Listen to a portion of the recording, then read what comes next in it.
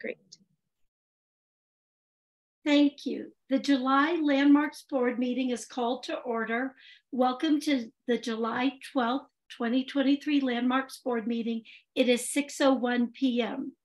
Our usual moderator, Brenda Ritenour, will be stepping back from this specific role, so Marcy will review the virtual meeting decorum this evening.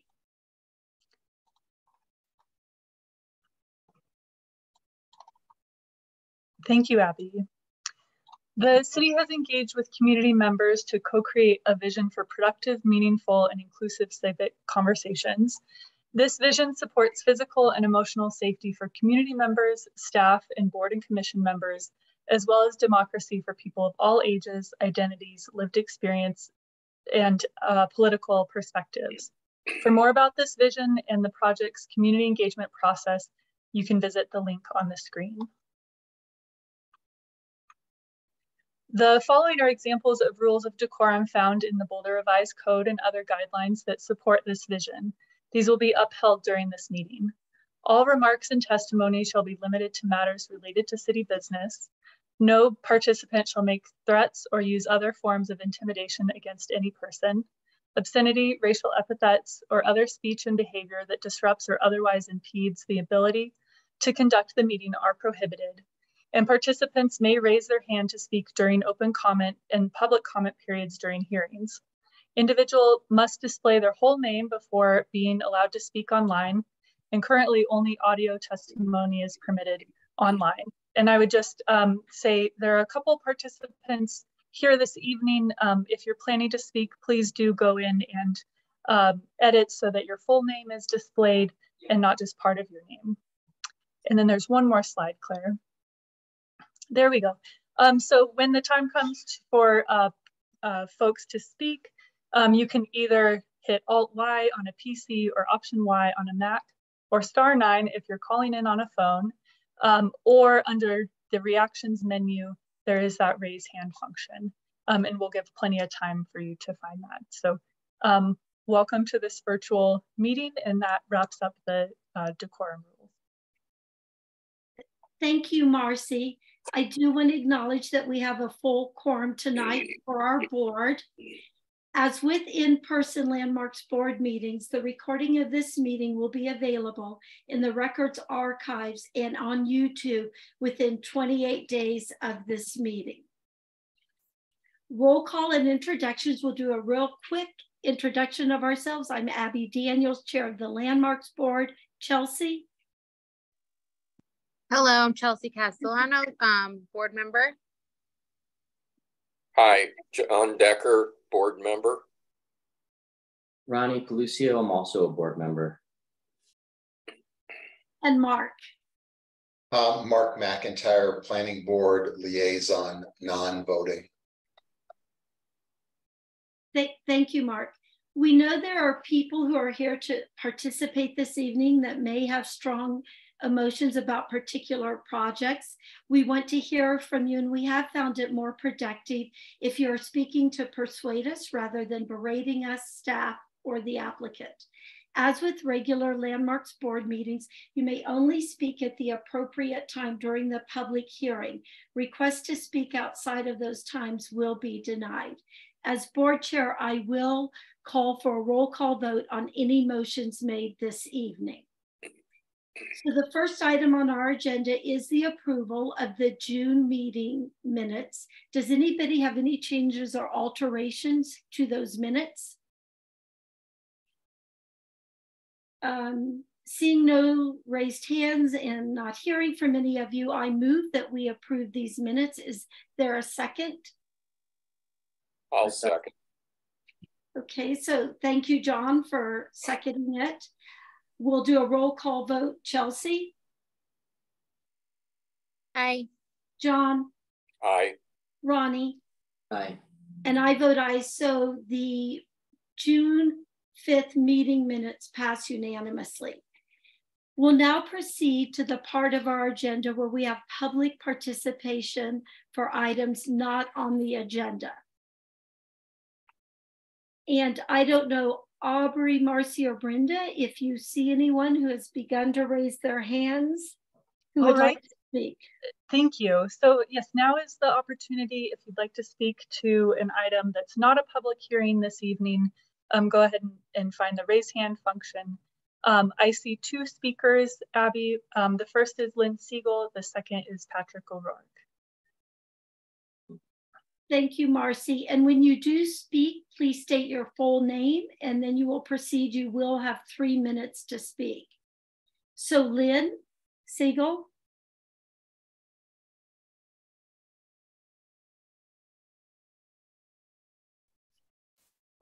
Yeah, I've got to be at six ten at OSBT. Um, yeah, um, I just want to say about the Millennium, you know, we're losing our base in Boulder when we're not preserving these the these spectacular buildings that that we have, and when we're you know tripling the quantity of people in them, and we lose our sales tax revenue. You know, instead we've got you know, instead of 269 folks bringing in sales tax revenue to Boulder, we have 900 some um, going to CU. Uh, um, this really should have been changed. This should not. Uh, this this building should have been preserved. Um, not unlike 770 Circle Place. Um, what's you know, ironically, what's coming up now it's five hours before now it's five hours again last night it's going to be five hours again um, on the the pure mass of the face of this project from cu that cu is going to get all the income from and we need this the the historic preservation costs a lot and we're losing it in our uh, uh, uh in handing over to cu um, it's it's stark walls. They're four stories high. They should not be given anything because of the floodplain. That's not your purview. It's planning board. But but I just don't understand how these kind of things can happen in Boulder. That millennium could have been well preserved and expanded a little bit, but it's not and it didn't. And now it's re- receiving a lot of hassle in the community, and nobody can play tennis anymore. They have to commute to come play tennis. Um, it's it's just not acceptable what's what's happened in that space, and so I don't trust Landmarks Board to do the next thing, do the right thing. I think these things are going to just slip by, and pretty soon, all you're going to have to look at the landmarks of the future are going to be mindless buildings like what I just saw at the Design Advisory Board at 2206 Pearl, a, a very, you know, unpleasant looking building with 300 square feet, you know, rented by the bedroom at the Millennium. It, it's just dollar signs everywhere. And it's not integrity anymore for the community. And that's what the Landmarks Board is about, is preserving the integrity of our historical, you know, value in this community. And it's not happening here. And why? Why?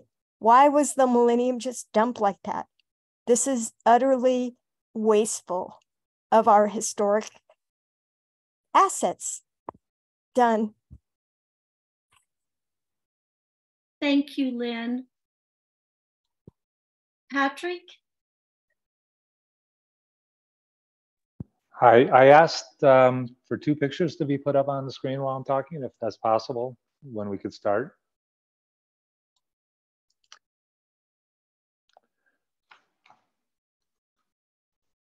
There you go. Thank you, Claire. I'm going to talk to, about two things before the, at open comment. One will be uh, the bandshell and what happened on June 20th of last year, nothing to do with what's applications in today. And the other one is a CLA. So I went back and listened to the, the YouTube videos from the June 14th meeting of 2022. The reason the Landmarks Board or James Hewat recommended that the city council not approve it were three reasons. One, the HIP wasn't done. Number two, they wanted collaboration. And number three is that he felt it would be better or holistically done in a historic district. Then today I listened to what Ali Rhodes said. It wasn't the same message, and this is the same staff. Ali Rhodes was dealing with about her question was process. And more important was her last quote, and I recorded it if you want to listen to it later, is she questioned the motive of the people that had put the application in. And the reason she questioned the motive is because of the 2015 comprehensive that was done for that whole area, which is disappointing because that was questioning the motivation of the people involved was unacceptable. Regarding the CLA, I, ha I have some concerns on it. Number one, I question the reason why the CLA was only given to the Parks and Recreation and the Planning Board to review and not given to the Landmarks Board. I find that unacceptable. Also, um, the, the assumptions that are made in the proposal, the memo that was given to these boards is, in, is wrong. So I just wanted that to be put on the agenda. The, the reason I asked for the CLA is it was my proposal to have a cultural landscape assessment that included the entire creek. You see the two pictures in front of you? The one on the right is what is currently the Silver Saddle Hotel motel. That's the 34 townhouses that is being built. That's on Boulder Creek. I don't know how that could have been acceptable. That's a nine foot or 10 foot wall on the left and it abuts the creek. And then the second question I have is this is phase one and we're going into phase two of this um, development.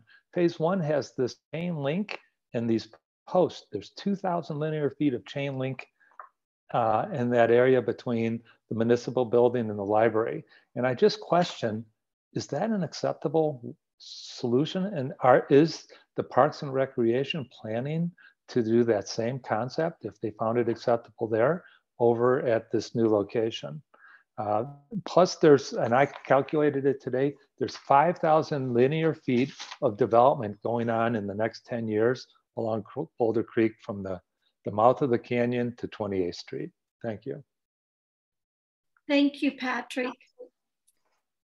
Are there um, any additional members of the public who would like to speak?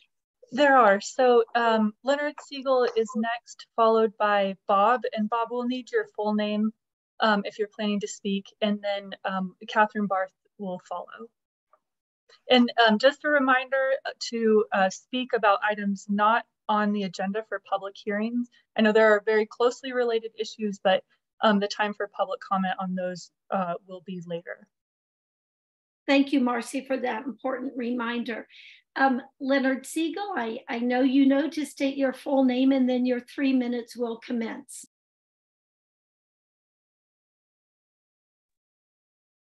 Leonard Siegel here. Thank you, uh, Landmarks Board.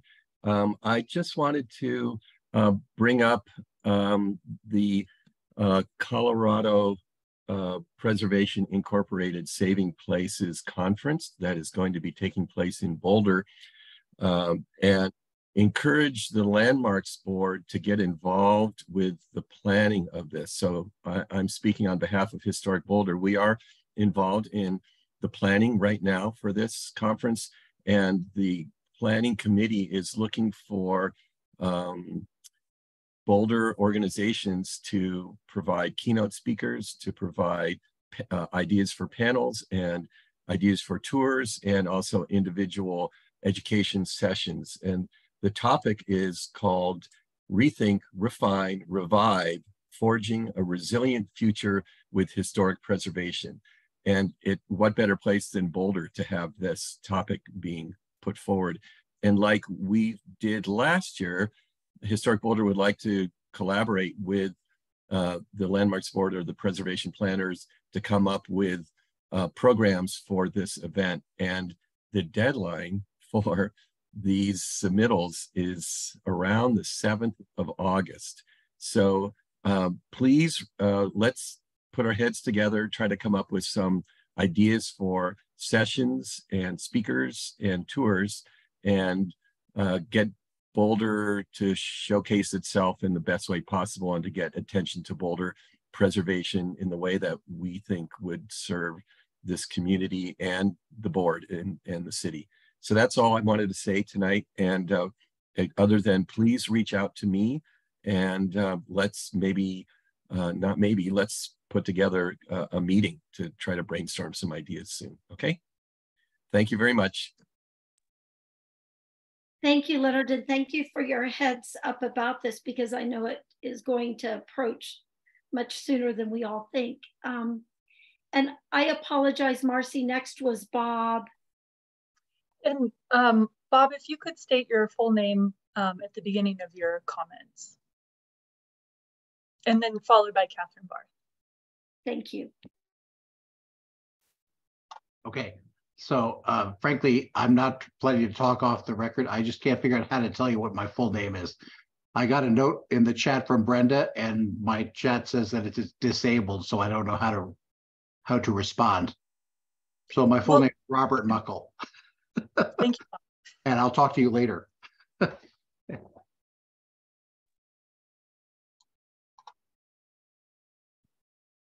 I mean, since my time's still running, I'll just say I, I, I support everything that Len just said. I think the CPI, you know, when CPI, Colorado uh, Preservation Inc.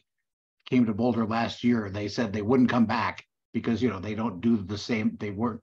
They were planning on moving around uh, around the state, and then their experience in Boulder was so good, they decided to do it again in Boulder. So that's that's a great thing. We should really take advantage of.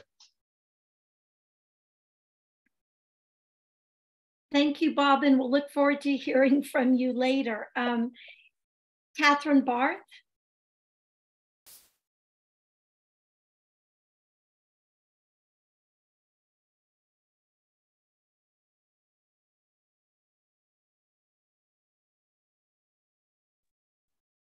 All right, I think I'm unmuted now.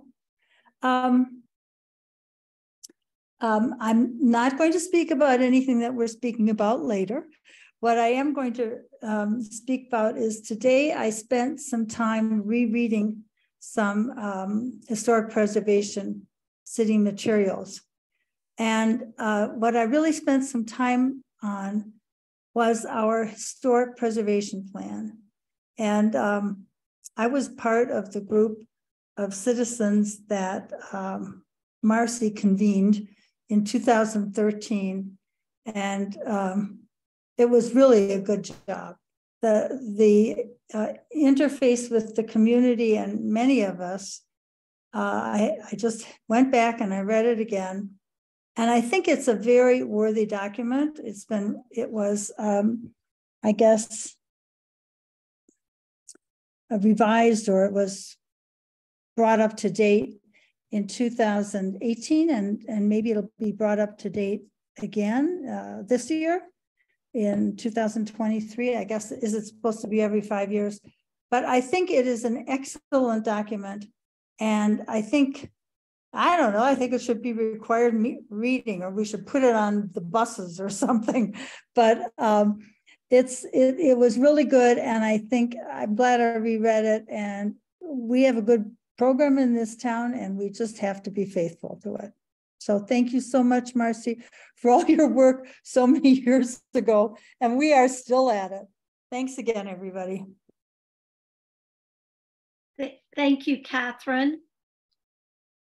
And I don't see anyone else with their hand raised for um, open comment this evening. So I'll just give it a little more time if you there's anyone else who would like to speak to something um, that's not a public hearing this evening, go ahead and, um, use the raise hand function. Otherwise, Abby, I believe that is it for this evening. So oh, this sorry. So the one late cover. Oh, I see you, um, Katie Peterson, uh, CPI. Okay. Hi, welcome, Katie. And if you would state your full name and then your three minutes will begin. Good evening, everybody. My name is Katie Peterson. I am the Endangered Places Program Director for Colorado Preservation, Inc. Um, I just want to echo Leonard's statement here. We are so thrilled to have uh, our conference in Boulder again next year. And uh, we'd love to work with, I know I've been talking with Marcy and she's been absolutely amazing. So um, I'd love to work with the, uh, the Landmarks Board. And uh, if you have any questions, please feel free to email me or our Events and Development Manager, Nicole Bob. Thank you so much. And uh, thanks for having having me here tonight. Thank you, Katie. Okay, Marcy, once again, any more raised hands? Let's give it um, Brenda seven seconds um, to count down um, if there's any uh, final speakers this evening. And I would say seeing none, it's safe to move on. Okay, and I just want to make a very quick comment about what Leonard, Bob, and Katie just said. One idea off the top of my head, I believe in 2024, the landmarks, I mean, the preservation program in the city of Boulder celebrates its 50th anniversary. So we might find a way to weave that in to something during the conference. So we now will officially close public comment and we will move on to discussion of landmark alteration and demolition applications issued and pending.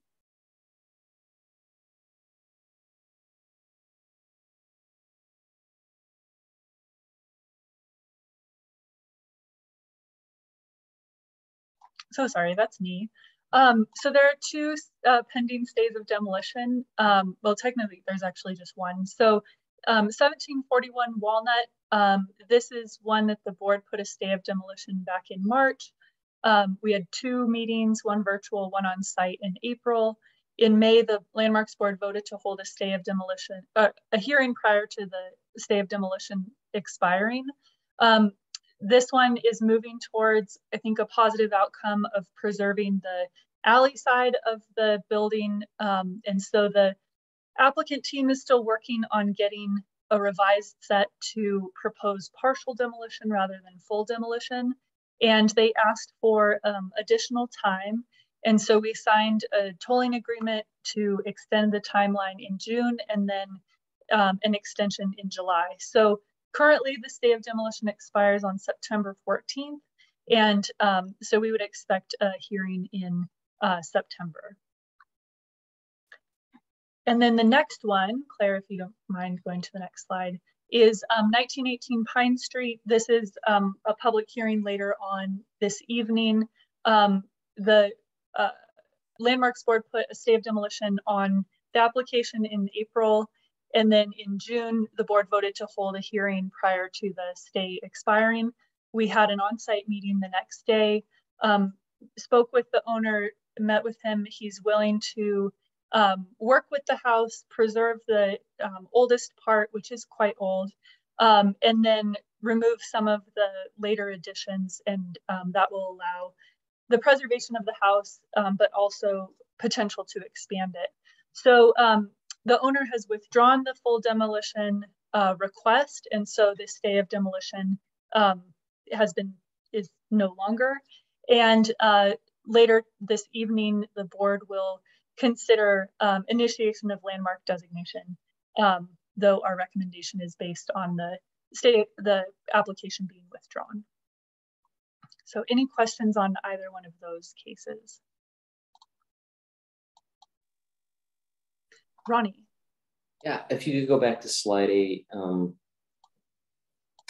what is the, I mean, it sounds to me, I, I think I understand is the, the, the plan is that they're preserving this facade um, are they, is there a route in which there's some sort of designation process um, that they're planning on pursuing um, for this building and its this elevation? Yeah, that's a good question. I think that this um, stay of demolition has come up with an outcome where, in my opinion, it's still successful, even though the building won't be designated um, it will be preserved, but outside of the program. I think that this is a pretty unique building in that it is very utilitarian and the front of the building actually faces the alleyway. And so um, the solution that was discussed during the stay of demolition is incorporating the alleyway and then the sidewalls, um, but not pursuing landmark designation for the building. And I'm sure we'll get to talk more about this in the future. So I'll wait another night, have more questions. Thanks. Thank you. And John. Um, the only question I have is, is that we, this is not something that's going to be designated in the traditional sense. Is there any way to acknowledge landmarks board's involvement in the process and the fact that this was a partial preservation? Mm. a plaque or some type of instrument that could that could make that acknowledgement. Mm-hmm. Um, I would love to explore creative ways, you know, especially as you walk along the alleyway and there are these kind of remnants left as you um, walk downtown. Um, so yes, let's brainstorm and think about about ways. I don't think there's a um, established way to do that, but that doesn't mean that that there couldn't be some sort of plaque um, in the future. Or, or historical marker or something that gives a little explanation of this. Mm-hmm. Great idea. Just a thought.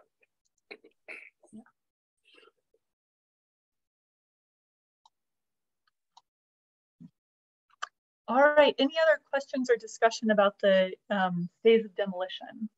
I just want to make a really quick comment, and I know one of these um, properties we'll be discussing later this evening, but I want to give a shout out to staff and, and the landmarks board members who have signed up for various properties. I think recently the stays of demolition and the meetings and what has happened during those have been some of the most successful I've seen in the years I've um, been involved with the landmarks board in one fashion or another. And so, you know, I, I just think there have been some great outcomes and I just, the process works and there have been some very fruitful conversations and some good things are happening because of the time and energy spent on that. So thank you.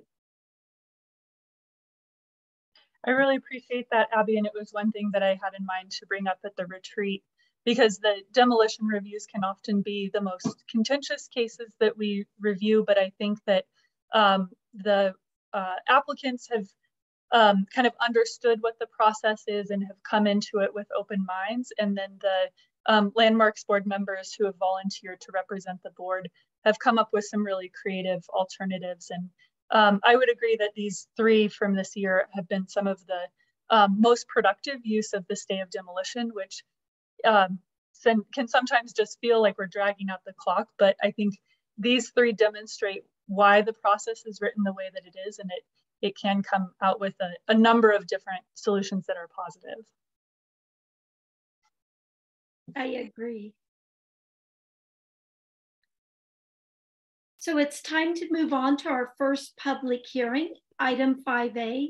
This is a public hearing in consideration of a landmark alteration certificate application to remove a fence at the property north of 200 Gaillardia Lane, and my apologies if I mispronounced that. You guys, we moved here from San Francisco, and I keep wanting to say Ghirardelli Lane in the Chautauqua Historic District, pursuant to section 91118 of the Boulder Revised Code 1981 and under the procedures prescribed by chapter 1-3 quasi-judicial hearings, BRC 1981.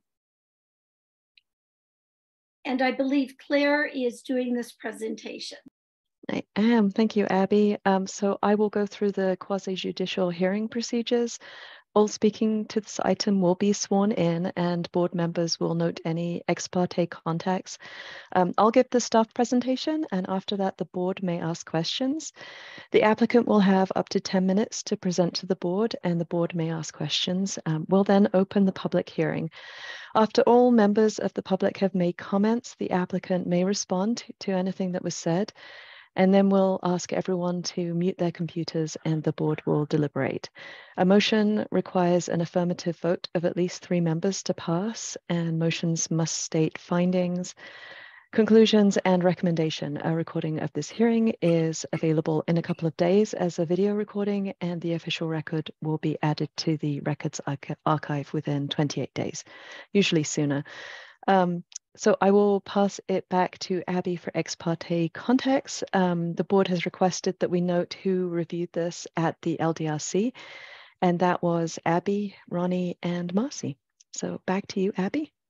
Thank you, Claire. Um, Chelsea, any ex parte contacts?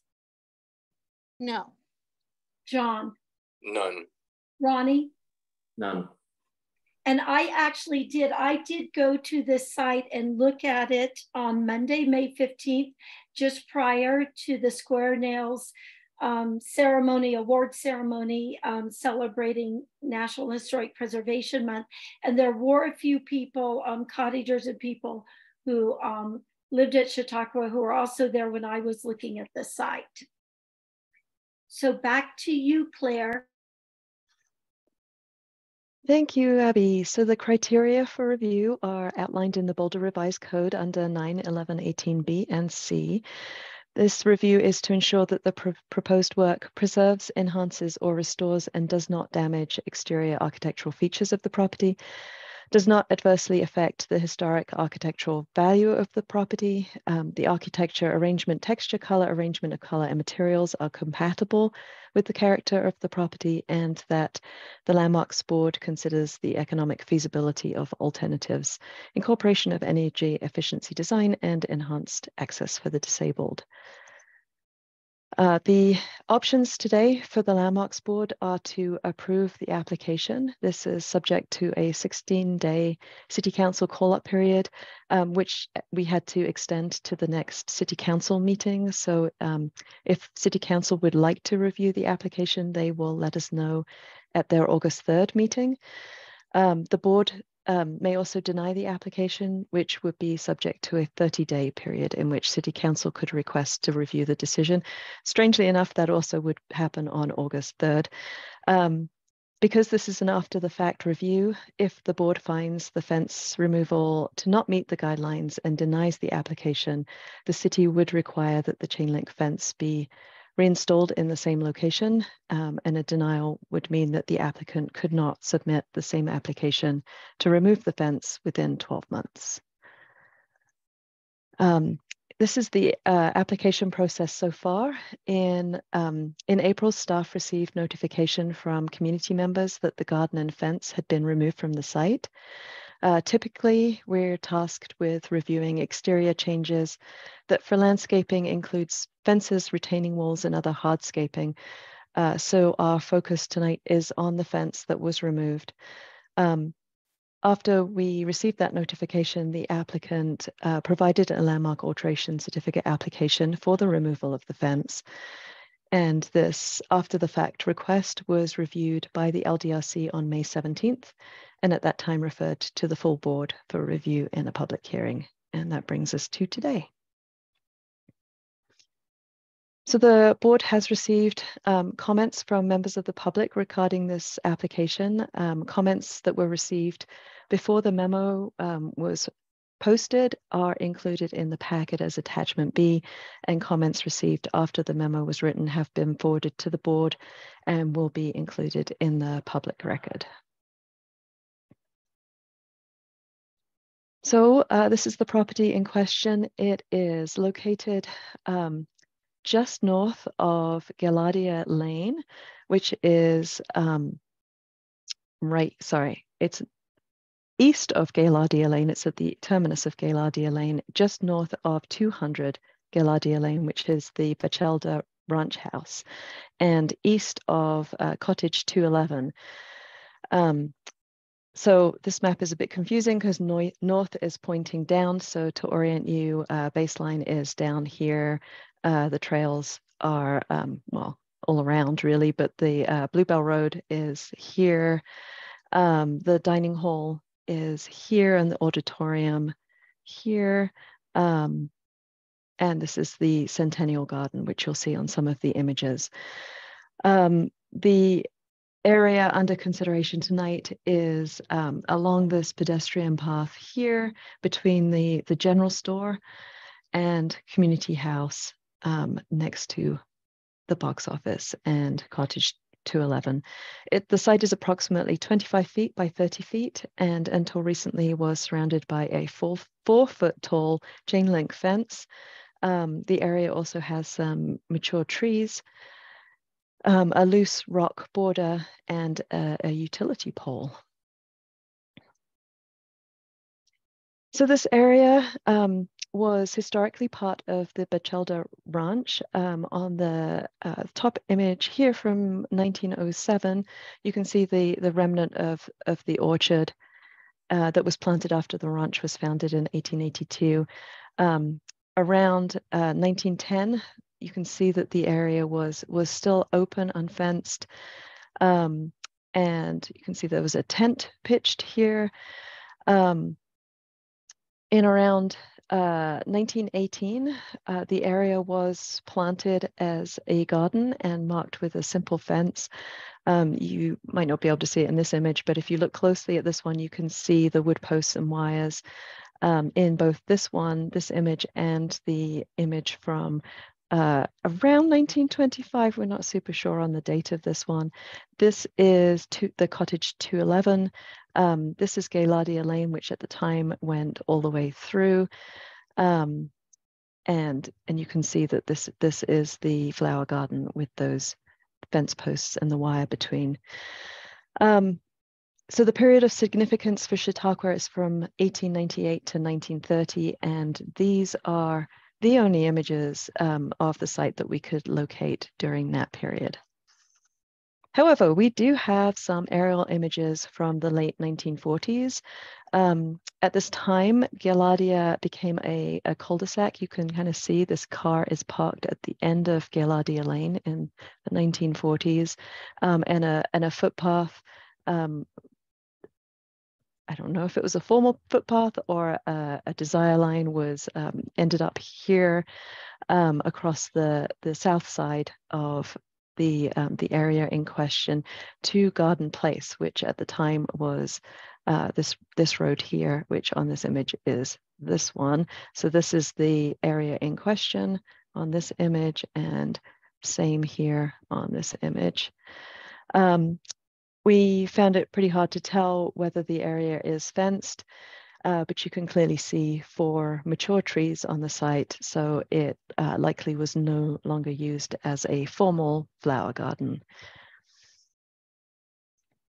Uh, garden Place, that, that street that went through on the previous images um, is was here and um, it was removed in uh, or before 1977 and replaced with a, a, footpath, which you can see this is the map that was created for the Gage Davis and Associates Reconnaissance Analysis and Historic Significance Assessment in 1977.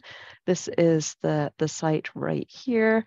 Um, this, uh, the, the um, Colorado Chautauqua um, National Historic Landmark nomination from 2005 mentions that a low rock retaining wall with landscaping um, were installed installed on the east side of the ranch house, which is is here, and you can see the rock walls on this on this map here. Um, in the 1970s, at the same time, a fenced vegetable garden was planted on the north.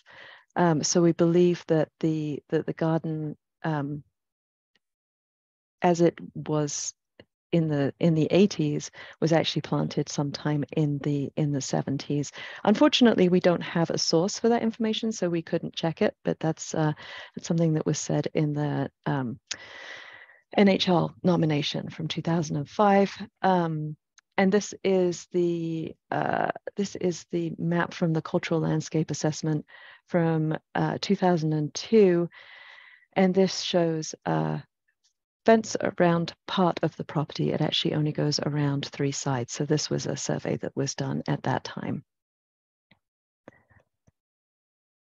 So this is the uh, this was the garden before the fence was removed. You can see the four foot tall chain link fence um, here, and this is um, the garden. I failed on my uh, on my photograph expedition and uh, did not take a picture from the same angle. So the uh, the um, the power pole is kind of your frame of reference here.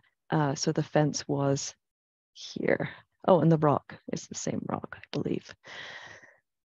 Um, so this application is specifically for the after the fact removal of the fence. So our staff analysis uh, is based on 91118B and C of the Boulder Revised Code and also the general design guidelines for historic districts and individual landmarks, and also the Chautauqua Park Historic District design guidelines. From our research, we determined that the wood and wire fence shown on photographs from the late teens to the mid 1920s no longer exists. Uh, the chain link fence was installed outside the period of significance, probably in the late 1970s or 1980s, um, although it's uh, shown only on three sites when the area was surveyed in 2002. Um, we also reviewed the Chautauqua Park Historic District Design Guidelines, which says the lack of distinction between properties should be preserved. Um, property lines should not be defined by fences or landscape material, so the camp character of the park will be preserved. Um, the use of informal landscaping and low fences to control access to Chautauqua Park Historic District and be, between cottages will be considered. Um, and also the design guidelines which say that fences could be easily seen through and were built of woven wire, not chain link, wrought iron, or painted or opaque stained wood pickets, and that chain link fences um, are generally inappropriate. So uh, as the four foot tall chain link fence was added after the 1970s outside the period of significance, staff considered that its removal will help restore and will not damage or destroy the historic character of the district. Um, as the change is consistent with the general design guidelines and the Chautauqua Park Historic District design guidelines, we considered that the removal of the fence does not adversely affect the special character or special historic architectural and value of the property. And staff considers that the chain link fence was incompatible with the character of the landmark property, therefore removal is appropriate. So in summary, um, in this case, staff considers the removal of the fence appropriate due to the following factors. Um, the wooden wire fence is shown on photographs no longer exists. The chain link fence was installed during um, outside the period of significance, probably in the late 1970s or 80s. Um, and the removal of the fence helps preserve the character of the district and that chain link fences are generally inappropriate. So our recommended motion is for the Landmarks Board to approve the after the fact application to remove the fence. Um, and the removal of the fence will be generally consistent with the purposes of this chapter. It does not damage the historic character of the landmark property or the exterior architectural features of the property. The fence material was incompatible with the character of the historic district and therefore removal is appropriate. And the work does not adversely affect the special character or special historic architectural and value of the landmark property as it is generally consistent with the Chautauqua Park design guidelines and will comply with section 2.6 of the general design guidelines and section 2-11-18B3 of the Boulder Revised Code. So that's the end of the staff presentation. Um, this is a reminder of the next steps in the process. The applicant has up to 10 minutes to present to the board and the board may ask questions. We'll then hear comments from any member of the community who wishes to speak. Um, the applicant may have additional time to address anything said during public comment. And then the board will ask everyone to mute their computers and will deliberate. Uh, the question in front of the board today is whether the removal of the fence meets the standards for issuance of a landmark alteration certificate. If yes, um, you should approve the application. Uh, conditions may be discussed and added to the approval if needed. If no, deny the application. So, um, Abby, did you want to turn it over to, I think Jason is here from the CCA to present. Yes. Unless anybody, sorry, unless anybody has questions for me, that's the part I missed.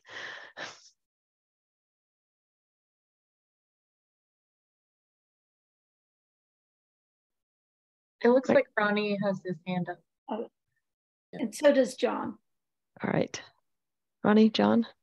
Maybe I can go first. Um, actually, I failed to mention something, and Lucas, maybe you can help me with this. Um, just going back to the ex parte contact, um, I just wanted to make it known that I um, was the architect on the cafe pavilion, um, which was recently constructed.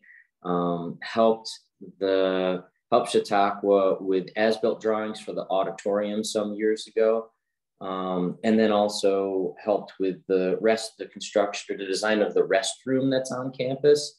And am helping them with a feasibility study for uh, a current project. Um, I do feel like I am capable of uh, reviewing this case. Um, but in this particular instance, Lucas, I wonder what your thoughts are on that and if um, you could help direct me on that. Well, yeah, I think I would kind of redirect it back to you, and you kind of already touched on this. Do you feel you can set all that aside and be fair and impartial today and base your decision on the evidence and the law? I definitely do. All right. Well, I think in that case, um, it's really up to you if you feel you are comfortable to make this decision and not base it on any other experience you have. I think you can um, remain on the case. So thanks for raising that.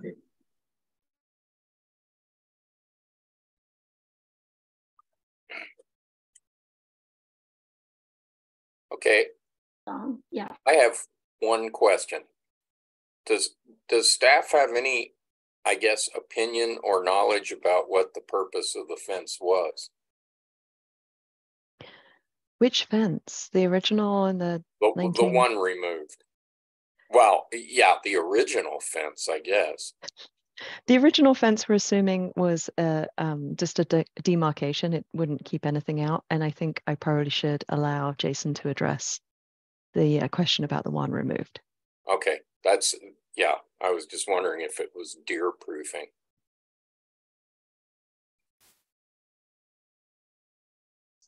Hi, everyone. Should I, should I get started? Yes, and Jason, if you would kind enough to raise your right hand or and swear you'll tell the board the full truth, and then you may proceed and you'll have 10 minutes. I do. Thanks, everyone. Good evening. Um, for those of you that don't know me, my name is Jason Hill. I'm the Chief Operating Officer for the Colorado Chautauqua Association. I've, I've been with the organization for five years now. Um, I have a few things to say tonight, but I, I, don't plan on taking the entire 10 minutes. Um, so I, I, wanted to start by saying that, as I'm sure most of you know, um, CCA submits anywhere between five to 10 LACs every year, oftentimes more. And, um, you know, as stewards of, of Boulder's only National Historic Landmark, we take preservation very seriously and work closely with landmark staff to ensure that we are adhering to the guidelines and requirements for maintaining and preserving Chautauqua, which is in constant need of, of care and attention. Um, regarding the fence, uh, we're here to discuss tonight. Um, despite being very familiar with the LAC process, CCA was was unaware that a LAC was required to remove the four link chain link, four foot chain link fence. Um, specifically, the administrative review guidelines require review of fencing with the following language. Um, rear or side yard fences that are less than five feet high and have a minimum of one inch spacing between pickets. The guidelines imply that approval is needed to remove wooden picket fences under five feet, but they don't necessarily address other types of fencing, including the, the chain link fencing question, which is considered you know generally inappropriate. We, we understand that level two review covers everything other than what's defined in administrative review, but there's there's still an implication of for wooden fencing. Um, although there are there are no um, other chain link fences at Chautauqua outside of the tennis court area, um, we think it would be helpful if, if, if Landmarks Board could clarify their intent regarding fencing of all types for future reference. This was definitely a point of confusion for the person responsible for the LAC applications and also confusing for, for leadership, including myself. Um, having said that, um, CCA concurs with the landmark staff recommendation to to retroactively approve removal of the fence. You know, uh, photographs of the property throughout time clearly indicate various uses, and that the fence was installed outside of the period of significance. Um, and that you know its removal does, does is not detrimental to the historic character of the district as the chain link fences are, are, are considered inappropriate and we see that a lot in our, our design guidelines um, you know, this hearing is specifically about the fence removal. Um, I think it's important to address some of the comments that you've received about the garden itself and to be to be clear about the facts. Uh, CCA had had CCA taken the actions we were being accused of taken um, by those who have written to you and, and probably speaking tonight. We we could certainly understand why those people would be upset. We did not, however, destroy the garden. We removed the fence surrounding the garden and were, in fact, careful not to destroy plant material within the garden itself. This was a perennial flower garden and annual vegetable garden encompassing a relatively small area, and that started sometime from what we can understand the 1980s. Um, it's also to, I think, important important to address claims that the garden was historic, as described in detail in the packet prepared by Landmark staff tonight. The space in question has had a variety of uses over many decades, including during the period of significance, and was not, from our view, considered historic at the time of the fence removal. And I don't, I think that that's the sentiment that I'm hearing from staff as well nor is it considered a historic feature in CCA's NHL application outside of the boulder wall that's constructed constructed in front of Cottage 200, nor is it mentioned in the cultural landscape assessment and plan and um, Chautauqua's design guidelines. These are governing documents that we visit daily and that help guide our work. Um, despite the fact that the garden is not a historic feature of the property, CCA does intend to maintain the space as a garden and is proposing to make it publicly accessible um, a demonstration garden for firewise and native plants that will serve as a space for, for research, development, outreach, educational opportunities. Um, we have drawn some preliminary plans. Uh, we will be submitting them to the Building and Grounds Committee at Chautauqua, as we always do, for review before bringing them to the full Landmarks Board for final approval in the coming months. Um, lastly, I, would like to reiterate what I believe most of you know to be true. Um, the CCA, the staff at CCA are, are diligent stewards of Chautauqua. We are professionals, many in the field of historic preservation who um, understand our commitment to maintaining and preserving this historic property and work collaborative, collaboratively with landmark staff to ensure that we are meeting our obligations. Um, just this year, we received a Landmarks Project Award for the construction of the Chautauqua Cafe. And one of our longtime employees received a Lifetime Achievement Award for his work in the preservation community. Um, for anyone to suggest that we do not care about preservation is disappointing to say the least and, and not supported by the facts. Um, I, I also, final, final, I wanted to um, thank city staff for their collaborative and comprehensive approach to navigating, navigating this LAC and, and so many others in the past. We, we greatly value our relationship and rely on their guidance as we continue to care for what is truly a national treasure and, and the crown jewel of Boulder. Um, this concludes my comments um, on the LAC before you tonight. I'm, I'm, happy to take any questions you may have now or um, during the discussion period. Thank you, Jason. Um, do any board members have questions of Jason before we proceed to public comment? Abby, this is Lucas. I was actually going to return to that conversation with Ronnie a little bit. I had a chance to look at a, a little bit more at the code of conduct. And Ronnie, um, did you say that you had, uh, are you currently an independent contractor working with uh, the Chautauqua Association? Yes. Okay, I think in that case, um, I'm, and I'm going to read something from the code here. Um, I can find my, my right screen. But um, the, an employment relationship, um, the definition of that includes an independent contractor relationship. And one of the prohibitions in the code is to use, um, for a public official to use his or her public position to obtain a benefit for the official or employee. And the list goes on to state or anyone with whom the official or employee has a business or employment relationship. So I think in this case, since you do have an ongoing uh, contractual relationship with the applicant, I would recommend that you recuse from this one. Okay, that makes sense. I'll recuse myself. Thank you for the clarification. All right, thanks, Ronnie. And do we want to identify someone who can let Ronnie know when to return to the meeting? We certainly can, yeah. If whatever is the most convenient context. Yeah. I, I will um I will let you know, Ronnie. Thank, Thank you, Marcy. I, I realized I don't have like Ronnie on my speed dial or anything. Thank you, Marcy. And um, that being said, that um, with three of us um, who will deliberate after we hear from public comment, and Jason, you will obviously have an additional time to respond to anything. It will take um, a unanimous vote of three, depending on any motions that might be brought forward. Before we want to, before we start public comment, I just want to give a shout out to Chautauqua's 125th birthday celebration and how the weather cooperated and everything. So congratulations, you guys, on a remarkable um, milestone. So let's do move to public comment. And you can either raise your hand or press star nine on your phone if you wish to speak to this item. We will be swearing in every speaker and you will have three minutes to speak.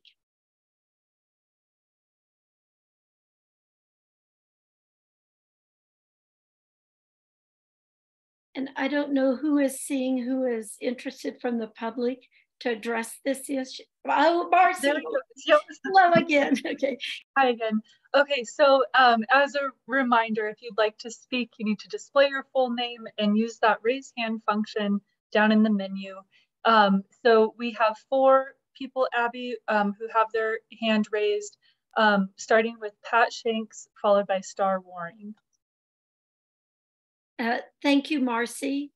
And Pat, if you will state your full name and swear to tell the board the full truth, your three minutes will then commence.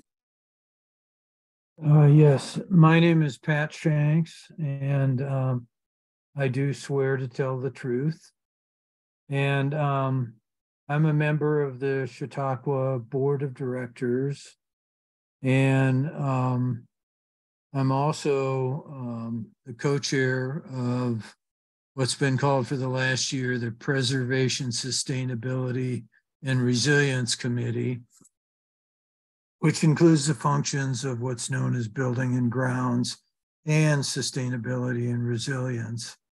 And um, we tried an experiment this year combining those boards, and we're going to split them back up to separate boards. And uh, starting in September, I'll be chair of sustainability and resilience but anyway, this board um, was had has its own design review committee that examines applications to the landmarks board for Chautauqua um, before those are submitted. And so um, I definitely will second what Jason said about taking landmarks applications seriously. And um, what I just, uh, what I want to say and emphasize really is that the only thing that was done to the garden area is the removal of the non-conforming chain link fence. And uh, we agree with the staff recommendation on that.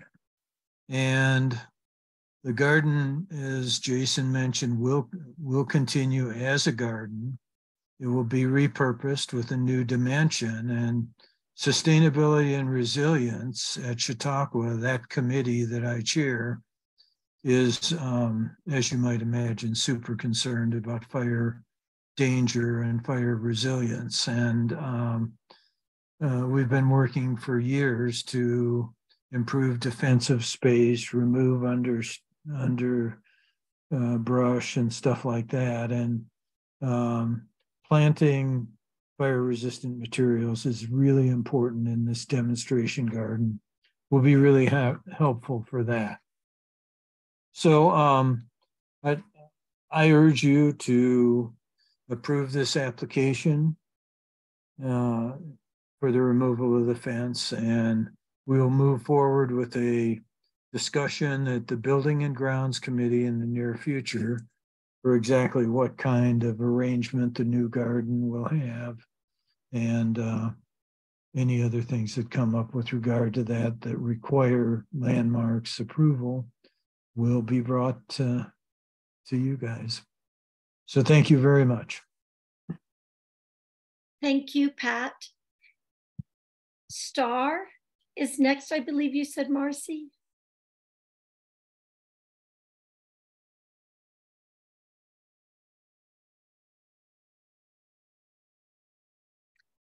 And Star, welcome this evening. And if you would um, swear to tell the board the full truth before you commence, that would be great. Thank you. Yes, thank you. Um, and thank you for letting me have a chance to speak. Um, my name is Star Waring, and I do swear to tell the entire truth, um, the whole truth, and nothing but the truth um, to the um, to the board. Um, I do want to go on record as saying that I agree with the staff recommendation to approve this application, and I completely agree with the facts that were laid out, and also those um, items that were mentioned by Jason and by Pat. And um, just in addition to that, I would add that um, I, you know, I think that the reason that the purpose of the existing space is being changed completely aligns with Chautauqua's mission, one of which is education.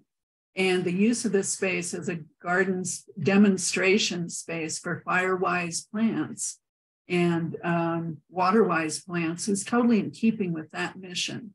And that, that's important. Um, that's not really related to why the fence was removed. The fence was removed, I think, for very legitimate reasons. But it is important to keep in mind that this space, even though it wasn't historically always a garden within the period in, question, um, I think will serve a broader purpose than it has in the past. And and does align with Chautauqua's mission. So um, those are my comments on it. Again, as chair of the board, I think the staff has been remarkable in the way it's uh, it's handled uh, the application process and the adherence to preservation and uh, historical of historical uh, matters. So we want to thank you again for giving us the time to make a presentation. So thank you. Thank you so much, Star, for joining us this evening. Marcy, the next two speakers. Jen Marcus, followed by Georgia, Georgia Chamberlain. And if there's anyone else who's interested in speaking to this item, um, go ahead and use the raise hand function. Okay, so Jen, Jan, uh, we will be swearing you in and then your three minutes will begin. Okay, thank you. I swear to tell the truth. Um, my name is Jen Marcus. I'm a real estate agent in Boulder. I also will mention that I grew up in Chautauqua Cottage 108 and I'm the daughter of Carrie and Ben Gilbert. I'm requesting that the Landmarks Board deny the retroactive LAC application for the following reasons. CCA is denying the historical significance of the garden that existed on this site because it benefits them to do so. The area where the garden existed prior to its destruction, I'll mention the garden itself was destroyed, not just the fence. It was established in 1917, as we saw in the photo, so its very tenure on landmark grounds should be considered of historic significance. Many members of the CCA staff and some Chautauqua board members insist that the garden was not removed or destroyed, only the fence. Photos prove otherwise. They've been submitted to the landmark office. The garden was destroyed without proper process, community input, or submittal for review by the Chautauqua Board of Directors, let alone the Landmarks Office. This act effectively undermined Landmarks Office prematurely. The gardens of Chautauqua overall have been an important part of the unique history, beauty, and cultural appeal, and maintaining them is critical for the cultural residency and environmental benefit of the area for all visitors. Clearly, this plot of land has far more value to the entire community than a chain link fence, that it was part of the Chautauqua history, landmark grounds, and cultural preservation of Chautauqua. The actions of CCA staff has struck a particular chord with the entire cottager community, some board members, and many Boulder citizens. CCA staff and the CCA board have received numerous letters of outrage over this action, one of which was signed by many former Chautauqua board members. It is apparent that the CCA never had a clear plan in place prior to removing the garden, and that they have applied for retroactive approval for doing so after sidestepping proper protocol and only after being called out for failing to do so. Anyone who owns an historic home or lives in an historic district in Boulder has navigated the complexity of applying to landmarks for alterations or updates to their properties. CCA should be held to the same standards as any other applicant. To accept this LAC retroactively sets a dangerous precedent, not only for the Chautauqua community, but for all homeowners of historic landmark properties in Boulder. It becomes a ask for forgiveness first and permission later situation. Chautauqua is far more than a plot of land with historic structures. It is a treasured, time honored culture and a community, and the preservation of the land, the environment, and the structures only hold significance when a community and culture can benefit and thrive as a result of careful and intentional preservation and proper stewardship. I conclude by requesting that the Landmarks Board reject this LAC and require CCA to restore what they have destroyed. Thank you. Thank you, Jen. And I apologize, Marcy. The next speaker was uh, Georgia Chamberlain, followed by Trudy Turvey. Okay. So, Georgia, again, please um, swear to tell the board the truth and then you may begin. Well, good evening. I'm Georgia Chamberlain, owner of cottage number two in Chautauqua Park, and I swear to tell the truth this evening. The issue in front of landmarks tonight goes deeper than just a retroactive application for an alteration certificate for a chain link fence that has already been removed. The don't ask for permission, ask for, for forgiveness behavior of the Chautauqua, Colorado Chautauqua Association shows disrespect to the Landmarks Board to their purpose and to the hard work of the board members. And it also threatens the preservation of Chautauqua Park. To award an alteration certificate after the blatant disregard by CCA for the rules and procedures would set a dangerous precedent. I encourage the Landmarks Board to find out why the organization that has been entrusted with the preservation of Chautauqua Park, Boulder's most iconic historic site, continuously chooses to ignore rules and procedures that have been in place for many years.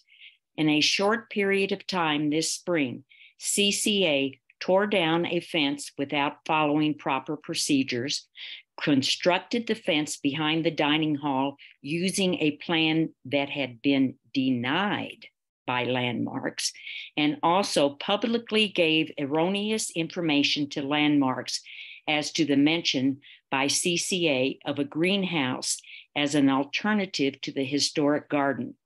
I'm referring to the April 24th CCA meeting when the greenhouse possibility was mentioned, and then at the May 17th landmarks meeting when CCA denied that a greenhouse was ever considered.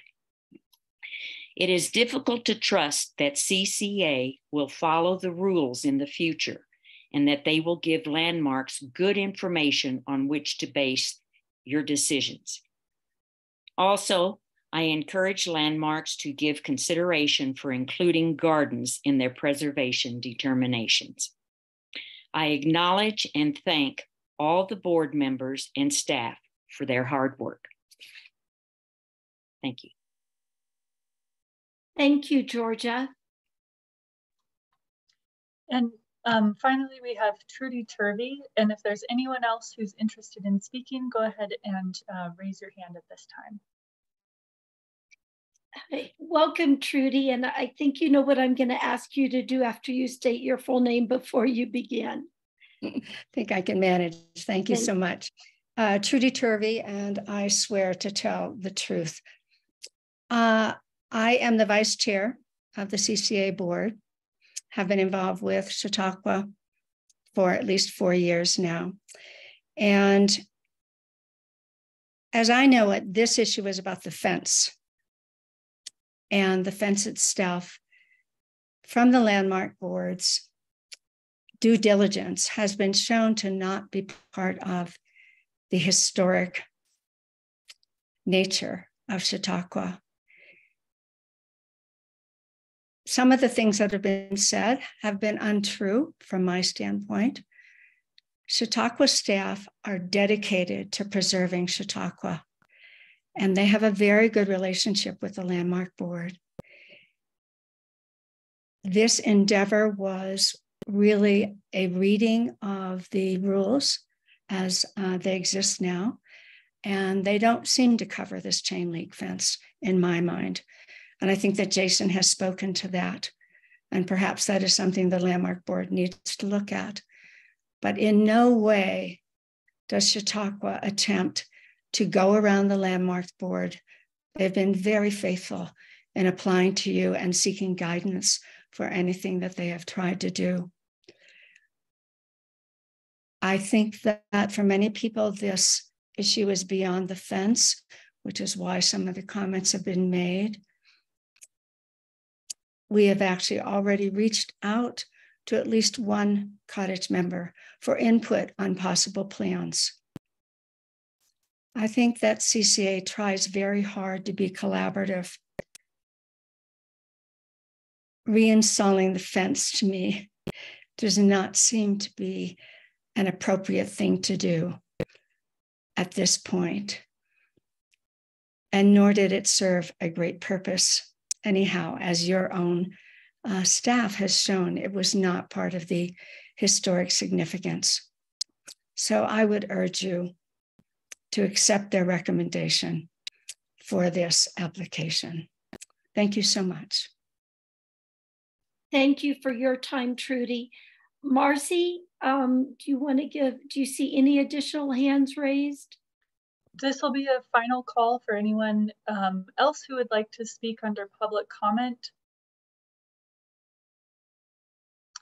Seeing none, I think, Abby, that concludes the public comment portion. Okay, we will now close the public hearing for agenda item 5A this evening. We will bring it back to board discussion. I ask that everyone else mute your computer or phone for the Abby. So so sorry. Um, the applicant does have a chance to respond to anything that was said during the public comment. Jason, my apologies. I apologize. You do have an additional three minutes if you'd like to respond to anything you heard. Thanks, Abby. Um, you know, I, I don't have much to say. Um, I I will say that um, it's disappointing um, to hear some of those comments. Um, I think it's pretty obvious that, um, you know, my stance is that um, those comments, a lot of what you heard is is not true, and I tried to lay out the facts. I think that um, staff from the city did a great job of that to begin with, and um, part of the reason why I, I, didn't need very much time to to comment on this. Um, um, the fact that the CCA staff has misled anyone um, in, in, reference to the greenhouse is I, I don't understand. There's we have a few ideas about how this space could um, could um, succeed in in the new vision that exists, but we're nowhere near uh, any sort of final recommendation at all. We'll work through the process and, and talk to um, the appropriate um, entities as we work through it. So, um, um, you know, that's that's all I have to say, um, and I'm happy to answer any any further questions that you all might have. Thank you, Jason. And Marcy, thank you for um, reminding me I missed that very vital step in tonight's hearing. So if if board members have no additional questions for Jason, we will move on to our board discussion. I do ask that everyone mute your, everyone else mute your computer or phone for the duration. We have allotted approximately 30 minutes for this discussion, but we'll take the time we need to do that. And Aubrey, I know you're keeping um, a time check on us, and if you would be kind enough to do that. I don't know if John or Chelsea, if either one of you want to kick off this discussion. Well, did, did we get a chance to ask questions of staff or? Yes. I mean, Marcy asked that earlier after presentation, but go uh, ahead.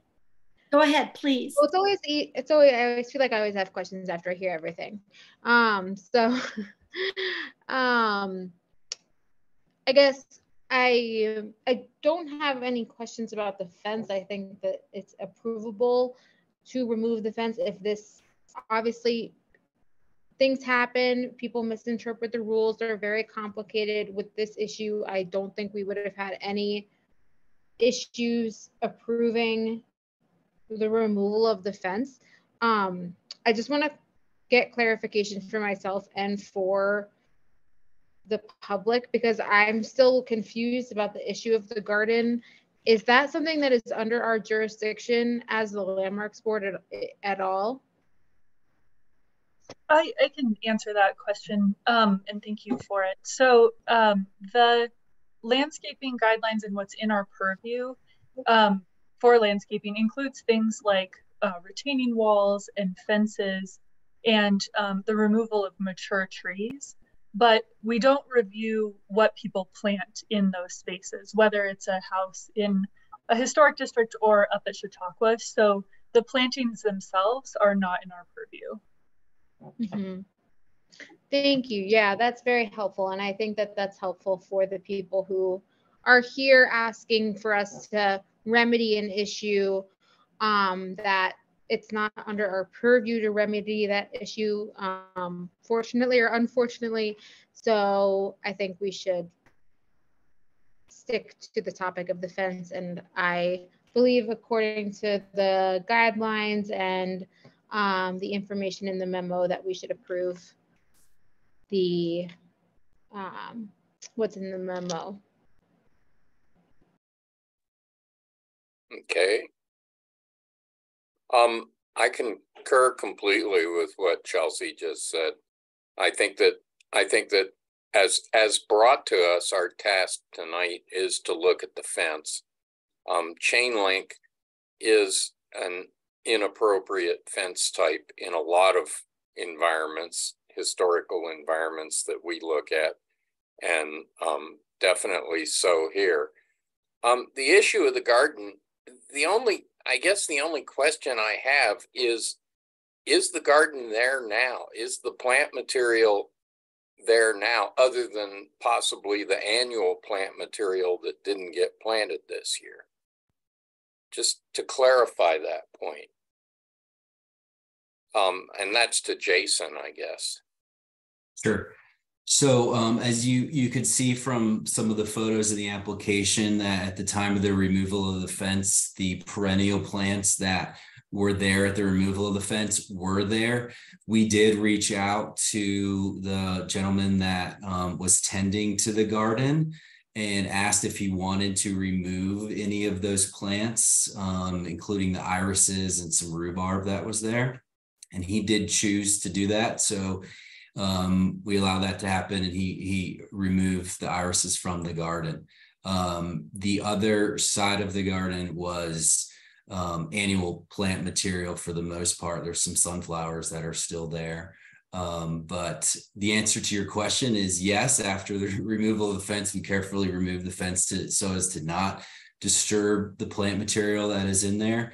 Um, but since then one of the um, uh, community members um, was asked if he wanted to remove and, and chose to to do so. Okay. I mean, that was, I just wanted a clarification there because it's been, this has been batted back and forth as to the state of the garden and, and its destruction. It's outside of our purview to say anything about a garden, even if it is a historic garden. We don't have code that really allows us to visit that, as Marcy just said. There's been instances when I wished we did. Um, so the fence, removal of the fence is approvable. Um, we can understand confusion as to how these kind of processes go in a district and how they are supposed to come to us. In terms of Jason, in terms of your question about guidance on fences generally in Chautauqua, that's, I guess, something for um, for your group to take up with staff um, because there is um, a pretty good set of guidelines at the general level and probably specific guidelines for the Chautauqua community about what fencing would be appropriate and what would not. I don't think any kind of barrier type of fence would be appropriate there because the guidelines state that the openness of the territory and the and the I guess um, the continuity of it is part of the historic character. So you don't want to put up stockade fences and that type of thing. But open, visually open, and um, historically consistent fencing, like something like split rail or or picket or something in certain areas may be appropriate, but that's something that you should take up and get a little more depth on. So I'm I'm supporting the approval. Thank you, John. And my apologies for losing my voice. Um, you know, this this is and Jason, you you you said the words as did several other speakers tonight. You know, this is the crown jewel of Boulder. It is a National Historic Landmark. It's it's um, beloved by everybody, a real treasure. And you know, perhaps we love it too much to death. And this is a hard one for me because, you know, as Chautauqua evolves and makes changes it needs to and explores things not only for you know, fire mitigation and all of that. You know, I'm always cognizant that sometimes with a place as special at Chautauqua, an incremental change is one thing, but collectively sometimes could a variety of incremental changes lead us to something that's not there. And, and I do know that people who work there care about it. I also know that the cottagers care about it as well and you know no one has a monopoly on that and i i do think this is unfortunate because um, i think chelsea and john have gotten to the heart of the matter based on staff's excellent memo and presentation that our purview even if we had documentation this was a historic garden and there's certainly old photographs that sh that show during the period of significance this space was used as a garden and you know i have to realize that really our purview is the chain link fence. I also think for everybody who's listening to this and took the time and energy to write emails and letters, um, when this was looked at at the LDRC, we didn't have as much information as staff was able to pull together for a full landmarks board hearing. That's the way it happens. And I think that sometimes where there ever is a question, because I understand this never went to Brown, grounds and building committee, is that, you know, maybe always err on the side to see if you need an LAC. And it really comes from a place where, you know, our task is to protect things and especially something as as remarkable as Chautauqua, I I you know it's also not under our purview to help sort of navigate some issues or miscommunications between the CCA board and cottagers or other members of the community who care deeply about this place. So um, as I, I think I join my colleagues, uh, Chelsea and John in supporting because our focus has to be on is the chain link fence appropriate? And since it's not no matter how long it has been there um, and become part of the fabric of that area um, we do need to support the retroactive landmark alteration certificate this evening. And I don't know if there's any more discussion, if we have a board member who'd like to make a motion. Sure, I'll make a motion. Um, whatever, okay. I move that the Landmarks Board adopt the staff memorandum dated July 12, 2023 as the findings of the board and approve a landmark alteration certificate to remove a fence at the property north of 200 I'm going to pronounce Gaillardia Lane in the Chautauqua Park Historic District, finding that the proposal meets the standards for issuance of a landmark alteration certificate in Chapter 9-11-18 BRC 1981 and is generally consistent with the general design guidelines and the Chautauqua Park Historic District guidelines. Thank you, Chelsea. I will second that. Thank you, John. So on a motion by Chelsea, seconded by John, we will take a roll call vote unless there's any additional comments. And Mark, I want to give you an opportunity. If there's anything you'd like to add. No, I, I have nothing to add. Thank you. I'm, I'm in support of uh, the motion. Thank, thank you, Mark. So on a roll call vote, Chelsea? Aye. John? Aye. And I vote aye. So the motion does pass unanimously.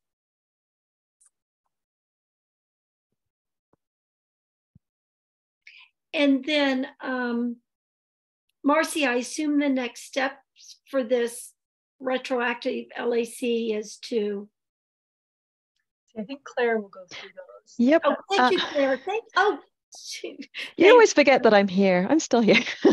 the, um, so City Council usually has 16 days to decide uh, whether to review um, or call up the decision. Um, as the next City Council meeting is on August 3rd, um, we've requested, um, we'll request an extension. Um, and then, so if the City Council does not call up for review at this time, um, the LAC will be approved. Um, and if the City Council does want to review the decision, staff will schedule a hearing within 45 days of today. So that will happen on August 3rd. That wasn't very clear. Does anybody have any questions about that? It was clear to me. Thank you, Claire. Okay, good. All right, Abby, are we ready to uh, to move on? Yes. So, um, Marcy, will you reach out to Ronnie? Um, yes, I have. And Okay. um, if uh, someone could promote Ronnie to a panelist, I think we'll then be ready to get started. Thank you all. Have a good night. Thank you.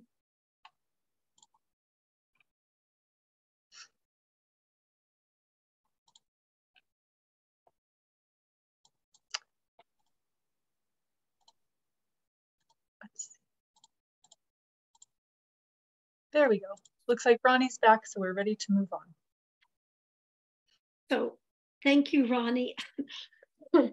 Item 5C on our agenda, since item 5B has been postponed, is a public hearing to consider adopting a resolution to initiate the process for landmark designation of 1918 Pine Street pursuant to section 911.3 of the Boulder Revised Code 1981.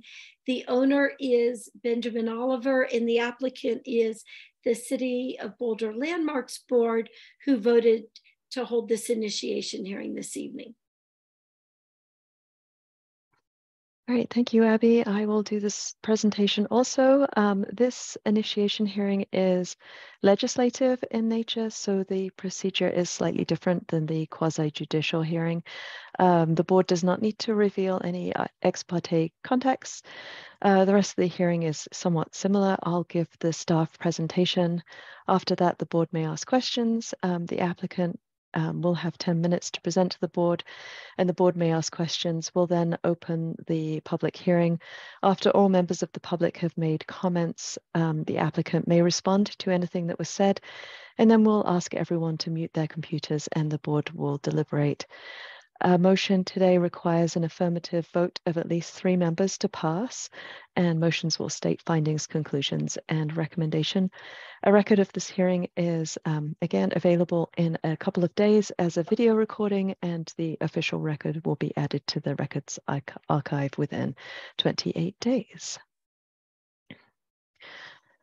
The criteria for the initiation review is in 911.3D. Um, the first items in 911.3D refer back to 911.1 and 911.2 to outline the purposes and standards used to determine if the board has probable cause to believe that the building or district might be eligible for designation as an individual landmark. Um, in addition, 911.3D directs the board to review the application based on whether there are currently resources available to complete outreach and analysis. If there is community and neighborhood support, if the building needs the protections provided through designation, if the proposed designation is consistent with the goals and policies of the Boulder Valley Comprehensive Plan, or if the proposed designation would generally be in the public interest. Um, as 911.3D is legislative, uh, the board can consider any of the information heard. So the board has two options tonight uh, because the demolition application is withdrawn and the stay is ended. Um, the board cannot approve the demolition application because it's been withdrawn. So uh, option one, the board may vote to not initiate designation um, and the case will be closed. Um, a decision today to not initiate does not affect a future decision. So designation may be um, initiated at a future date. Uh, for example, if full demolition was proposed in the future, the process would follow the same demolition review process and could end up at this same point.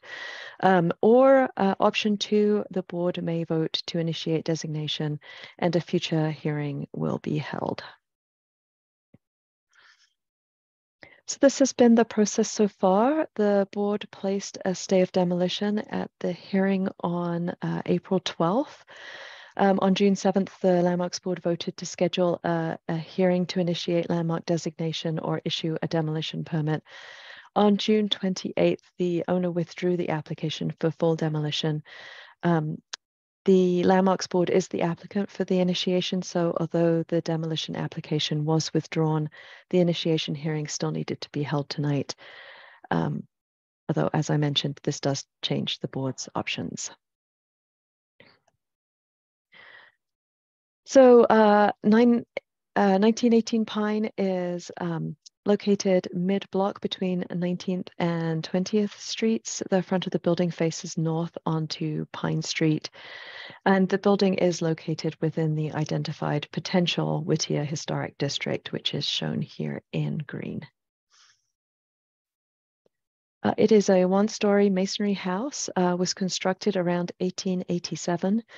Um, it has a front gable uh, with the, um, the gable ends here constructed of brick uh, with the wide uh, wooden barge boards and has a full width um, porch supported by wooden posts. Uh, this is the rear of the house, which includes a shed roof addition uh, constructed sometime between 1900 and 1906. There are also two accessory buildings on the site uh, proposed, for, um, sorry, that are included in the uh, the initiation of landmark designation. Um, the older accessory building is a one-story frame garage with a gable roof and shed roof additions uh, on the west and north sides. And the other accessory building is a one-story frame building with a shed roof. So some of the building history, um, Amos Widner actually owned the land in 1874. Uh, Widner is important to Boulder's history as in 1872, he and Granville Barclay proposed extending the official city limits eastward from 17th Street. Um, Widner sold the land in 1877, and we don't know if the house was built at that time, but it does appear on the 1887 Willits map. Um, William and Harriet Rowan and son Freeman were the first residents and are listed in the 1892 city directory and on the 1900 federal census at this location. Uh, William was a miner. The family moved to the adjacent property about 1911 and rented 1918 Pine Street. Uh, their son Fremont sold the house in 1927 and it was owned by a variety of owners who rented it out. Um, Mary Ann Hogan Klinke purchased the house in 1953 and lived there until 1985. Mary Ann's estate sold the house in 1985 to John Emmerich, who sold the house to the current owner. Uh, staff considers that the building has historic and architectural significance and that the building and area have historic integrity. As such, the building would be eligible for individual landmark designation based on the criteria outlined in 911.1 and 911.2. However, probable cause, which addresses whether the building could be designated, uh, is only one of the items the board should consider to identify if the building should be designated. Uh, 911.3 asks whether there are staff resources for outreach and analysis, and staff resources are currently limited. Um, also, if there's community support, which has been limited, and whether the building needs the protections provided through designation. And as there is no current demolition application, the demolition approval would not be issued if the board takes no action to initiate designation so therefore, the building does not need the protections provided through designation at this time. The board is also asked to consider if initiation over the owner's objection represents a reasonable balance between private property rights and the public's interest and is consistent with the Boulder Valley Comprehensive Plan. Uh, we consider that, the, that designating this property over the owner's objection would not represent a reasonable balance between private property rights and the public's interest. Uh, because there is uh, there's no current demolition threat to the property, um, staff does not recommend initiating designation over the owner's objection. So that's the end of the staff presentation. Um, this is a reminder of the next steps in the process. Uh, the applicant has up to 10 minutes to present to the board, but I don't believe he is attending tonight. Um, we'll follow that by uh, public participation and um, an opportunity um, for the applicant if he is here to respond to anything that's been said and then board deliberation. Thank you, Claire. And um, Ben is here if um, okay. someone can go ahead and promote him. I don't think he's planning to do a full presentation, but we do want to give him the opportunity um, to speak if he wishes. Thank you for noticing that, Marcy. Uh, so just a reminder, the question in front of the board today is whether the board should initiate landmark designation uh, if yes, we will schedule a landmarks board designation hearing within 60 to 120 days, followed by city council review. If not, the process ends. Any questions from the board before I hand it over to Ben? Yes, John. Um, could could staff, I guess, address briefly the current state of discussion about the Whittier um, designation of Whittier as a district? Marcy, that's on you. I have no idea. just um, briefly, just. Yeah, John, I am not aware of an active um, interest or movement to designate um, the Whittier neighborhood as a historic district.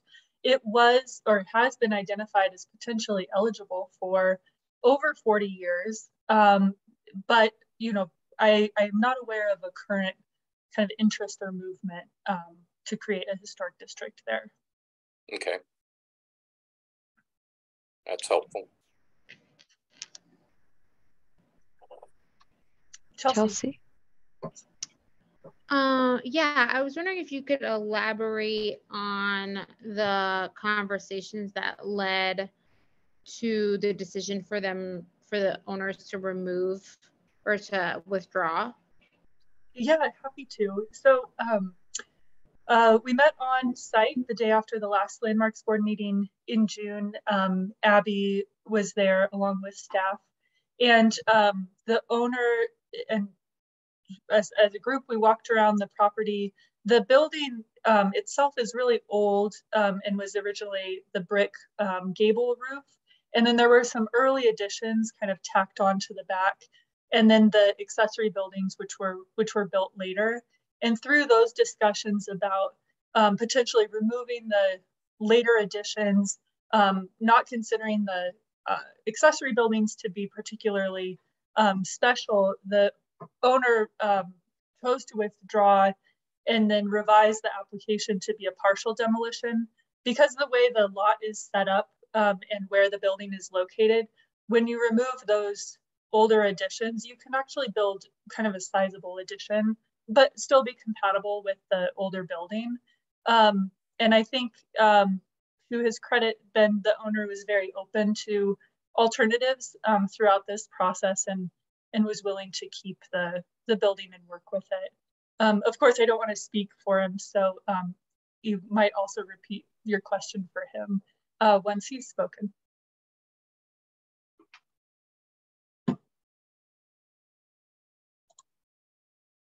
Sorry, I was muted. Thank you very much for the context. Yeah.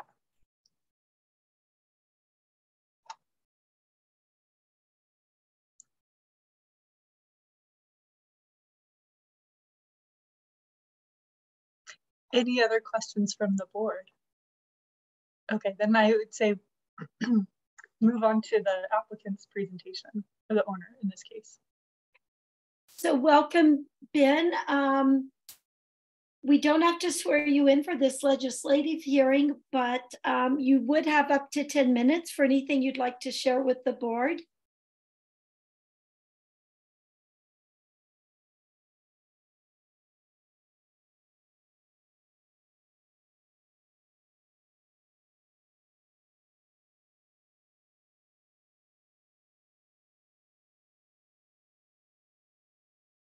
Ben, if you're trying to speak with us, you are currently yep. muted. There we go. There you go. You Do you hear me now? use your camera too. Yep, we sure can.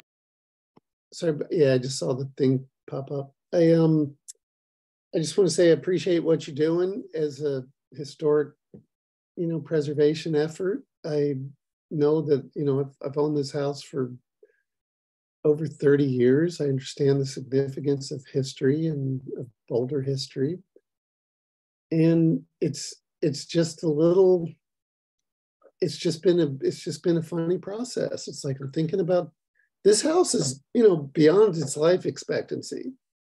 There's there's nothing great there as a building uh, perspective to preserve. Yet i get i get what we're doing here. I get history. I get boulder. I, I just from a you know materials standpoint um, we're working with a bunch of aged out materials and i want to i want to do something here for this property that somebody's going to live in in the future. And um and so through this process we're starting this building project with a bunch of you know 150 year old materials and so be it you know that's that's just it is what it is and, and we can work we can work with that. So I, I, don't know. I'm just i'm just curious what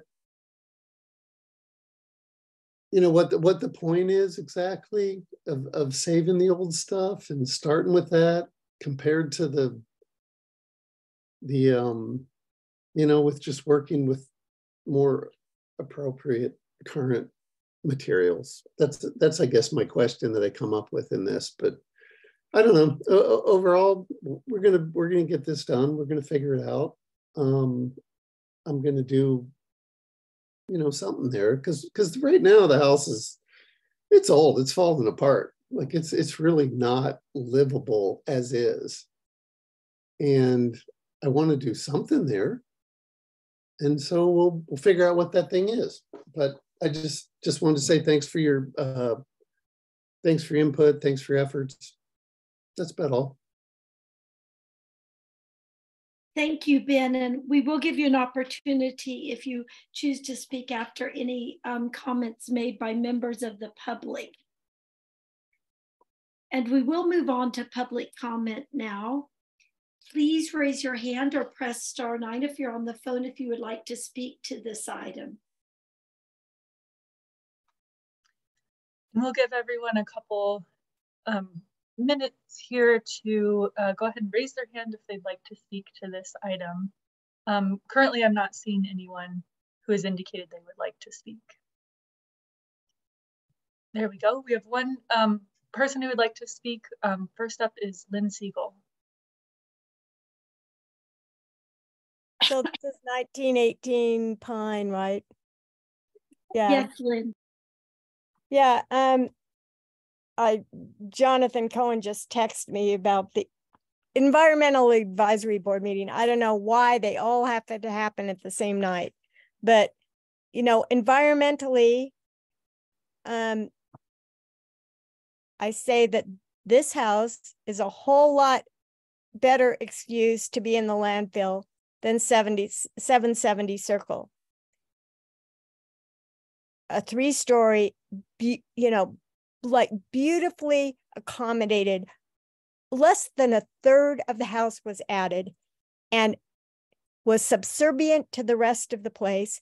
There's no excuse for that house being demoed. This house you turn around and uh, with this house, it really probably could be demoed, you know, or maybe one face of it, you know, a partial demolition like you were talking about. But I just don't understand. I don't get it.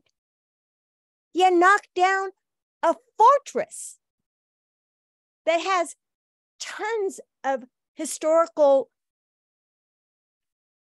value. And then a guy like this, and a guy like the one on Mariposa, you know, what gives? There's no sense to it. You know, and you know, I come to these meetings every week to LDRC. I come to every landmark meeting for years, years. And I don't see your logic.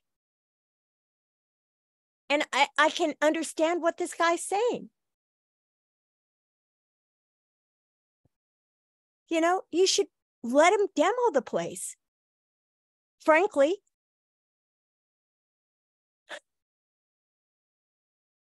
but 770 Circle, you're never going to live that down. Never.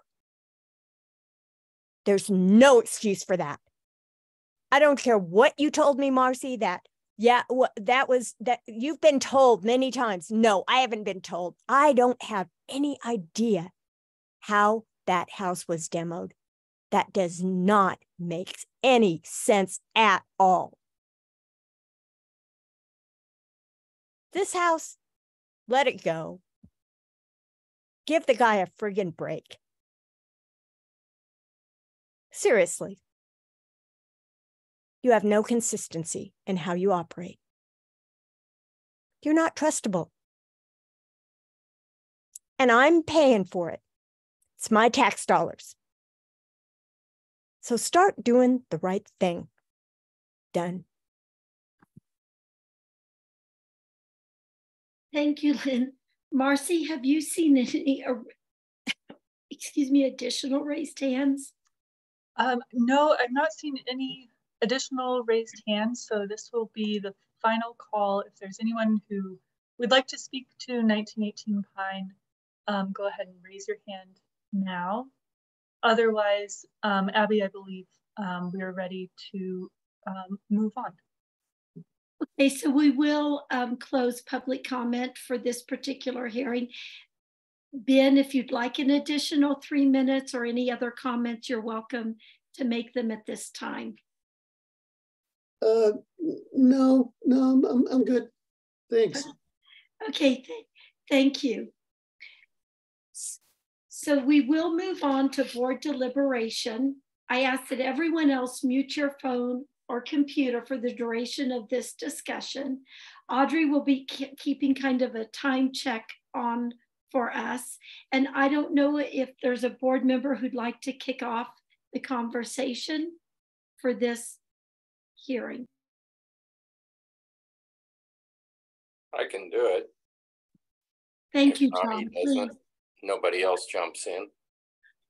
Um, first off, I'd, I'd like to thank um, Ben Oliver for um, his, I guess, agreement with procedure and all here and um, accepting to try to understand what what happens in these proceedings.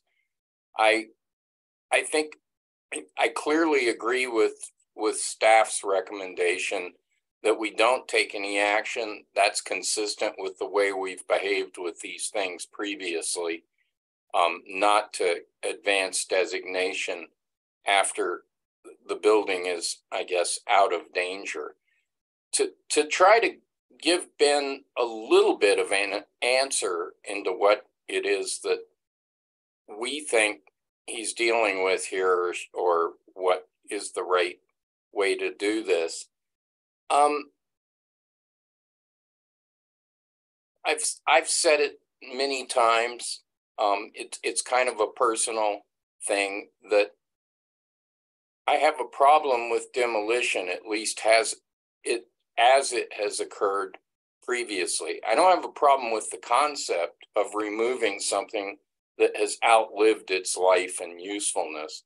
But if there's any chance of preserving the life of a building, it seems to me that it's the intended thing that buildings live on beyond their initial purpose um, by kind of the process of being manipulated, um, learning, as it were. There was a book called How Buildings Learn about instances in, say, European cities where buildings that are four or 500 years old are renovated internally and structurally in ways to continue their life and be utilized as sometimes fabulous properties. Um, and just from a simple, I guess, environmental ecological standpoint, the building that's still standing there is inducing a lot less environmental impact than if it is removed and replaced. The part of the building that you can preserve, um, the exterior parts, are going to be things that don't wind up in the landfill or otherwise release carbon. So it's it's I think the right answer in this case, especially if there is an option to partially demolish and to expand the property to a different order of usefulness um, and utility. So um, support not doing anything, but encourage Ben to, um, I guess, involve himself with this process a little bit and definitely get some input from staff, which has a massive amount of uh, knowledge to contribute to this. And to the rest of the board. Thank you, John. Ronnie or Chelsea?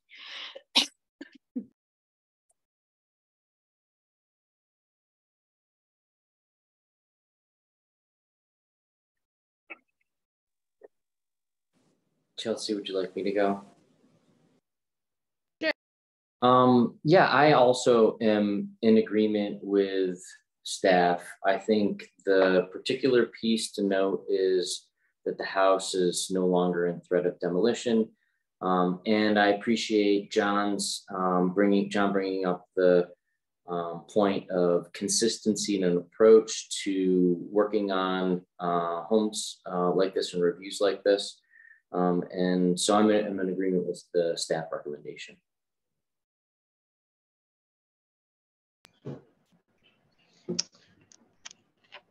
Yeah, I think um, I'm. I agree um, with the staff recommendation. It feels like a compromise that gets us closer to um, the goals of the landmarks board and program and also can meet the needs of the applicant. So I, it does sound like obviously the applicant would have chosen to demolish. It, that's what it sounded like from his testimony. Um, so I, yeah, I guess there was some convincing that that was the, um, that this approach was the best approach, um, but not necessarily the one he would have chosen. Um, but ultimately, that's what's in front of us, and I um, think it's approvable. So that's it. Thank you, Chelsea. So first and foremost, I want to thank you, Ben, from for flying halfway across the country to meet with us on June 8th. And um, I want to thank you for your stewardship of not only 1918 Pine Street, but this the house you own to the west of it. And for those of you who don't know this, and Claire and, and Aubrey and Marcy and I got to see this, uh, Ben is a very, very talented woodworker and has done some cool things inside the property. But I think that your willingness to explore creative alternatives to demolition and withdrawing this application um, makes me comfortable with supporting staff's recommendation.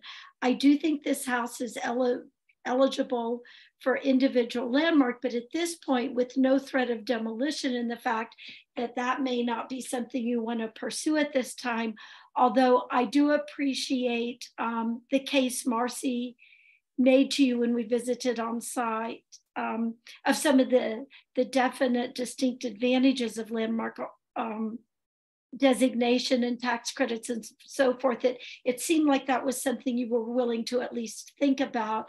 You know we also had that opportunity to talk about an adu and so forth so i just felt like your openness to to where we were coming from why we saw it as important and you know it just adds such a grace note to that street and that neighborhood and just some of the wonderful things you have done to it both um, on the exterior ex exterior and interior. I just want to thank you again for that stewardship. So um, I do think staff's recommendation is the route we should go with this. And it sounds like my colleagues on the board are in agreement. I don't know if Mark, you have any comments, if there's any more um, discussion or deliberation, um, or if somebody is willing to make a motion at this time. Abby, I just want to say thank you for the opportunity. I've, been following along and I seems like I know where we're going and I concur. Thanks. Okay, just wanted to give that get that out there. Ronnie. I will make a motion.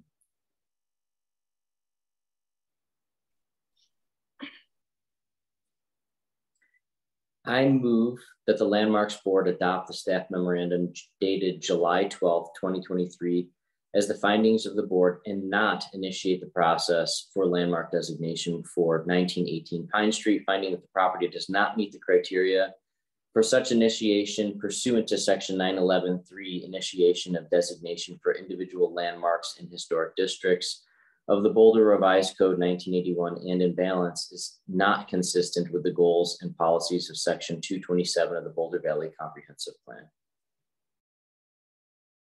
there a second? I'll second it. Thank you, Don. Um, Marcy, I and Claire, I do have a question about this because um, I just want to be sure I understand because I do think that it could meet the criteria at a future date for initiation. Is this primarily because of the withdrawing of the application and that it would be over the owner's objection if we proceeded tonight? Uh, yes, and the and that the threat of demolition has okay. been removed. Okay, I just I you know I just could see someday down the road where that the you know emotion might be different. Hmm. So on a motion by Ronnie, seconded by John, we'll do a roll call vote. Chelsea. Aye. John. Aye. Ronnie. Aye. And I vote aye. So the motion passes unanimously. And Claire, I, am not going to forget that you will walk us through next steps. Thank you, Abby. Um, as there is no current application, this is the end of the uh, the process. The case is closed, um, although it um, it sounds like uh, Ben is interested in opening a, a future case, um, which we look forward to seeing. So thank you.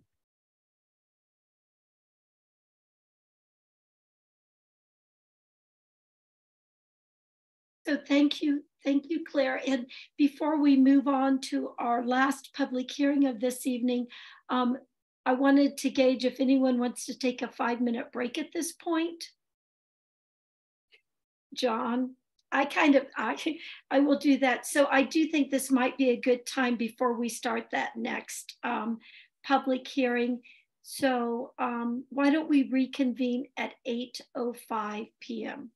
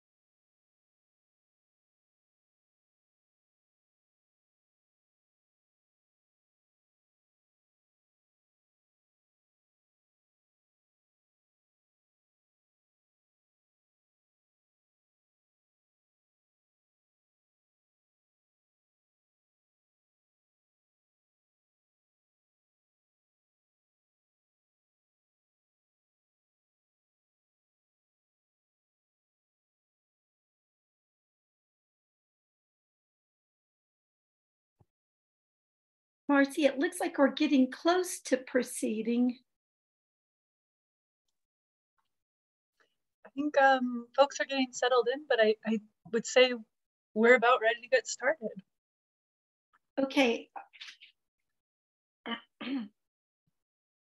So the next item on our agenda is item 5D, which is a public hearing and consideration of a motion to adopt a resolution to initiate the process for the designation of historic district encom encompassing a portion of the area from 1777 Broadway to 14th Street and between Canyon Boulevard and Arapahoe Avenue pursuant to section 911.3 of the Boulder Revised Code, 1981. The owner of the property is the City of Boulder. The applicants are Historic Boulder Inc., Friends of the Bandshell, and Friends of the Dushanbe Tea House. We'll move on to this hearing and thank you to um, the City of Boulder as the owners and the applicants who have, who have agreed to this virtual um, legislative hearing. Wonderful. Well, thank you, Abby. I'll go ahead and get started. Um, so the public hearing procedure this evening, this initiation hearing is legislative, legislative, so it's a little different than quasi-judicial. Um, it begins with a staff presentation and the board may ask questions of staff, followed by the applicant's presentation, um, after which the board may ask questions. The public hearing is then open for public comment followed by any board questions. And then after that, the public hearing is closed. The board discusses and if appropriate, adopts a resolution to accept the historic district application. And um, we don't need to do quasi uh, ex parte context, so I will um, head right into the criteria for review, which are found for you in uh, 911.3 of the Boulder Revised Code and Claire just went over these, um, but there are seven factors um, that the board may consider, but is not limited to in making their decision. First is whether there's probable cause to believe the building or district may be eligible for designation. Next considers whether there are currently resources available that would allow the city manager to complete all of the community outreach and historic analysis necessary for the application. Third, that there is community and neighborhood support for the proposed designation. Fourth, that the buildings or features may need the protections provided by designation. Fifth, that the potential boundaries for the proposed district are appropriate. Sixth, in balance, the proposed designation is consistent with the goals and policies of the Boulder Valley Comprehensive Plan. And finally, that the proposed designation would generally be in the public interest. And before um, I jumped right into my presentation, but I did want to let the board know that we've invited Tina Briggs, um, Senior Landscape Architect from Parks and Rec, um, here this evening, and she's going to join in the staff presentation to provide an update to, a, to the cultural landscape assessment here in a couple minutes. I should have said that at the outset. So um, following the criteria for review, the board has two options in front of you tonight it is um, either to uh, not initiate landmark designation, in which case this uh, case would end and a historic district could be considered in the future through a new application. There isn't the same um, time requirement of an LAC that is denied that an applicant can't apply for a full year. Um, an application could be considered in the future um, without that time uh, piece uh, for a new application. The other option is to initiate designation of the property as a historic district by adopting the resolution, uh, which is included in your packet under attachment B. Um, the Landmarks Board would designation hearing would then be held between 60 and 120 days, which would fall between September 10th and November 9th. And um, later I'll describe the other steps that would need to occur uh, prior to that hearing. So rewinding back the clock, um, this uh, historic district application, which was submitted by three community groups, um, kind of has its genesis uh, at the end of August 2021, when um, the Friends of the Bandshell sent a letter to the Landmarks Board requesting that the boundary of the bandshell be expanded to extend um, to the uh, to the ditch that runs through the park. In November of 2021 and April of 2022, the Landmarks Board held initiation and designation hearings, recommending that City Council expand the boundary. Council held a hearing on June 14th, 2022, um, and while they chose not to expand the um, landmark boundary, they did give a nod of five for Parks and Rec and Planning and Development staff to explore a historic district um, in 2023. And uh, historic preservation staff committed to making that a work plan priority um, for this year, which brings us to January of this year when um, staff from both of those departments began to meet and develop a collaborative approach. And uh, that includes the development of a cultural landscape assessment. And um, that is currently underway. Um, meanwhile, the three community groups submitted an application for the proposed historic district was accepted as complete on May 30th. And that brings us to today, uh, July 12th, which is for your consideration of whether or not to initiate the historic district designation process. Um, just a recap, because there have been many emails um, between a couple of the cases this evening. Um, the Landmarks Board re has received uh, letters from 10 people since the application was um, submitted on May 30th.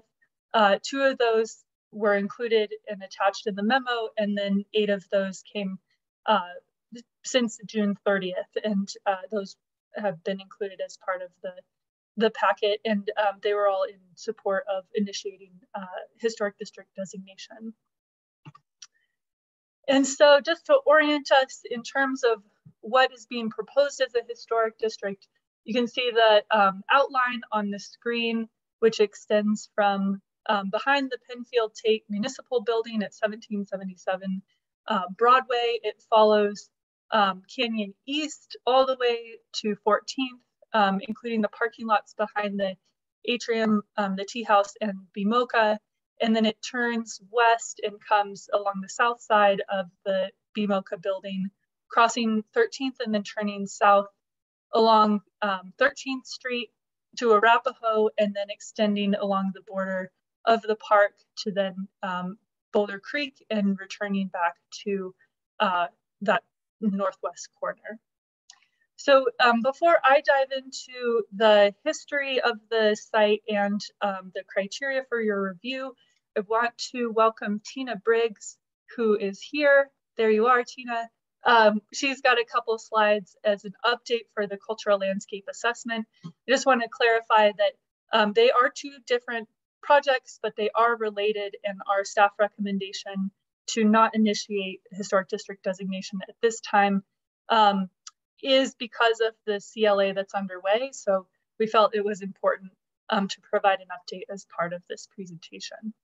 So with that, take it away, Tina.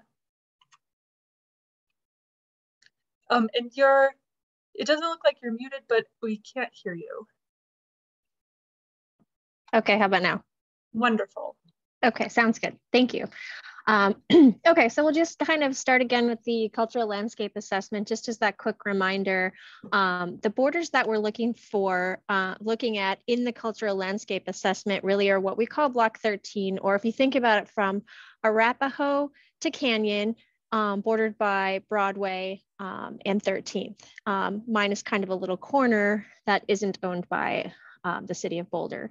So what we're looking at in that is really that cultural landscape assessment. So from the Parks and Recreation uh, perspective, what we're looking at is um, how do we put a process in place that we can examine cultural landscapes um, with a lens that we're borrowing from the National Park Service? So we're just really thinking about like the historically significant places in how we're seeing the evidence of the human interaction with the physical environment, and then looking at um, the historical integrity, the characteristics, and the periods of significance.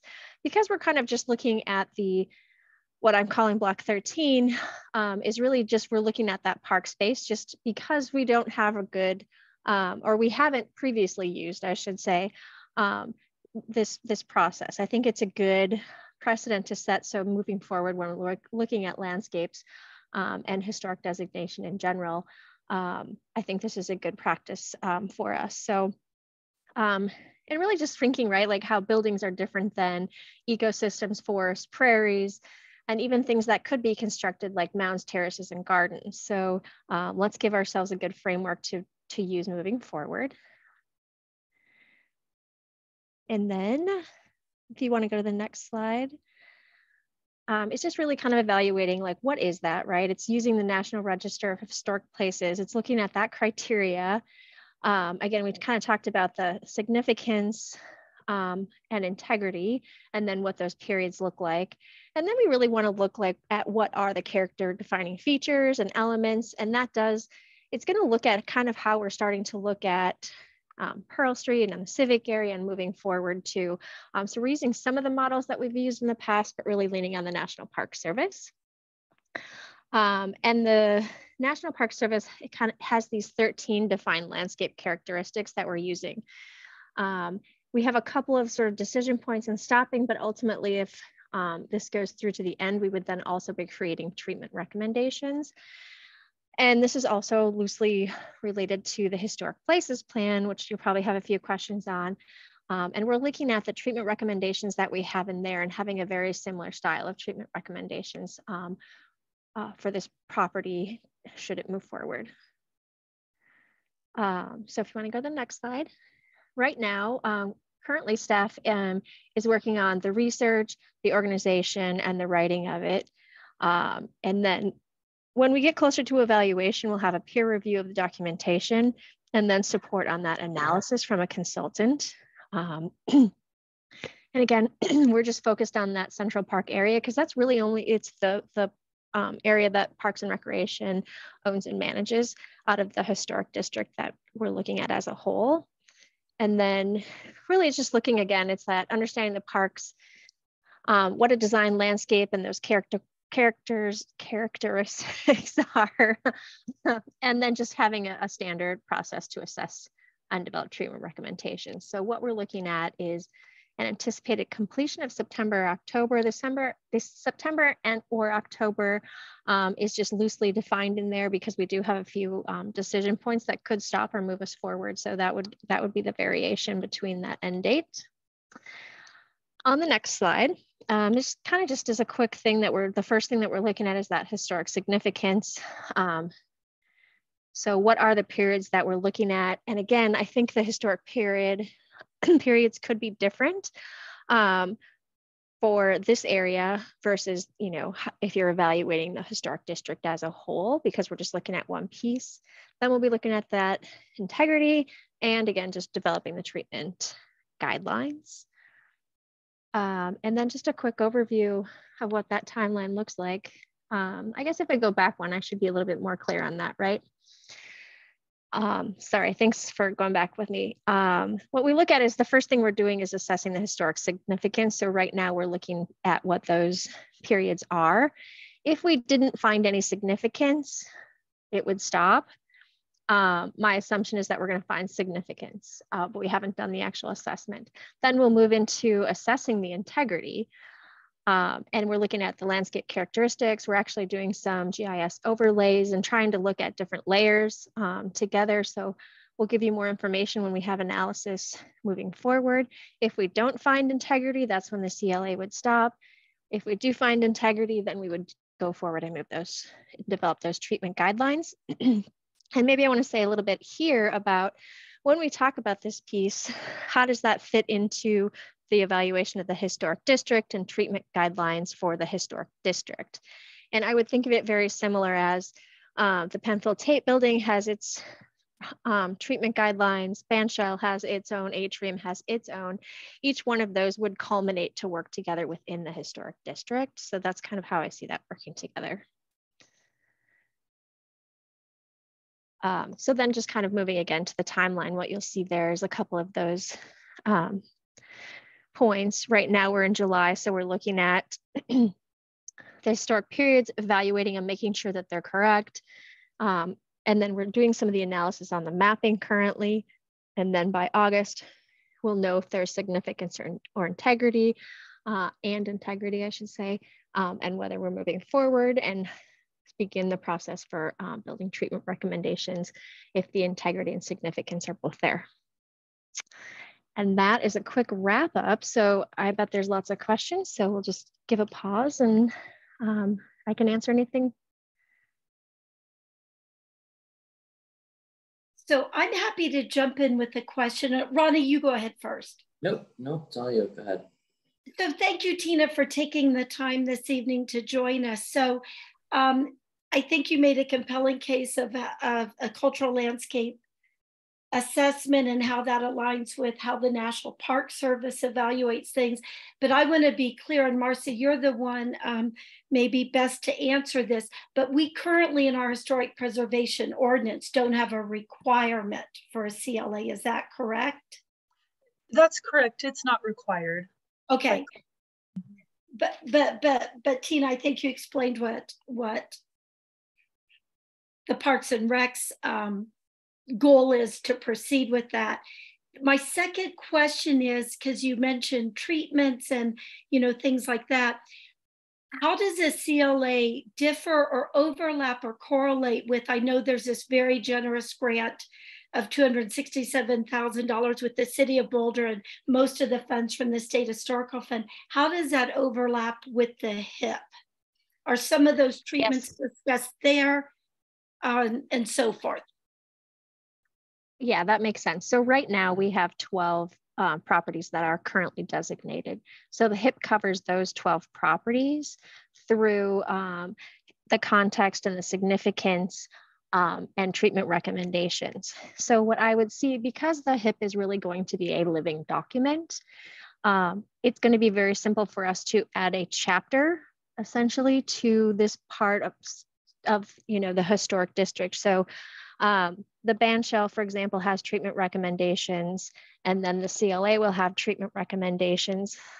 And you know what we'll do is make sure that those are speaking the same language and not conflicting with each other. So whether it gets included with the band shell later down the line after the decisions are made, or whether it's a separate part as the historic district, um, we would have to make that decision then, but it would certainly just be added as a chapter and, and should align with the other treatment recommendations. Okay, thank you. Because I, you know, it's interesting. Like, are there building blocks? Do you already have some of the information and so forth? But I guess you have to dive into it to see where that leads. Yeah, so right now I think we have like all the building blocks and the pieces. What we don't have is the analysis.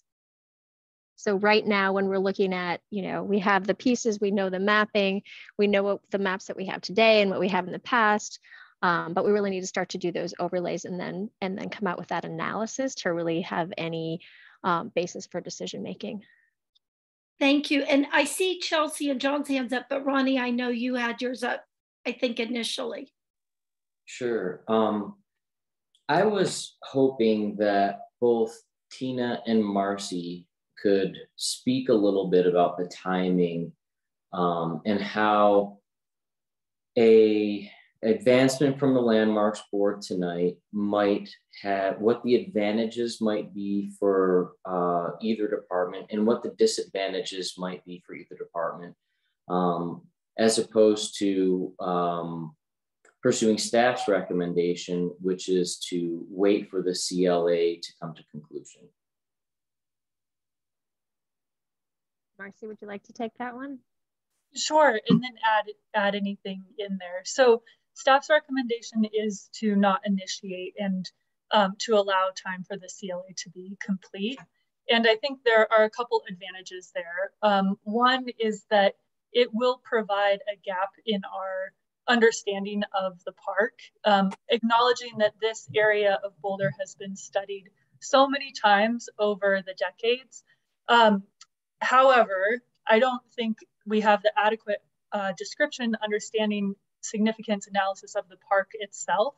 Um, and so that's kind of a missing piece that will um, help us write a better ordinance if it gets to that point and, design guidelines. Um, the second piece is that there are um, additional complexities for city owned properties. And so um, there are about five or six um, departments across the city that we will be looking to coordinate with. As well as outside entities, including CDOT, because Broadway goes through the boundary. And then the, um, I think there are four ditch companies that share the Boulder um, Slough through the park. So um, that will provide us time to coordinate with uh, the various departments, entities, and then there's the community engagement piece, um, which is necessary for um, city-owned properties at a higher kind of level than, than a private, say, historic district. And so um, what we have envisioned is doing things like walking tours, um, some sort of online presence, open houses, perhaps a technical um, review committee to uh, draft those design guidelines that would need to happen. Um, so our uh, recommendation is based on providing additional time to do some of that legwork. I think that when the code was written, I really appreciate how stringent it is with these different steps about meeting with property owners, explaining the benefits, drafting design guidelines. But I think in the most simple of cases, it is an, it is an incredibly um, aggressive schedule to get a pretty significant amount of work done. And then having this be city owned property just adds additional complexity. Uh, Tina, would you like to add anything to what I said? If there's additional questions, yeah, I mean, I don't, I don't want to confuse it anymore too, because you put a lot of clarity in it. Uh, Tina, I feel like, and if you don't have a direct answer to this, it's okay. Um, but I feel like it would be helpful for us to hear how the designation of this district, which I think you're hearing from staff as well as the community, um, is desired. And I will just take the big leap and say there's almost an inevitability associated with this. Um, how the timing of the designation um, may impact the Parks and Rec Department. And, you know, what we're hearing from staff um, has a lot of merit about their reasoning behind um, staff's recommendation for, you know, waiting for the CLA. I'm just wondering if there's any aspect for the Parks and Rec Department um,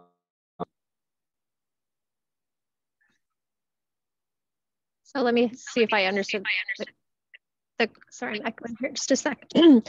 okay, so like the cadence of it really is thinking right now. So for example, in the historic places plan, we have um, the band shell, we've got the context, the significance, treatment recommendations, and then you know really what we were focusing on is there's. I think Ronnie's capital. still trying to talk. Sorry, team, oh. I think Ronnie's having an issue.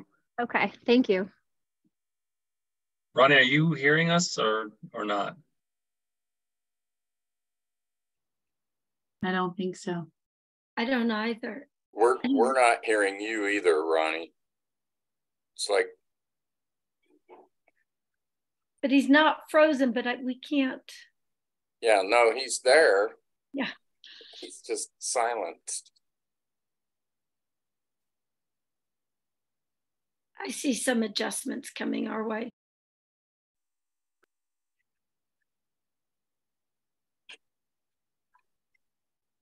I chatted to him that we're uh, we've lost him. I'm I'm here. Um, Good. I was complaining about not hearing you guys, but I guess it was my end. I have no idea what was happening there. Sorry, Tina. You could you start again from where I ended my question? I think. yeah. So if, if I understood the end of that question, and hopefully I caught most of it right, um, just thinking of like the building blocks and kind of I think how it's all working together and what it means to parks and recreation. so right now what we have is the HIP has helped us define our 12 properties and within those properties we're looking at historic context, integrity, um, the treatment recommendations, and then the HIP is really helping us focus on what those capital priorities are within that that particular property. So if you think about then expanding it to this CLA, it's really building the basis for what we would add to something like the HIP because we're building that historic context, the significance, and if that is all in place, then we have the treatment recommendations. So what that allows us is really as staff to be very aligned with staff and our boards and very aligned on how we should move forward. I think right now, one of the things that from the Parks and Recreation Department, right, at least even from where like I'm at is like, is there enough information to really make a decision? Um, and so we want to do that evaluation. And that's kind of where we're lined on that. And then looking at the historic district overall, I think what that impact means to uh, parks and recreation is um, it adds maybe a layer of oversight um, but I don't think it's going to really prevent or change much um, of what would happen or or prevent anything, any change uh, based on um, the treatment recommendations that we would build. I think we all are looking forward to it being that active park space and how do we keep it active um, and alive as a park space and, and work with how our community is changing. And I think um, even whether it's designated or not designated, um, I know Shahomi is probably on the phone here too. Um, we're going to be considering because that that particular parcel is adjacent to four or five designated um, already designated buildings. We're going to take that into consideration and we're going to be looking at those treatment recommendations regardless of whether it is a historic district or it's not. So for us, it's more just that really building towards those data informed decisions and looking for that base of information. Thank you, Tina. Um, Chelsea?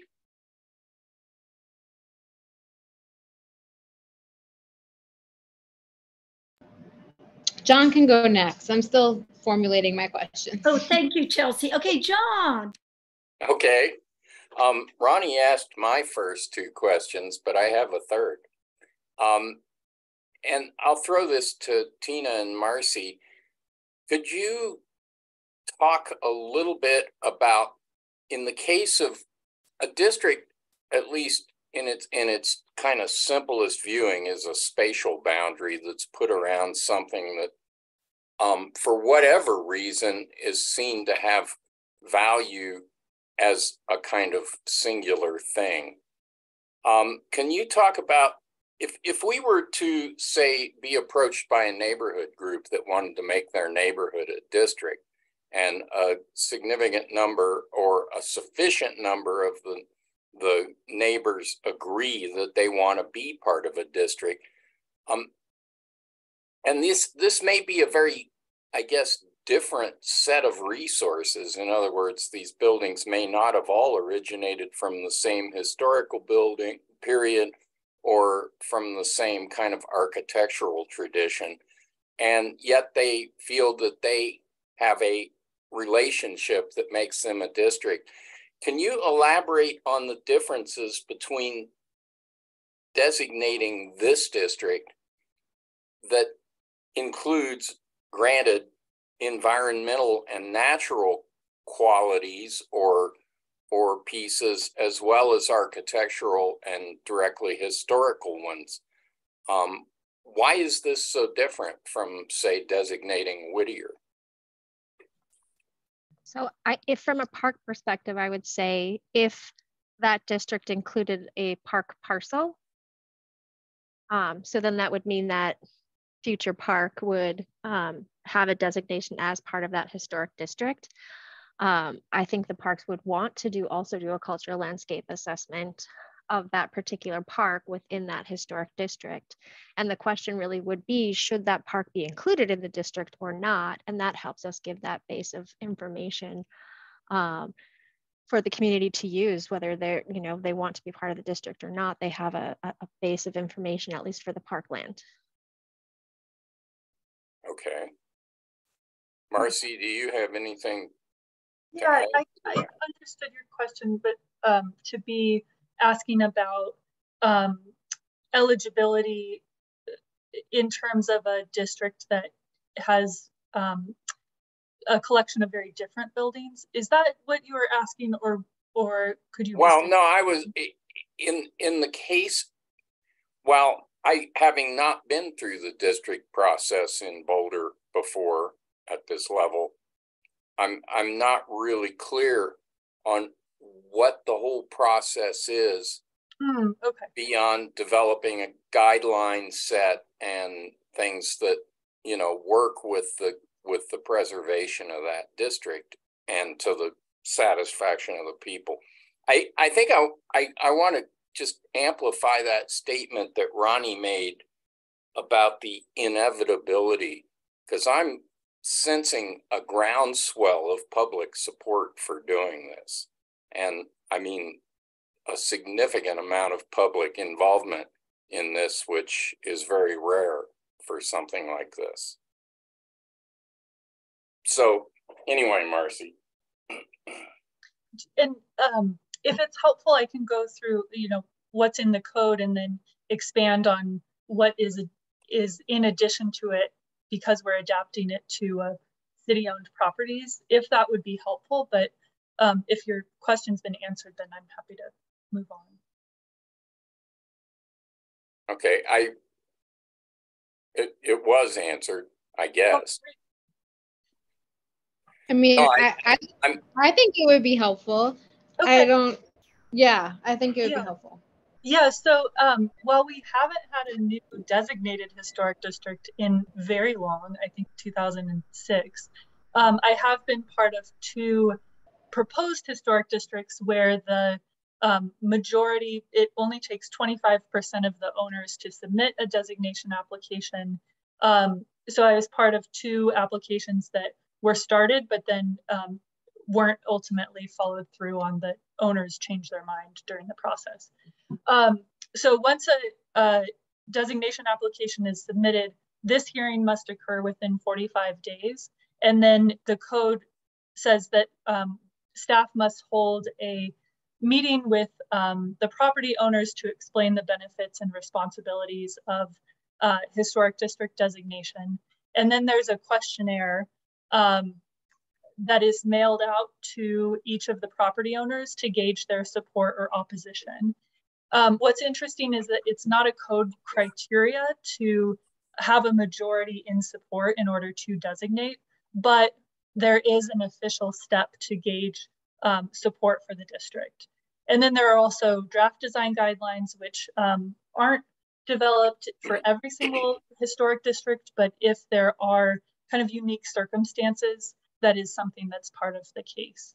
Um, then it comes to the landmarks board for a designation hearing, then to planning board for um, their input on the land use implications. And then the ultimate decision maker is city council.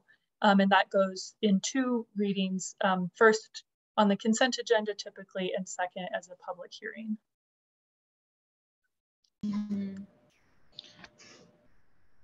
Um, maybe Chelsea, then Ronnie. Yeah, so because I'm just trying to understand this fully. So because all of the buildings in the area are landmarked, what are the benefits of a historic district that we don't have today? Yes, and I, I will um, I will point out that these questions after Tina's presentation um, were meant to be focused on the CLA. I have a whole presentation to give, um, and then another opportunity to ask questions of staff. So, um, okay, I I have one for for Tina then. Great. Okay.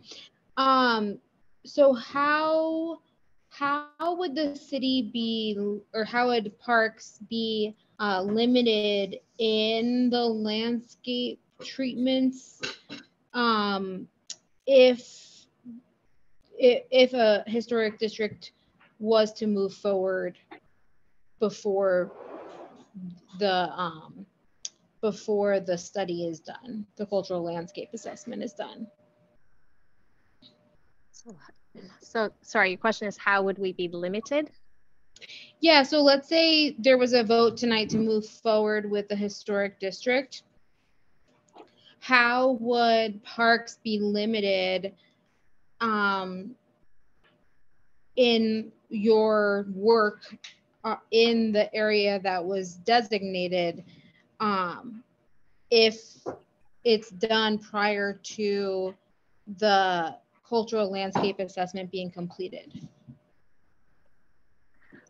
Um, so that's a good question. And um, so limited, I'm trying like when I'm thinking of limited, you know, of um, in that particular area, and Marcy, you can tell me if I'm wrong, but if you guys, if the Landmarks Board decides to move um, forward with this, um, then that basically the Parks and Recreation Department would have to treat this area um, as if it were designated until the final decision is made. Um, however, right now, the only improvements that we have planned between now and the end of the year really are the band shell, and we've already applied for a landmark alteration certificate, which has been um, given to us. Um, so the really the sort of caveat for me or the thought process is is um, the waiting for the completion of the cultural landscape assessment. I think gives Parks and Recreation Board um, the information also to be really like you know so we're all aligned in moving down the same road. I think that's kind mm-hmm. of ultimately what we want to um, have happen here um, versus having any sort of resistance or questions or why are we doing this or how are we moving forward so mm-hmm. laying that out really um, um, really simply is really just you know if there's something to celebrate what are we celebrating? And let's get really behind it and be excited about it. Mm-hmm. yeah i'll get into that in my commentary and i i, appreciate that answer. Um and if um if it is what I guess and I'm sorry that I had to miss the tour because I my work doesn't end until 5. Um but what areas will you be studying like are all are you studying all of the areas as part of the assessment or is it the in between areas between all of the properties that are landmarked what we're doing in the cultural landscape assessment is the park owned property which would be canyon to arapahoe broadway to 13th so kind of if you think about it those sidewalks in are the park land um, that's what we're studying so not 13th street not the plaza, not the parking lots. That space in between isn't owned and managed by Parks and Recreation. So we're sort of focusing on setting a precedence of how we evaluate park landscapes or a cultural landscape. Okay. Thank you very much. I'll be around after Marcy's presentation too. So if any of the questions roll over, I'm happy to stick around and answer any questions I can. Thank you. Ronnie, I didn't know if you had your hand up, Mark, but Tina, I have two really quick questions. Um, something you just said, um, park owned and managed. I thought the city of Boulder owned Central Park and Parks and Rec managed it. Um, and th that was just based on, on what the assessor record says. You are correct. Okay, yes. thank you. And but I know you guys manage it and have purview over it. That that I'm totally clear on. The second thing is, my understanding is, and it makes sense, that the treatment for the Glen, Glen Huntington band shell has been taken off the website as the HIP proceeds because of this pending application for historic district. But I, so I can't look at it right now, but I had an understanding that for the Glen, the site, the current boundary of the Glen Huntington band shell that a CLA had been done for that as part of the HIP. Um, is that correct or am I? So we didn't do a CLA for the for those or what we called a CLA. It was a very similar process that we worked through a consultant with but we didn't have to do the assessment because the information was already out there. Most there the sites were already registered, national, local, right? So the information and what we had asked the consultant to do was take the information available and compile it. So they weren't really digging in and looking for originals, but they were looking for what's been compiled to date and putting references to that.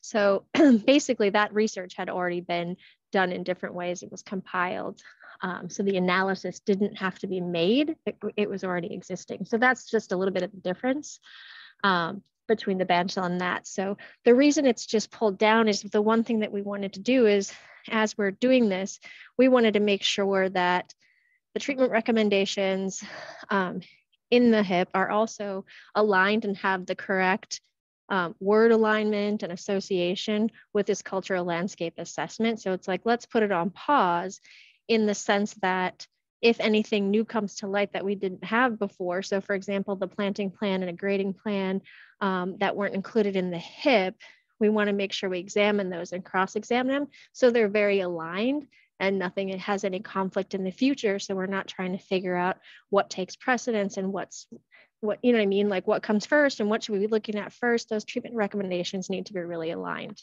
And if anything new comes in light for the CLA that affects the band shell, that can be added too. So again, we're talking about the HIP as kind of that living document, um, but we certainly don't want to put conflicting information up either. Okay, thank you so much. I mean, thank you for taking these questions and, and we appreciate your willingness um, later. And, you know, um, I don't know if there's anybody else on the board that has questions before. Oh, Ronnie, yes, please. Yeah, thank you. Um, so I just wanted to pick one little thing apart here, which is the proposal or the application to designate the district versus the creation and definition of the ord- ordinance. And I just wanted to understand that a little bit because, I mean, I feel like I could describe it, but Marcy, maybe it would be helpful to hear that coming from you. Sure. So there are um, two kind of legal components to a designation for a historic district. The first is the ordinance, which um, identifies why a area is significant and can call out contributing features in that um, ordinance, and that's the designating, you know, piece that that um, creates a historic district. And then the design guidelines um, help manage change in that district over time, which are informed by the pieces that have been identified as contributing or non-contributing. What makes this area significant? That then translates into how it should change over time um, and how it should be managed. Does the final designation require the completion of the design guidelines? That is a great question. Um, I was looking back at the university place uh, process from 2006, and it appeared that the um, design guidelines were adopted after the designation. Perhaps they were mm-hmm. drafted during the process, but then adopted afterwards. Design guidelines aren't required as part of the historic um, district process, but um, they are very helpful when the properties are unique. And I would say that it would be very helpful considering the unique structures and the parkland of this proposed district that um, I think our program would benefit from, and I would extend that across to other departments too, would benefit from design guidelines. Um, but to directly answer your question, I believe they can be added later. Um, and then it seems like the potential designation of the district um, is going to, at a minimum, set how the district meets the criteria and what the characteristics are, as well as define the boundary. Is there any question, and I feel like starting with the boundary, that's the highest level piece here of what might be in flux or you know might be impacted. Does is there any question or i've read a little bit about this so maybe i've already answered this about what the actual boundary should be? And if we move forward with designating the district um, can the boundary change before a potential conclusion it it can, and that is something that we would expect to um, assess a little farther if the board chooses to initiate the process. The decision in front of you tonight is, um, is there probable cause and do we start this process? And so like you mentioned, Ronnie, um, the process would allow time to um, look at the boundary, develop design guidelines, consider the name of the district. These sort of things can be worked out during the process. Um, and the boundary can be modified all the way at the end by city council. They're, they're the ones that set, sets the boundary. Okay. I think Thank that's you. actually, that's kind of a good point, Ronnie, too, is right. Like, so because we haven't done that assessment yet for the CLA, if the assessment, you know, were to say that it, you know, it has significance, but there's no integrity.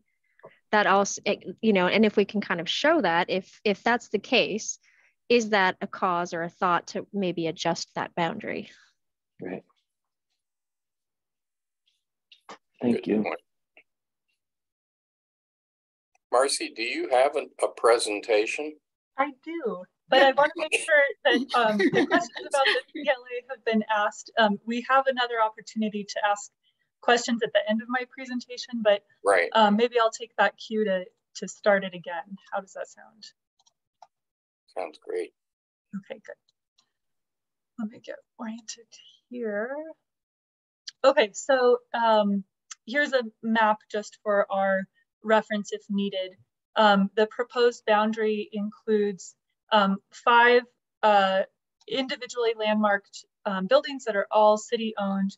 It's the municipal building, the atrium building, the tea house, the storage and transfer building, which is also known as BMoCA, the Glen Huntington bandshell, and then the Central Park.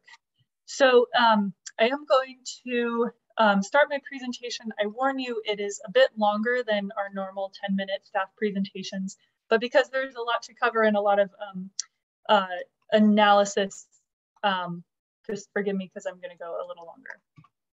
So um, again, the decision in front of you tonight is, is there a probable cause? And then the other six um, categories. So this is not by any means an exhaustive history of the area, but I did want to provide um, kind of a known uh, history of um, Central Park and the surrounding buildings.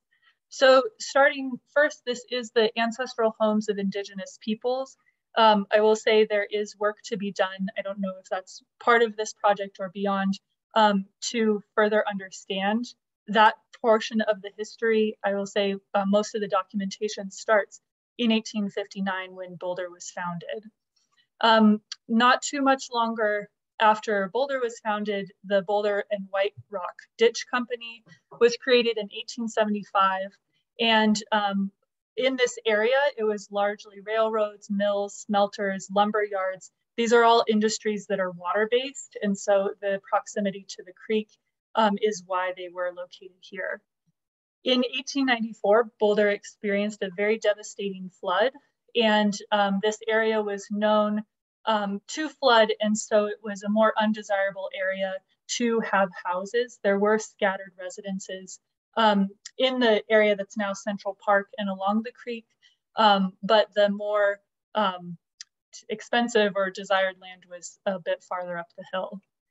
And then in 1897, the Boulder Citizens Reform Group uh, was established, and this can really be seen as um, kind of a turning point in Boulder's history. There were two kind of um, groups that were pulling for which way Boulder should grow into the future. One was very industry um, based to uh, attract the the mills and the smelters and the lumber yards. The other ones, I think it was a quote like a quiet and, and beautiful city.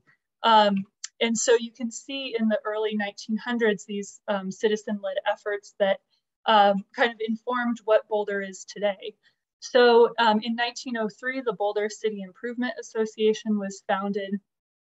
And in 1907, the park board was established. Um, interestingly, I don't believe it was um, appointed by the city, but it was a parks board that um, fundraised for the different areas around town um, and uh, kind of was a booster for creating and establishing parks. That group um, commissioned Frederick Law Olmsted Jr. to write The Improvement of Boulder, and Frederick Law Olmsted Jr. visited in 1908 and produced the report that we know um, as The Improvements of Boulder in 1910. To provide some context of what else was happening in this early period of Boulder, in 1898, Chautauqua was established. That was also kind of a community-led effort um, and one of the earliest parks in Boulder. The Boulder, Colorado Sanitarium um, opened the same year, and that was a very popular uh, treatment facility initially for um, people with tuberculosis who were coming out for the um, clear, dry air.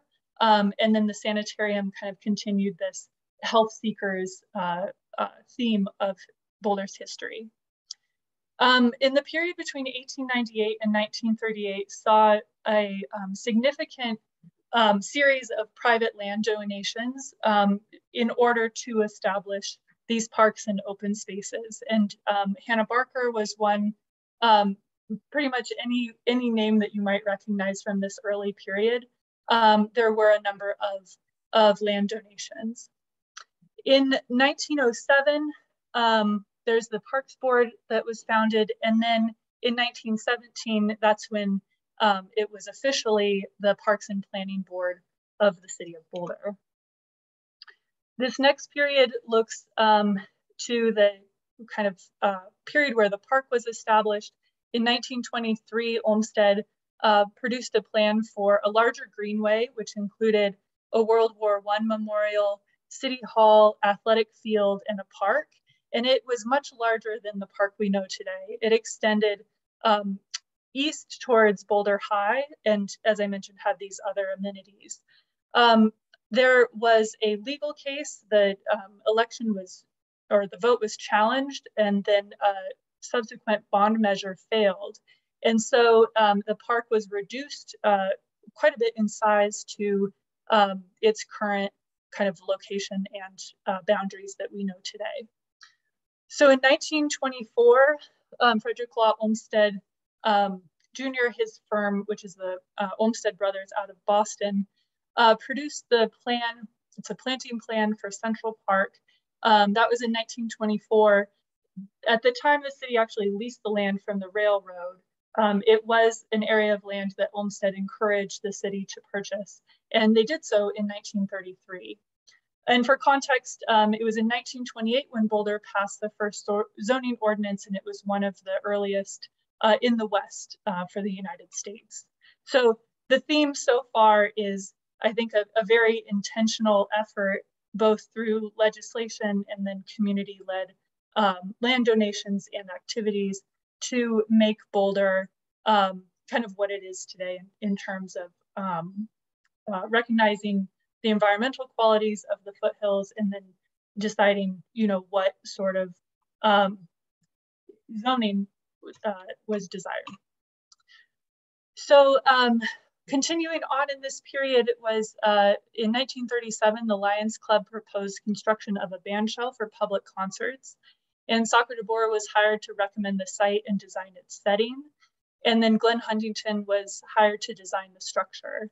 Um, this was uh, just following the Great Depression. And um, in 1932, there were two other significant Art Deco uh, buildings that had gone up. One was the new courthouse in 1932, and then um, the high school around that time as well, uh, both designed by Huntington. In 1947, DeBoer produced a plan for the, the amphitheater seating, and that was installed in 1950. The next period um, uh, began with the bond issue for the municipal building, which passed in 1945. Um, it was envisioned to be a bit larger with um, the museum as part of it, um, but due to some funding, by the time it was built, it uh, was a bit smaller. It was um, designed by James Hunter and dedicated in 1952. And then the next period looks at the um, bank building, the Midland Savings and Loan, which was designed by Hobart Wagner in 1969. And then to 1982 was the genesis of the Soviet Sister City Project, which saw the tea house constructed in Tajikistan in the late 80s, um, though it took a while to uh, reconstruct it here in Boulder. The location was decided in 1993, and then the tea house was reassembled and dedicated in 1998. Um, so with that, again, that was kind of a broad overview of 120 years of history. Um, if, if the Landmarks Board chooses to initiate designation, we would um, do further research and um, kind of uh, provide a comprehensive history of the site and how it's changed over time. Um, but I am now going to move into um, the criteria for review, which is found in 911.3 of the Boulder Revised Code. And um, I will be facing my screen over here. So, So the first uh, criterion goes to, um, is there probable cause to believe the district may be eligible for historic district designation? Um, staff considers that there is probable cause based on a number of factors. One is its inclusion of five significant buildings and their sites that have been previously designated. Uh, its historic significance in the history of Boulder's park development and for the role played by the Boulder City Improvement Association, Frederick Law Olmsted Jr., the Lions Club, and Saco DeBoer, as well as its contribution to the social and cultural life of the city for over a century. Its architectural significance that includes work by notable architects, builders, urban planners, and representing examples of a progression of architectural styles, and its environmental significance for its planned and natural site characteristics that represents an established and visual feature in the community. Additionally, there have been past determinations of eligibility that have included the assessment of the following structures. The bandshell was and its site um, is eligible for listing on the National Register, which was determined in 1995 and 2016. The atrium was found to be potentially eligible for listing on the state register when it was surveyed in 2000. The tea house is eligible for listing on the National Register. That was determined in 2006 and I think reconfirmed um, in the last year or two. And then the Broadway Bridge was found to be eligible for listing on the National Register in 2004. Um, Central Park was surveyed in 1995. Um, it was not, there wasn't an eligibility determination um, for local designation at that time, but it states that the park is significant for its association with the development of the Boulder Park System and with the activities and events for which the park provided a setting. Um, there was a uh, letter or a memo commissioned from uh, Mundus Bishop, the landscape architecture firm, um, I believe last year or the year before, and um, that firm determined that the significance of the bandshell uh, it, currently in its current boundary, that same significance did extend to the ditch, which was the proposed uh, expanded boundary.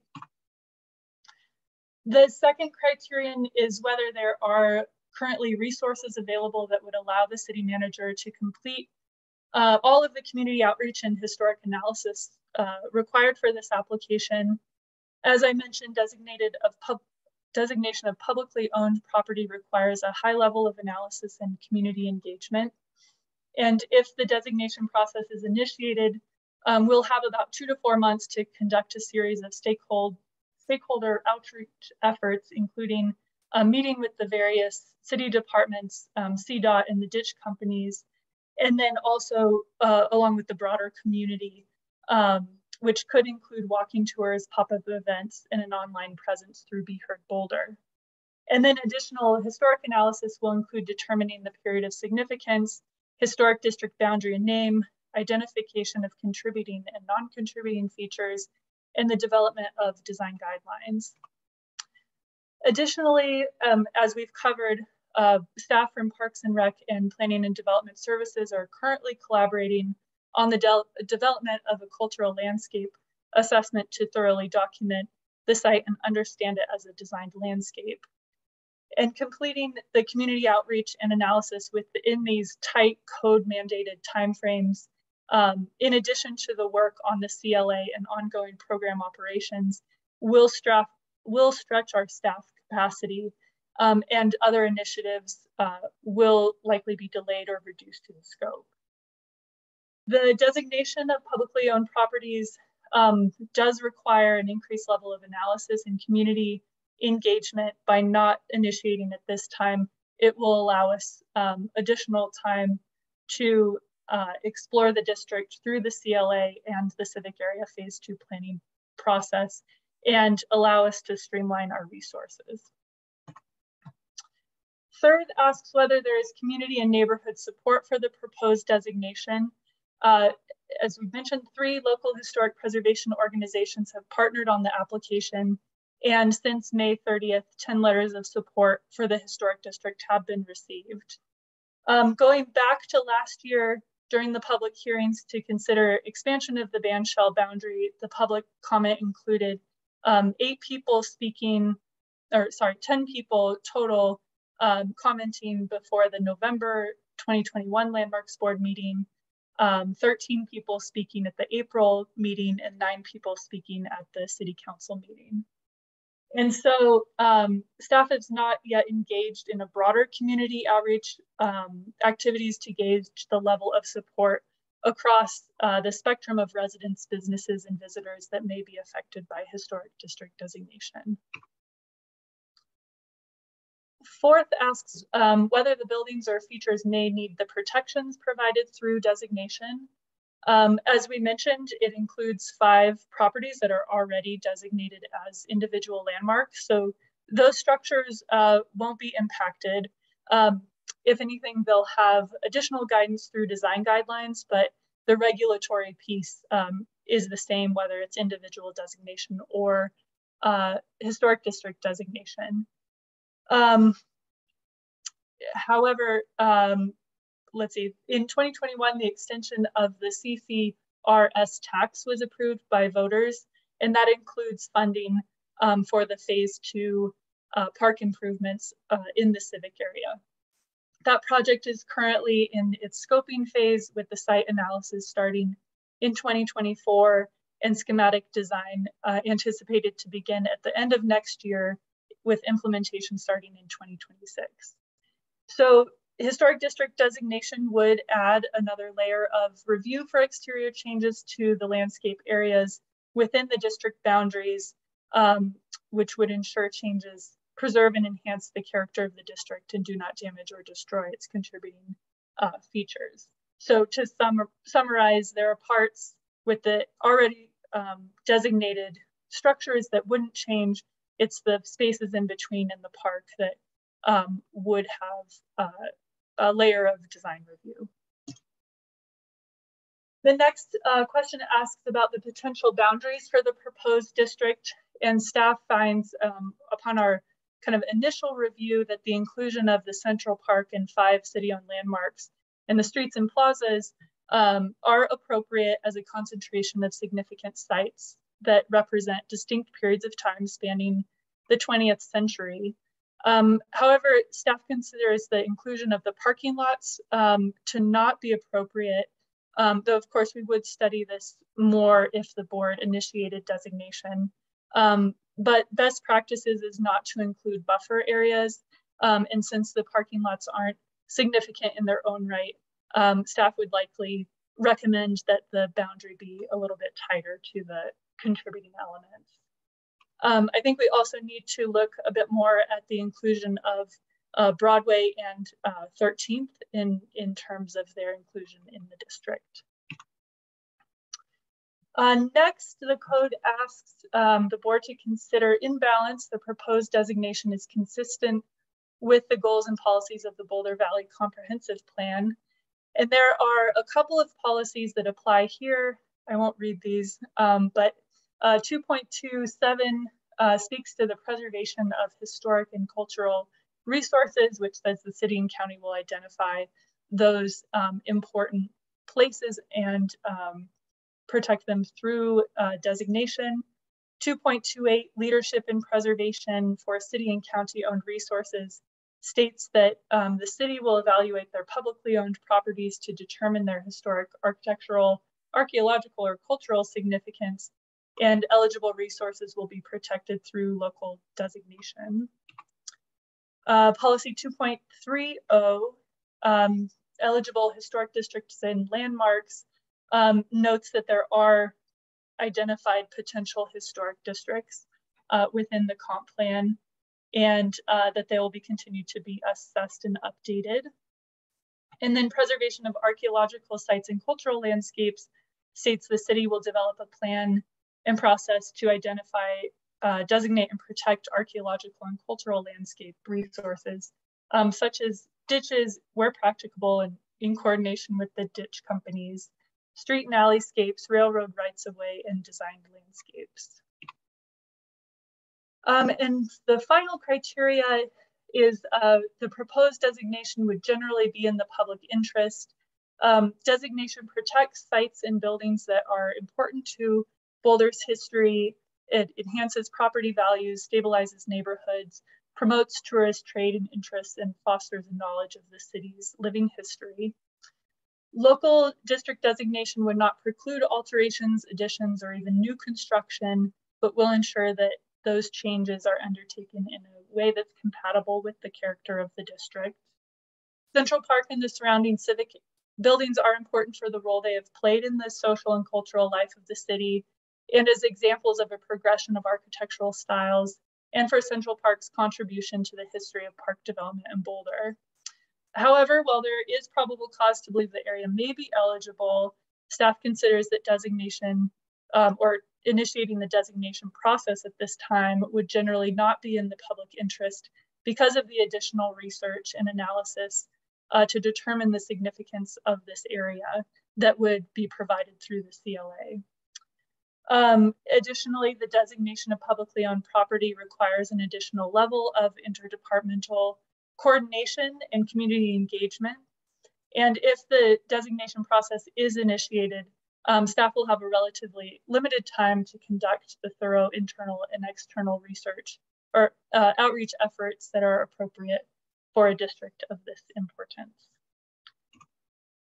So with that, um, staff recommends that the board not initiate the process for historic district designation in order to allow uh, the completion of the CLA to assess the parkland as a designed landscape and understand its uh, characteristics um, defined by the National Park Service. It will also allow for a more robust community engagement to assess the level of support for the proposed designation, as well as interdepartmental collaboration necessary for city-owned properties. Um, so with that, and I, um, go ahead, Ronnie. I just wanted to ask a question, but with that, uh, were you gonna turn that back to us to ask questions?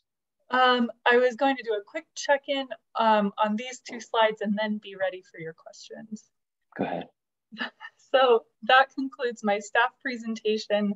Um, we'll now pause for any questions from the board and then move to the applicant presentation followed by public participation.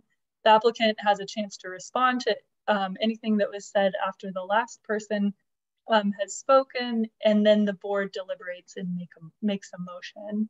Um, we have estimated about 45 minutes scheduled for board deliberation. This is just an estimate, it's not, not a requirement.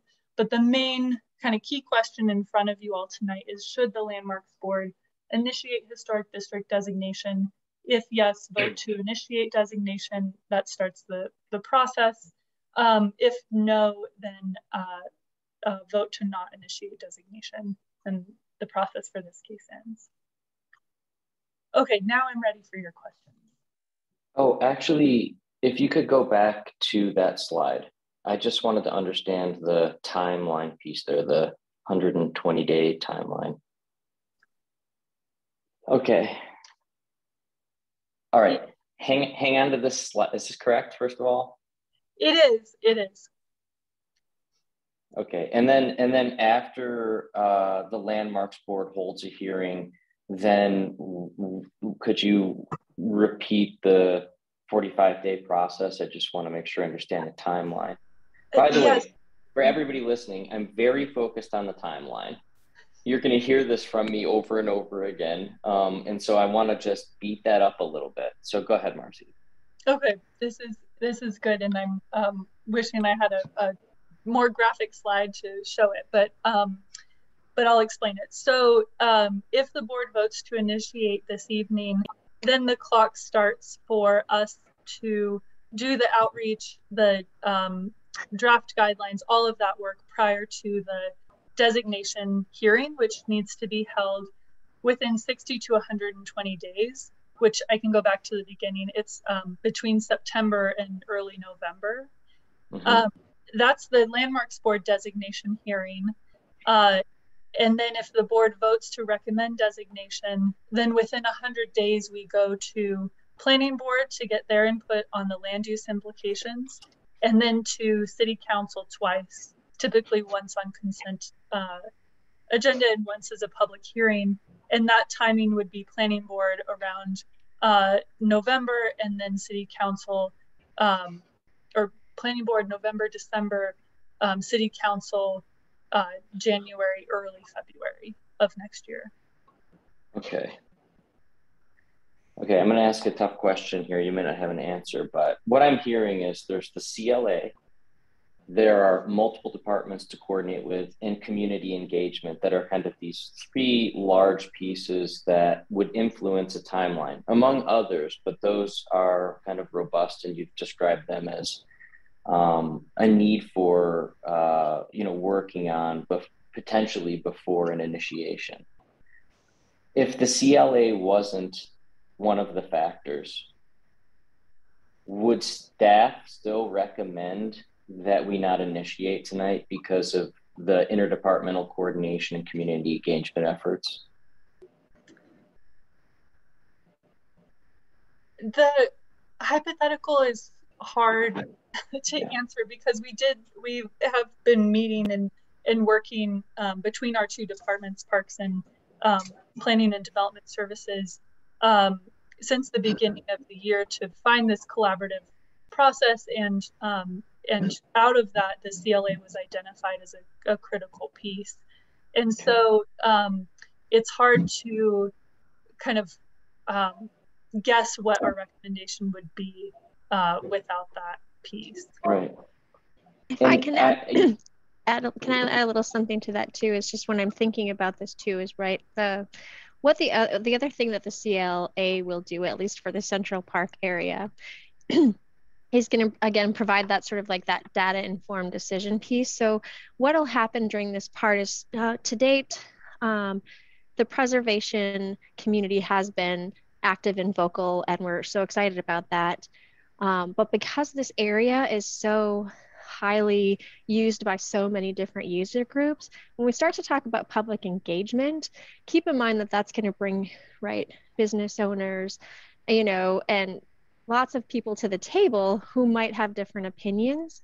Um, so if we insert that CLA with that information on the parkland, I think that that's a way to answer a lot of the questions that are going to come up from the community members of what does this mean and what is it going to do and what does it limit and what are we looking for and if we can really find that significance and integrity it really like helps us tell the story to the community on why this would be really important or it could help us tell the community why this part maybe isn't included in the boundary change but the boundary that's left we want to make sure that that has like the most importance and the most value so you know that boundary i think is going to be really important in that story when we start to look across the board to the community in general That's helpful.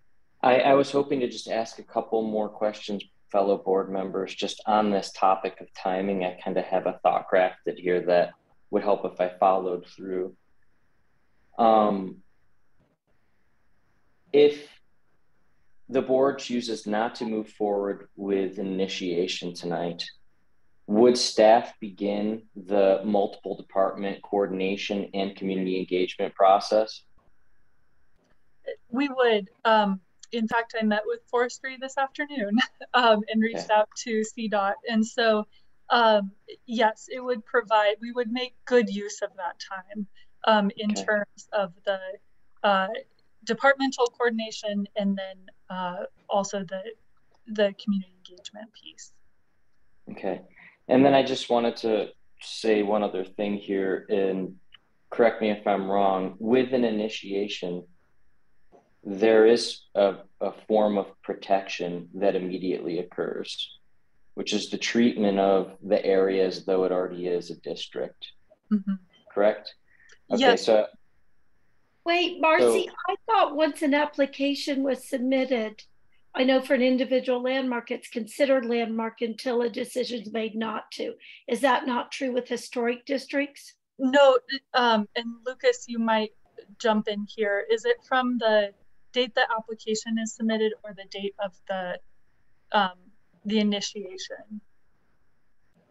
And I actually have it. Um, Marcy, which deadline are we speaking of right now? Um, the piece of the code that says while an application is pending, it's subject to review um, under an LAC as if it were um, designated. And for clarification, Marcy, if we if we voted not to designate, wouldn't that application lose its protection regardless? But, right. So, Yeah, so, so the pivotal point about initi- that's a, that's interesting to know, but the pivotal point about initiation would either begin a form of protection or continue the protection that's in place because of the application. Okay. Yeah. Because the one, uh, and I, I'm sure there are multiple points, but two things that I hear from our community members and the applicant are about one is about protection and the other is about commitment and the commitment to follow through on a plan to pursue the district. And i'd love to hear we're going to hear from others. I'd love to hear others opinions on that. Maybe i'm missing pieces of this. Um, and what i understand from staff is that there's a timeline component that would be better suited to take a longer track um, in order for us to have adequate information and enough time to be able to um, carry out things, I think, in a more successful way. Um, is there any opportunity to vote to initiate and extend the hearing duration, which would, in my opinion, demonstrate that there's a protection in place and demonstrate that there's a commitment to proceed while achieving a potential objective to extend a timeline.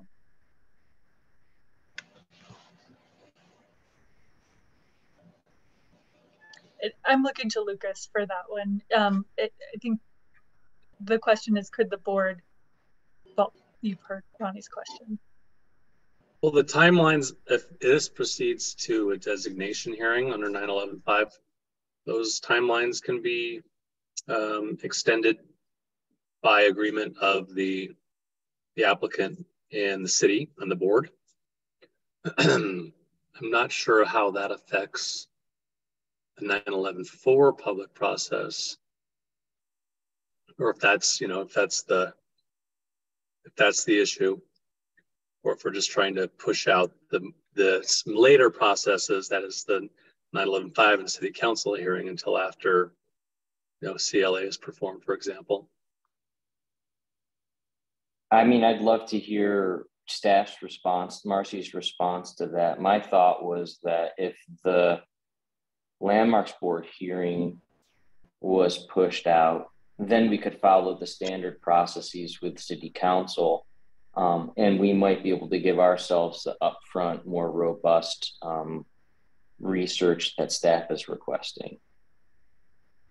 And maybe we don't have an answer to this. I just wanted to frame that as that and maybe uh, again others will speak to this is that i hear there's a question about protection there's a there's a question about commitment and then there's a desire for a different timeline which may be an obstacle that we can work within. Um, and i'm not sure if that's the case um, but that's what my thought process is right now. So um, and Marcy, I'm hoping to come back to that at some point, and I'd love to hear if you have a thought about uh, timeline that is a better timeline. Um, I'd love to know what that actually means. And I know that's asking a lot of you right now, um, but maybe you or Claire, or somebody can be thinking on that. And I'll, um, you know, hand over the microphone to my colleagues.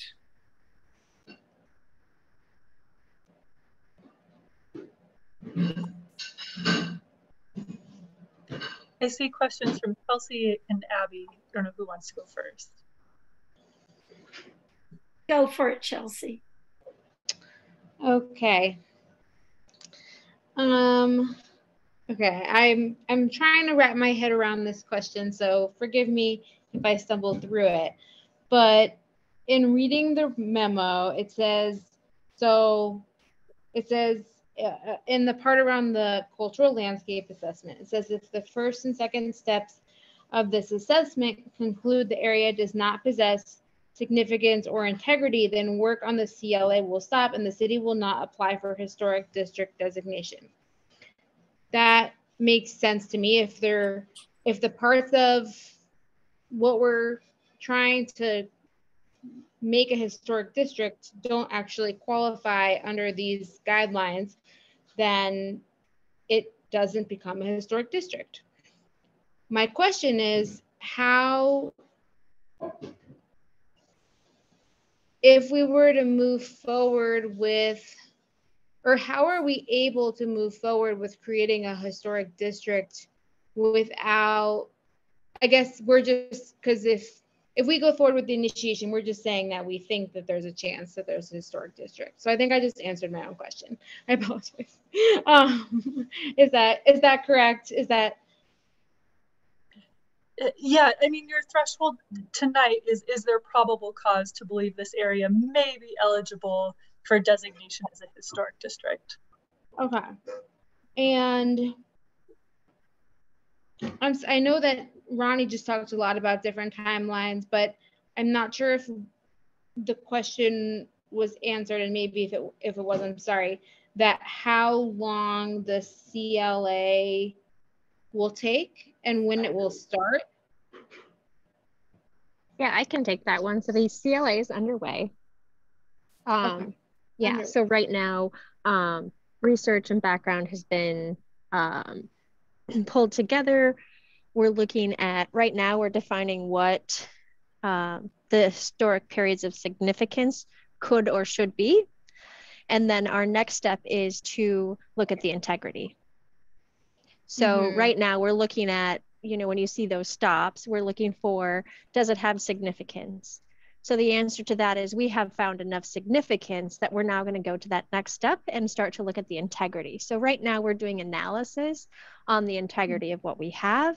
And then, you know, what it's going to look like is, um, you know, some mapping, for example, is going to show, um, you know, for this particular period, this is the period of significance that, you know, uh, we're going to mm-hmm. focus on because it has the most value. And then we're looking at the integrity and then what is left of the integrity in there. So then when we look at it is what is the historic district at that point actually protecting and saving mm-hmm. in that integrity. Right. And so um so okay, yes, thank you for the timeline. So the timeline is we will have these answers in September or what's it's in the, the date? We'll, okay. Yeah, it's the mm-hmm. September October timeframe, and the reason we have two of those is our next step is to look for that integrity. If mm-hmm. that integrity is found, then we will immediately start to go into looking at what those treatment recommendations would look like, and then that would take until early October. Okay. If we and don't then, find integrity, then the CL, CLA would stop in September. Chelsea, if I could just say something, if it goes to the end of October from today, that's about 105 days. I feel like saying that because we're going to talk about days again. And I'm hoping that staff talks a little bit about days later, but that's a, a 105 days from today period would be end of October if I did my math right. So then keep in mind, right, like our memos and things have to be turned in about three weeks in advance of like of the next meeting.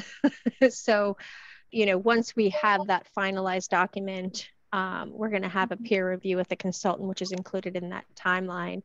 And then basically, when we have a final document, we're assembling that for um, our boards, which our memos go ahead in, you know, three weeks in advance with the review and all of that sort of thing. So it, when you say 110 days, yes, I just want to think about adding those two, just staff side of things. Yeah. And where do you imagine the um the community engagement and public like the broader part, public participation um, component of this fitting in in a way that would be the most um, meaningful for the public so Marcy is runs the public engagement, so I'll let her take that part of it. Sure. Yeah. Well, I think it's the um, it depends on the timing. So going to the public once we have the historic analysis and the the history written would be helpful, but before the design guidelines were drafted. Um, so I know it's um, it's not a specific timeline and we intentionally didn't um, kind of sketch out every possible outcome um, based on on this evening but um, mm-hmm. but the, generally there is a sequence that makes sense of having enough information to then present to get good feedback and get broad feedback, um, but not have it so cooked that you know the design guidelines are already finished or the um, Mhm. ordinance is already written.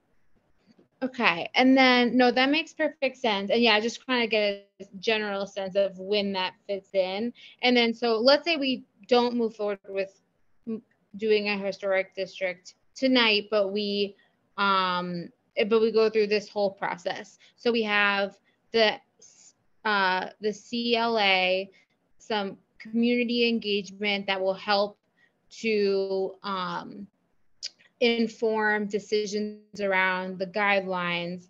And then at what like at what point would the uh historic district be is there like a resubmission? Or like at what point do we actually step back into this process with the landmarks board?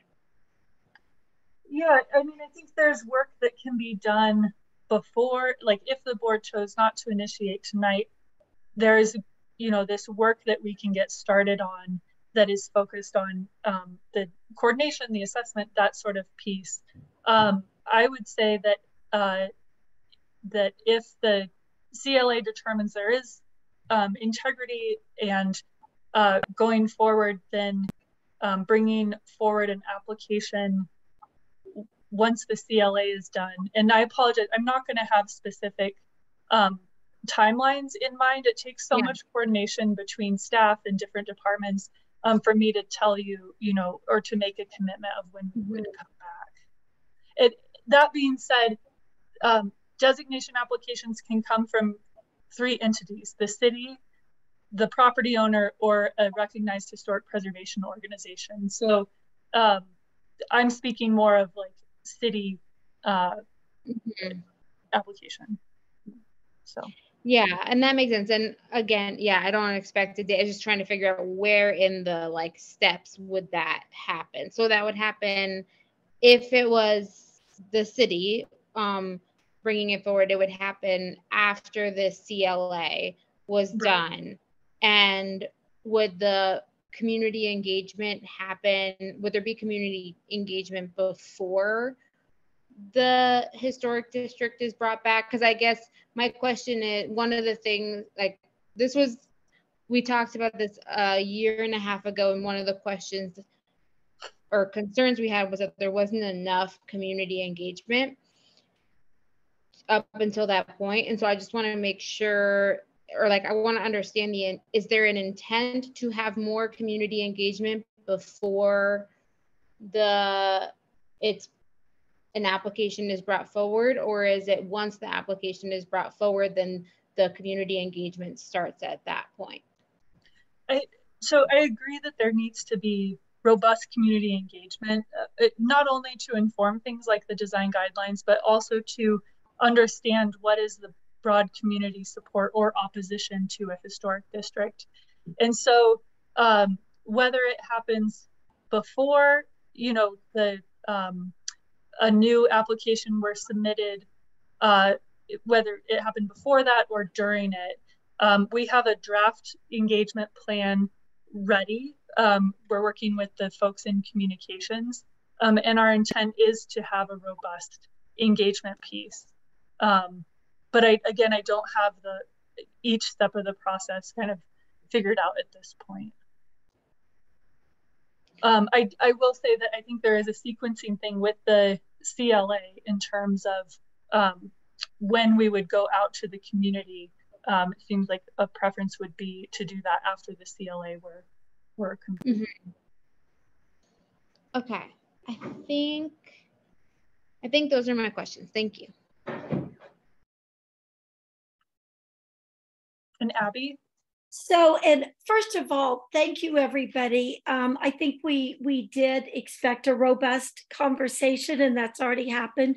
I think that um, it's very important we hear not only from our esteemed applicants, but also our dedicated members of the public on this. But Marcy, I did have one comment. I really appreciate both in your presentation and memorandums when you spell out the number of people who have speak and supported. But I want everyone on this board to be very mindful that when Historic Boulder speaks, it's not one person. They are speaking on behalf of dozens of people of the organization.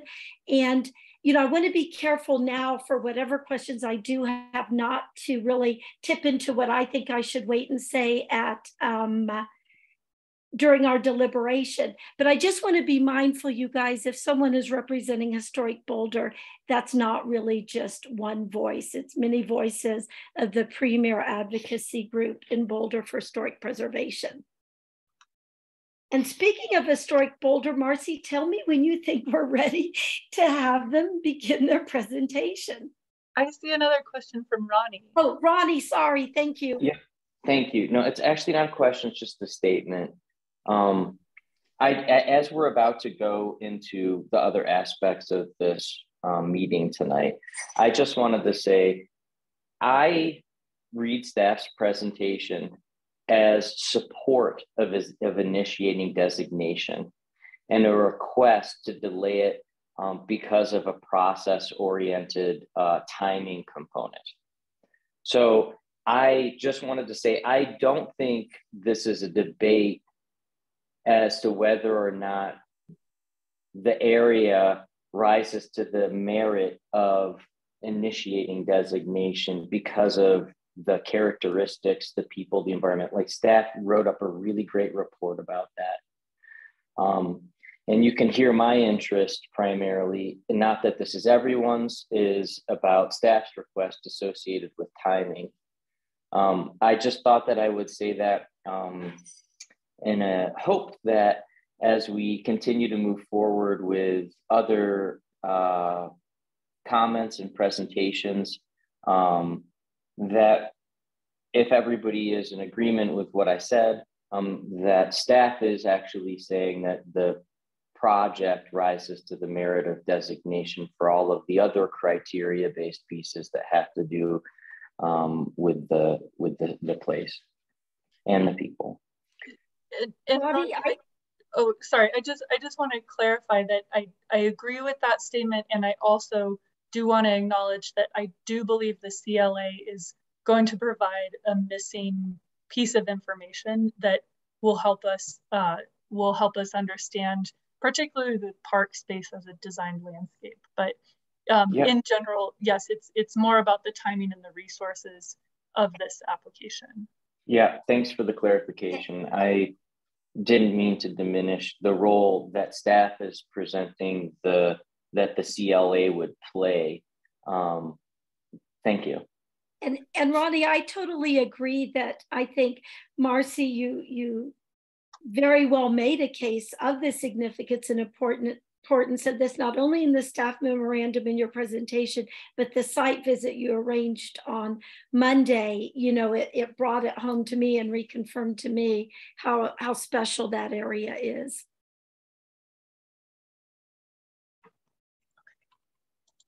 Thanks, Abby. I, I'm all set. Okay, I don't see any other board questions. So I think we'll go now then. I'll hand it back over to you, Abby. Thank you, Marcy. So my understanding is that Bob Muckle, Board President of Historic Boulder, and Leonard Segal will be giving the 10-minute applicant presentation. Yes, and I think they're both on the call. Welcome. Thank you very much, everyone. Uh, I've enjoyed this conversation. Uh, and uh, uh, thanks you, thank you for all your work. Um, I'm I am Bob Muckle. I'm former mayor of Louisville, and uh, got my start at historic preservation there, and now the president of Historic Boulder.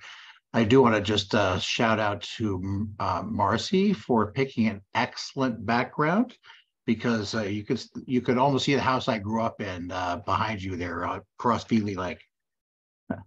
Um, so uh, can we go forward a slide or two here? And one more. So, uh, uh, so you know, frankly, my introductory remarks mostly have been covered by the staff presentation. I just would, wanted to remind us we all got here because there was an application to expand the um, the landmarking of the bandshell uh, uh, uh, land uh, landscaping, and uh, when we that got to the city council, the staff recommendation by James was that we actually go down this road to creating a district, and the council appeared to agree with that, as Marcy said. So, so that's how we're that's how we've gotten here. Um, can you uh, go forward to slide? Uh, so I, I, I, this slide is just to reiterate what Abby just said, which is that uh, the you know we're not. It's not just those of us on the call tonight. I mean, there are you know are hundreds of historic Boulder members who are reading about this in our newsletters and websites, and also the Friends of the T Shell and Friends of the Band Shell. So we're you know we're small but mighty. Um, can we uh, go for it again? One more slide. So, um, so this is actually kind of our primary issue is what is the issue that Ronnie was talking about, which is we're interested in having preservation of we, what we consider the kind of critical, historic, uh, and public heart of the community. Uh, and there are going to be other planning processes uh, in progress while the CLA is in progress. So, you know, we support the CLA. You know, good data is always good data. Um, but there's also civic park planning um, uh, processes going on. This this picture shows a previous uh, civic park plan where the band shell is gone, even though the band shell was landmarked at the time this uh, plan was completed. So we're we're concerned about having protection for the park. Uh, I mean, as been it's been said that all the, the buildings are protected, but the landscaping between them and of the park itself uh, we feel like needs protection. Uh, and the idea of delaying how long the process takes, I think would be pretty, we might be pretty amenable to that if there's a way to get protection uh, for the park and this district during that time frame. So I, will have a few other things to say at the end, but I want to let uh, Len's going to kind of go through our kind of the beat of our application. So, but thanks again, everyone, for um, letting us present tonight. All right. Thanks, Bob. Um, the next one. So uh, just Marcy did a great job in identifying the components of the, uh, the district, but I just wanted to reiterate that um, what's unique about this district beyond any other landmark district in Boulder is that it's a timeline representing most of the historic areas of Boulder, starting with the ancient indigenous peoples who um, inhabited Colorado, and then the, the banks of Boulder Creek. Next image. And of course, uh, you can see that strip in the middle ground of the trees along the creek. So this town founded itself along the banks of the creek. It was really uh, the crux of why we were in this location and right there on that spot. Next image. And then the railroads came to town. And this image is interesting because this wasn't an 1870s image. This was more like a 19, uh, 1950s image or just, I think, before the seating was built for the bandshell. But you can see the trains are still there. Canyon was a train uh, yard. The bandshell was never an acoustical performance space because there was always traffic there. Um, so, but it has that history. And the city storage, thanks, next image, the city storage and transfer building, um, also part of that whole uh, train history. Next image.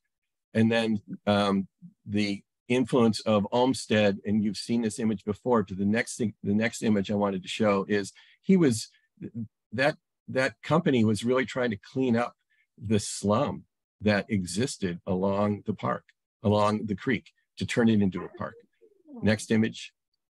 And then building on that was Saco DeBoer's um, contribution. This was a sketch he did um, that showed um, a grander uh, tower element for the municipal building, the Central Park bandshell. Um, and so he already was thinking about ideas that are still in place um, in the park today in the region. Next image. And then the Depression era very strongly represented by um, the bravado of a, a, geometric Art Deco shell uh, and the seating. Next image. Uh, the post-World War II boom time in Boulder uh, when it expanded not only with population, but with the federal labs coming to town, um, the prosperity in town and the, the optimism that's represented in the municipal building. Next image. And then in the 60s, there was a huge growth in the population and uh, companies like Midland Savings were providing a low uh, cost loans for working class people to be able to build in Boulder. And then it had a second life as the city grew as a place for um, uh, the government to grow into. Next image.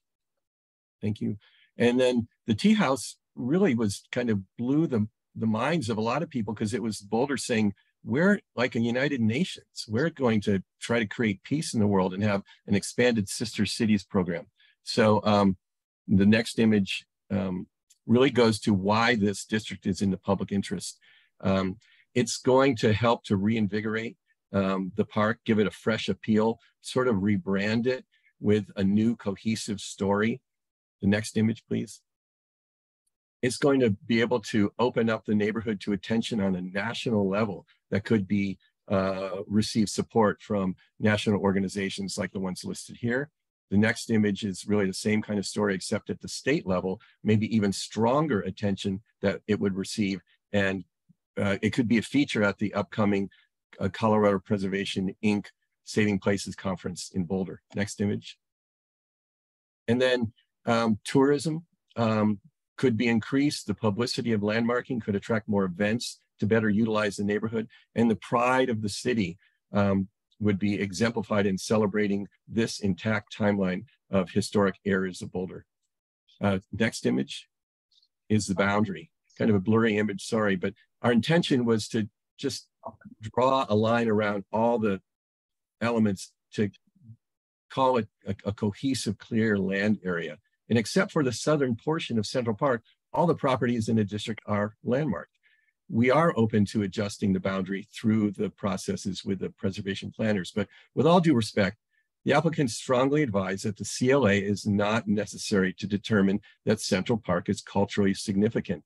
The data informed decisions that Tina mentioned as a justification for the CLA is valid in principle, but the data already exists. There's a, abundant documentation that the park was designed by two of the most famous planners in the history of America.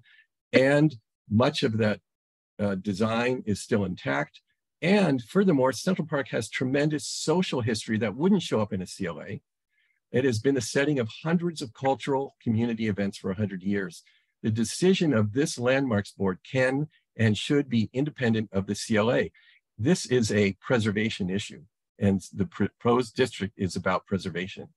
And finally, we just want to say the applicants have been out working to get notice to the public and business owners, including the farmers market, in many ways since last summer. And there's a lot of acknowledgement of the historical importance of this neighborhood. So now I want to turn over the rest of our time to Bob. And I'm not sure how much time we have left, but go for it, Bob. Do we have time left? We have nine minutes left. Is that possible? No. No. no. One minute. Um, well, so I'll just reiterate one of the things Len said there, which is that we we are we have been working to get the word out to the public, and we would be very happy uh, the our preservation groups to assist the city in this in any way we can, which would you know we would have booths at the farmers market, offer tours of the historic districts. I mean, we're we're willing to, you know, put boots on the ground to help with uh, the areas where where we can. Um, and uh, and then I, I just I want uh, I don't need to take a lot more time. I want we we believe that we've shown probable cause that the uh, central that this district uh, is is landmarkable. We believe that we uh, showed that it's uh, has integrity in our application. I mean, we have maps of the uh, trees that were planted and uh, with comparison uh, of trees that are still there um, that we provided to um, uh, the park staff anyhow. So the, um, so again, we don't oppose this the CLA at all, um, but we don't think that the landmarking process should stop waiting for that. I mean, Marcy said we don't you we don't have to have the design guidelines. I don't think we probably have to have the treatments from the CLA done either in time to do the landmarking decision. We need we need the initial you know, we need the, in, the information to compel us that it's got integrity and it's got uh and it's got historic significance. And like I say, we we believe that that's already demonstrated and we I don't, we're not worried that the CLA is going to somehow find that this area that's so obviously uh, significant is not significant and doesn't have integrity. So we, we really feel like the process could go forward. Uh, and we actually, we urge you to go forward with uh, with the initiation uh, tonight. Uh, I'll emphasize what I said earlier, which is we're, we're not opposed to an idea of, of extending the process if there's a way to do that. I mean, I don't remember enough of the details of this, but the atrium building, what we were asked to put that on hold by the staff for like several years, where it was protected all that time because it was in this process of being designated. And if there's some way to do a similar, I mean, we wouldn't want to do this for several years, but if there's some way to do that for several months and give the more time for the staff to finish all this work, um, you know, we would support that. So, and I think that's all I need to say. Thanks again. Uh, well, thank you. With 23 seconds to spare, Bob and Leonard, and you will get an opportunity, um, a three minute chance to respond to anything that is said during public comment. So, um, I, I'm ready to move to public comment. I don't know if any of my colleagues on the board have specific questions for Leonard or Bob at this point. I, I do. Ronnie, I see your hand, sorry. Uh, yeah, uh, that's okay. well, um, Bob, it's nice to meet you.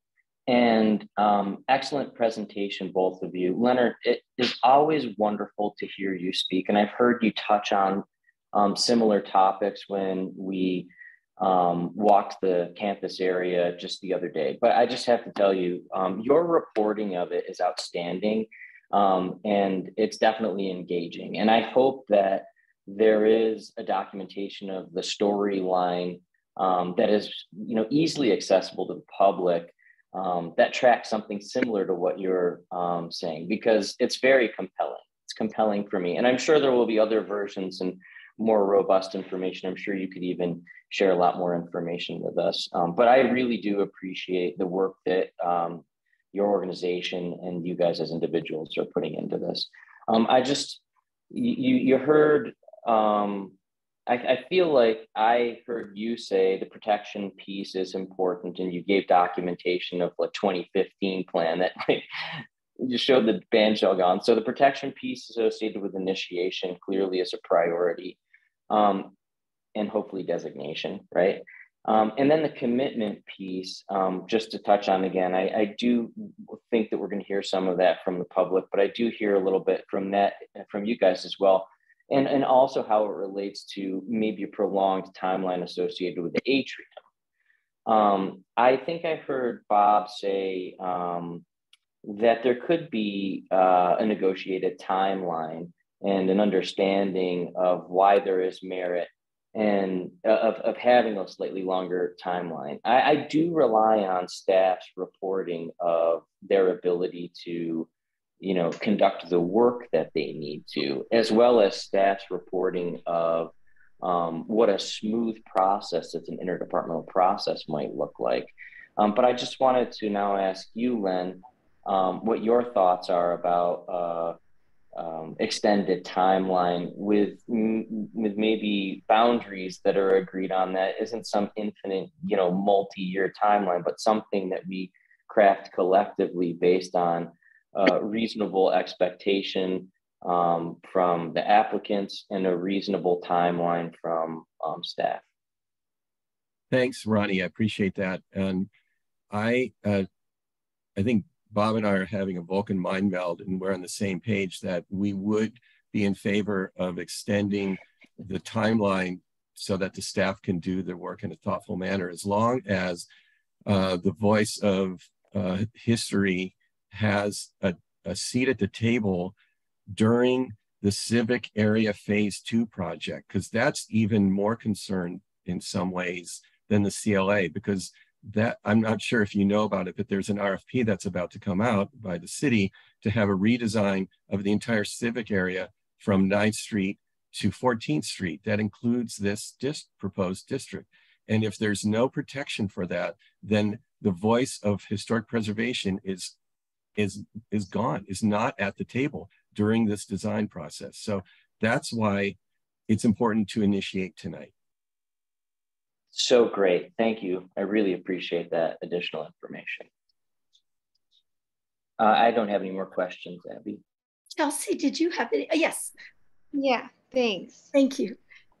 Um, well, you sort of just answered my question, which was you had talked about there being a perceive or a threat in the area, and I I was curious what that threat you were perceiving was, and it sounds like it's the civic area plan. Is that correct? Yes. And yes. I'm curious what your thoughts are. I mean, that was a plan that was voted on by the um, Boulder community to reimagine the civic area, right? It was a tax that was voted on and approved by the community. So there's clearly interest in um, in reimagining the civic area. And so I'm curious what your thoughts are on the tension, I suppose it's a tension between, you know, you had thousands, tens of thousands of people voting to support a reimagining of the civic area and the preservation of the civic area. And I think that, you know, it's it's a it's something that I'm grappling with personally. So I'm curious what your thoughts are on that. Well, there is there is a historic preservation ordinance that the community has been supporting for 50 years. So it's not like, um, you know, there's not a voice uh, out there of interest in the community for historic preservation as well. And that historic preservation allows for thoughtful additions and changes to historic properties. So we're totally supportive of a re-examination of the civic park to create more benefits for the great needs that the community has, such as workforce housing, etc., um, for bike lanes, for multimodal transportation, uh, for helping the homeless. We're supportive of that. But if but historic preservation is a voice that this community values as well, and it should be at the table. Uh, so I uh, I agree with that. I mean, I mean the the the design plans for the whole, you know, whatever that is, five blocks of the civic center. So we're not talking about all of that property, but we're, you know, we we. Well, uh, just to reiterate what Len said, which is that you know this that having a, the historic preservation voice at the table doesn't mean that you won't be able to do things that the community wants to do with the park, but you'll have to you, know, you have to contend with at least the input from the historic preservation co community. I also would just want to take a quick moment to respond to Rowdy. I have a talk that I give about the importance of city staff and how much value they add to communities. So I'm with you. Mm -hmm. Chelsea, did you have any additional questions? I don't think so. John, at this point, do you have any?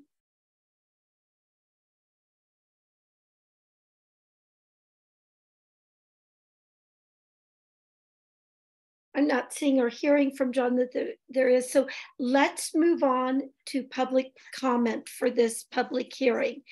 Um, please raise your hand or press star nine if you're phoning into this meeting if you would like to speak to this item. Thanks, Thank Abby. you, Abby. Oh. Oh.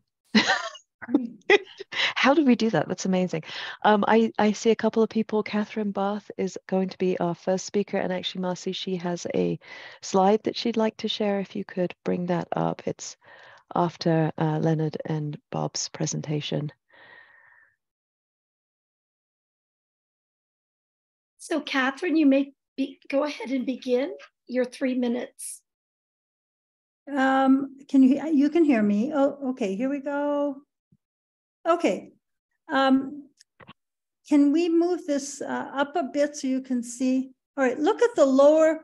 Uh, I'm Catherine Barth, and um, we started, we formed Friends of the Bandshell after the 2015 drawing came out, showing the bandshell gone, the seating gone, many trees gone, the grading gone, and that's when our organization was formed. We also formed uh, Friends of the Tea House, and that was mostly just to help them with uh, thinking about paint and how they should be handling the building, and also help them when they when they decided they wanted to landmark it.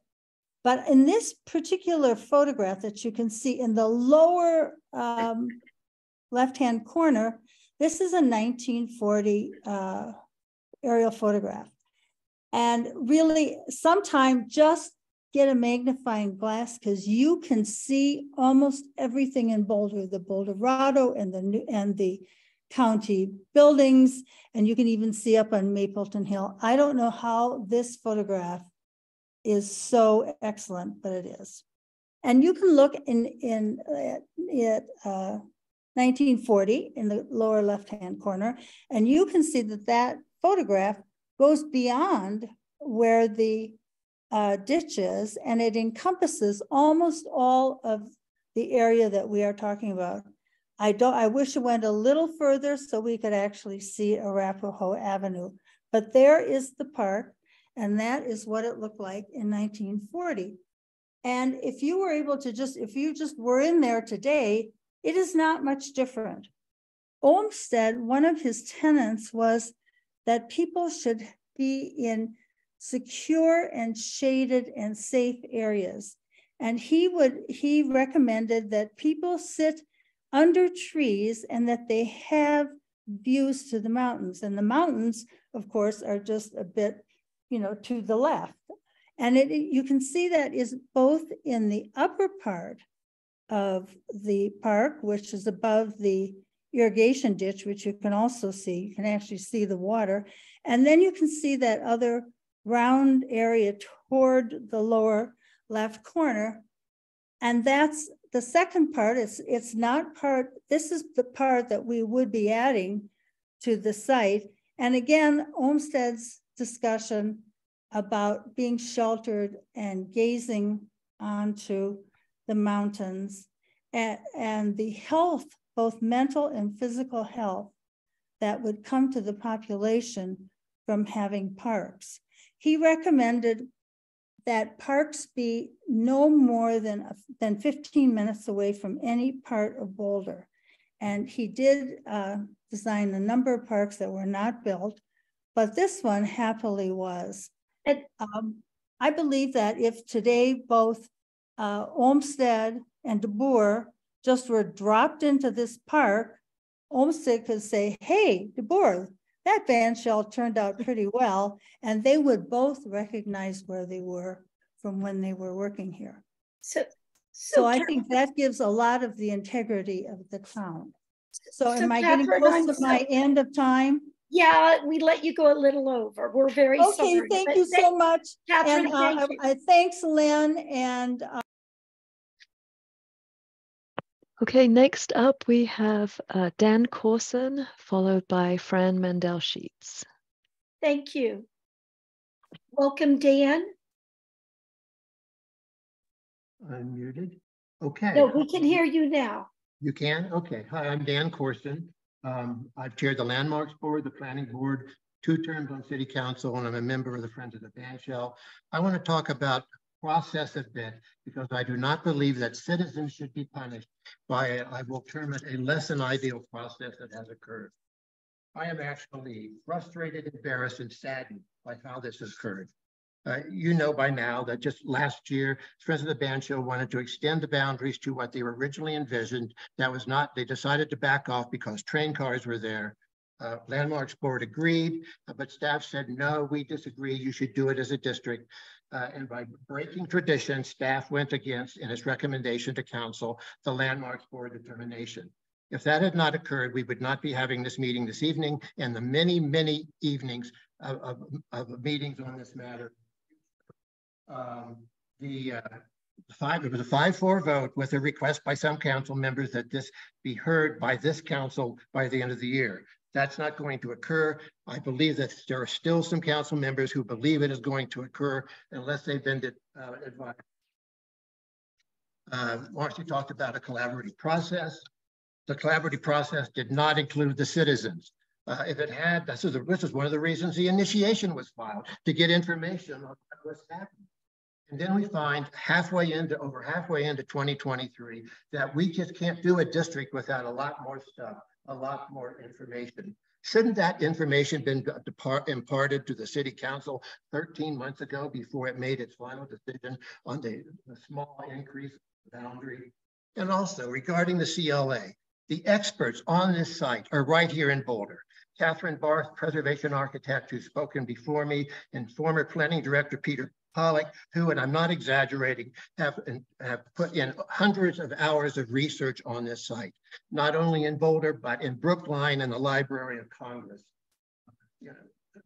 Have they been consulted on this at all? We also have a hot off the press tree search. Um, you are a citizen board and you are one of the most important things that is occurring. When I was on the council, I thought appointment of the boards was the most important role of a city council. And uh, you're the most important people in this virtual room. Your obligation and the maintenance of your integrity requires the best reasonable advice you can give. And I'm very impressed with the questions that have been asked by uh, the board members so far in terms of that. You may get shot down again in terms of your record, but you will retain your integrity. Shouldn't we have a city government of the citizens, by the citizens, for the rather than one of, by, for the convenience of the staff. Thank you very much, and thank you very much for your service to our community. Thank you, Dan. And next, uh, Fran Mandel Sheets. So what you say?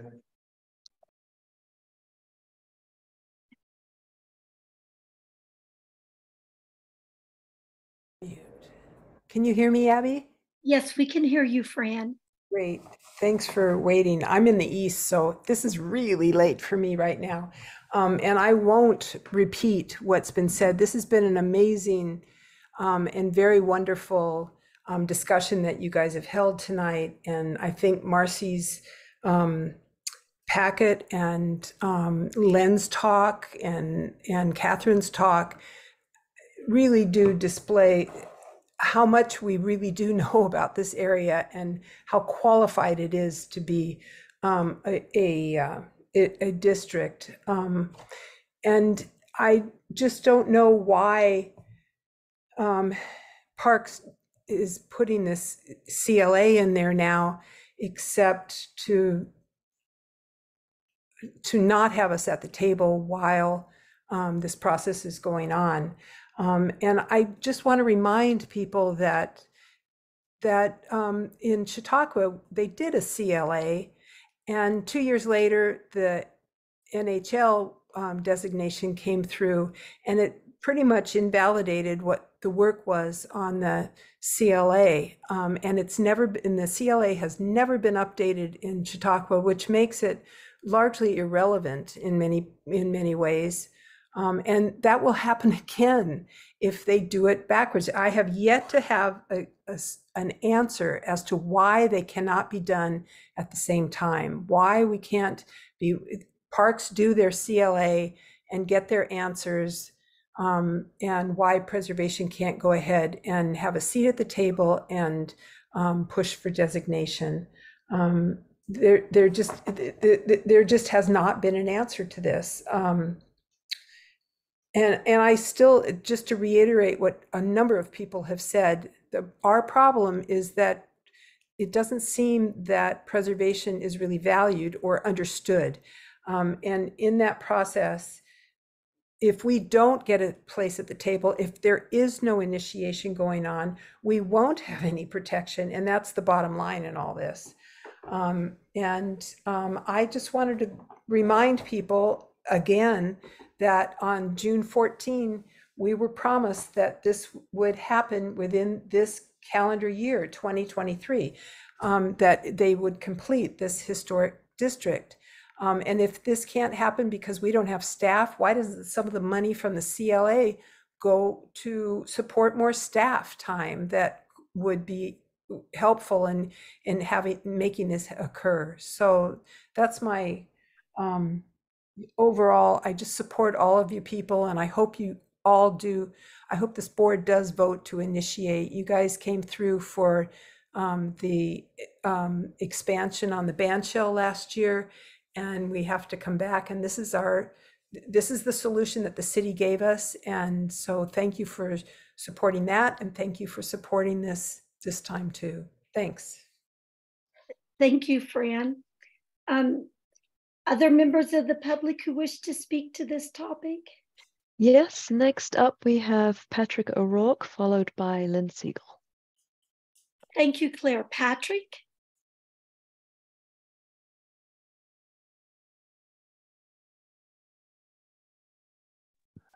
Hi, everybody. Uh, Claire, could you go ahead and put up the timeline for the CLA while we're talking?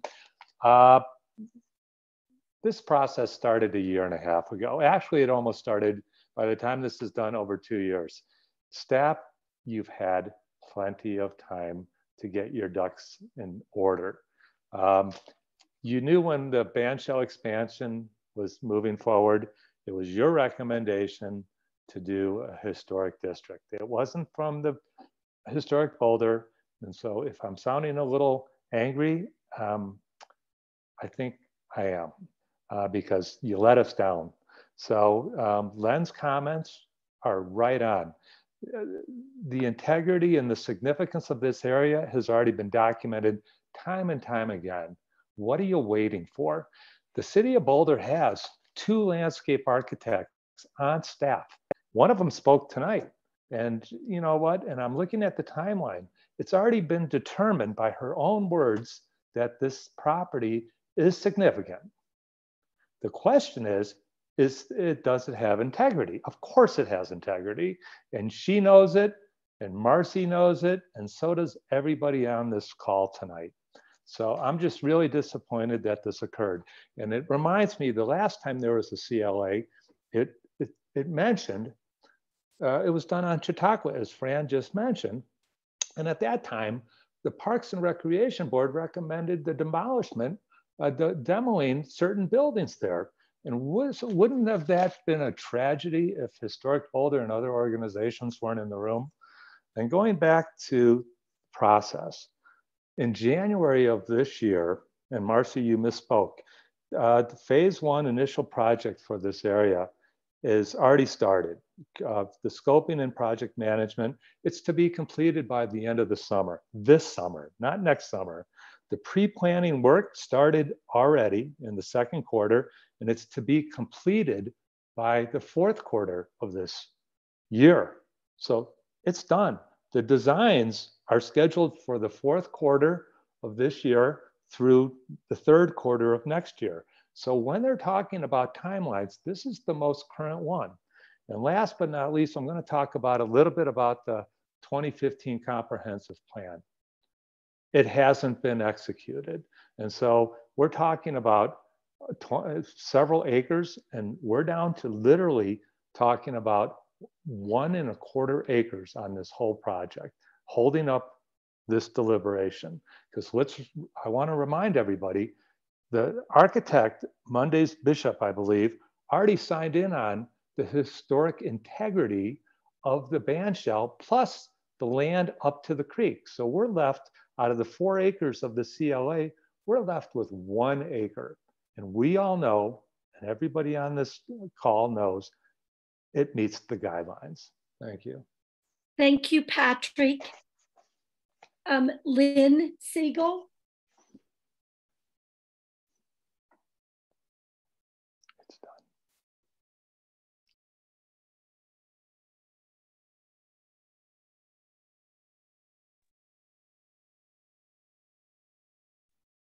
I'm mystified why this is not done decades ago. Um, you know, one of the reasons might have been it should have gone down to the Millennium Hotel and we should have the Millennium now. Instead, there's so much debate over it. Five hours last night, five hours a month ago, another five hours on the Millennium because it's not turning out the way they planned. You know, if if if that historic preservation had been done on the Millennium, it would be avoid all of this. Um, avoid all of CU takings of the city of Boulder again. Um, CU is a great thing. Dan Corson spoke tonight. His family helped get it here instead of Cañon, Cañon City. But it should have been all the way up to uh, to Eben Fine Park and the whole area. And if the CLA is going to benefit the city somehow with some kind of national historic preservation, we've got that behind us anyway. We don't need to eh, over engineer this thing. Why study what's clear and obvious? Boulder has another history, and that is doing a lot of studying of what they know better. And this thing should have been done a long time ago. And it's clear, you know, this is historic place. One of the historic aspects of it is the homeless living around there. And back then they were trying to get that cleaned up. Now it needs cleaned up more than ever, doesn't it? You know, so do we need this historic district? Yes, but long time ago. And holding things up, waiting for staff. Um, what for? What all of this, all of this complication? It's not complicated. It's very simple.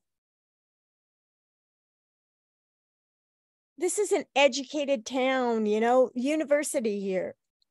Get things done. Just do it.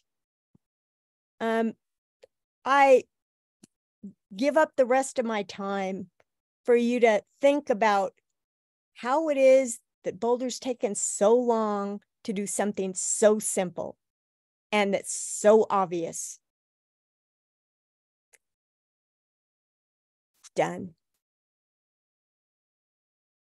Thank you, Lynn. Um, are there, excuse me, any additional members of the public, Claire? Yes, Abby, our uh, last hand raised is Kristen Lewis. Thank you. Hi, welcome, Chris. Hello. Hi. Um, my name is Kristen Lewis, and uh, I do support the proposed district application. And I think this is a great opportunity for Boulder to lead by example. And and you know, this process has gone on a long time. I think we're very fortunate to have five historically important structures in near proximity. And I see the district as a way to really protect them. Um, I'm concerned about the protection issue. Um, I think, um, especially since, you know, the original plan was that we would probably house some city offices on the uh, east side and that you know there was some bookend thing. And once the uh, the city had once it was decided that the city is going to consolidate at the boulder community hospital site on broadway i think there's a lot of opportunity here. And i and i don't think landmarking it uh, the district is going to preclude future development. I think it can, you know, but it does, to me, it's very important that there be protection and that the landmark board be at the table and be able to look at a broader issue. I mean, you, you guys have um, a lot of uh, institutional knowledge that um, all these disparate groups don't necessarily have. So um, a lot has been said, and I and I just see that um, that this is a really good opportunity and that you guys should um, approve the landmark designation tonight um, uh, and and be involved. And I think that uh, you know I appreciate all the pressures uh, um, that staff has right now, and um, will really continue to have.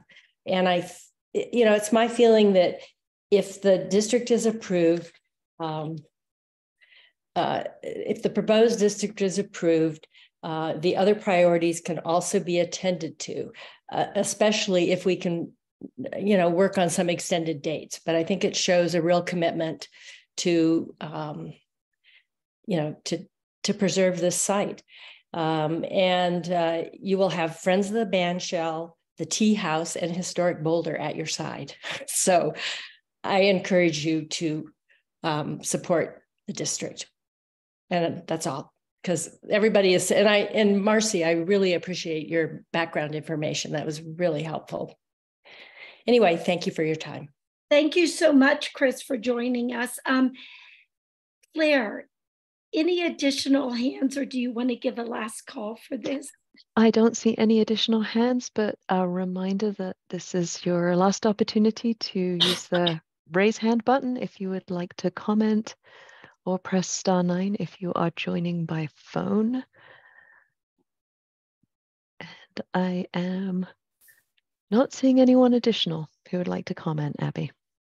Thank you, Claire. So we now will officially close public comment for this hearing. I do want to give Leonard and or Bob an opportunity. You have an additional three minutes to comment on anything said during public comment.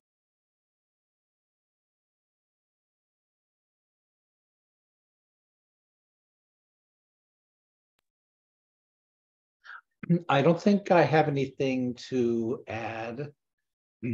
I might, I might uh, just touch on what Patrick said, which is just that it's been, this process has been going on a long time, which, and you guys have been involved in that, so you know that. Um, but um, otherwise, I think what I had to say earlier about our, you know, wanting to have protection and being willing to work on timelines is probably the, that's, that's my take home message, I think. Len?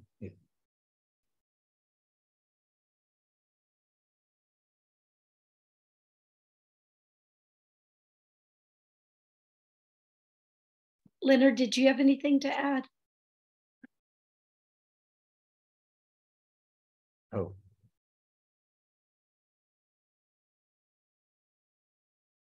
I think Len might have frozen. Yeah. uh, I forget, somebody commented on this. I'll just say it while we're giving Len a chance to recover, which is that this has been a very, uh, this has been a a deliberation and a discussion amongst the board and the staff that's very um, encouraging about uh, good government. So thank you. Thank you for that. So I think that actually the three minutes may have just elapsed. I It's do. All, it's all right. Len and I, Len and I agreed that I would talk at Okay. point if, Thank if there was anything to be said. So I think we're okay. Thank you so much, Bob. So we are now going to move on to board discussion. I And ask, sorry, Abby, Abby, um, sorry, before you move on to board deliberation, I just wanted to take a chance to respond to something that was said as the city is um, technically the owner. Um, but the timeline for the civic area phase two that um, Patrick O'Rourke referenced was from January from a, a council IP.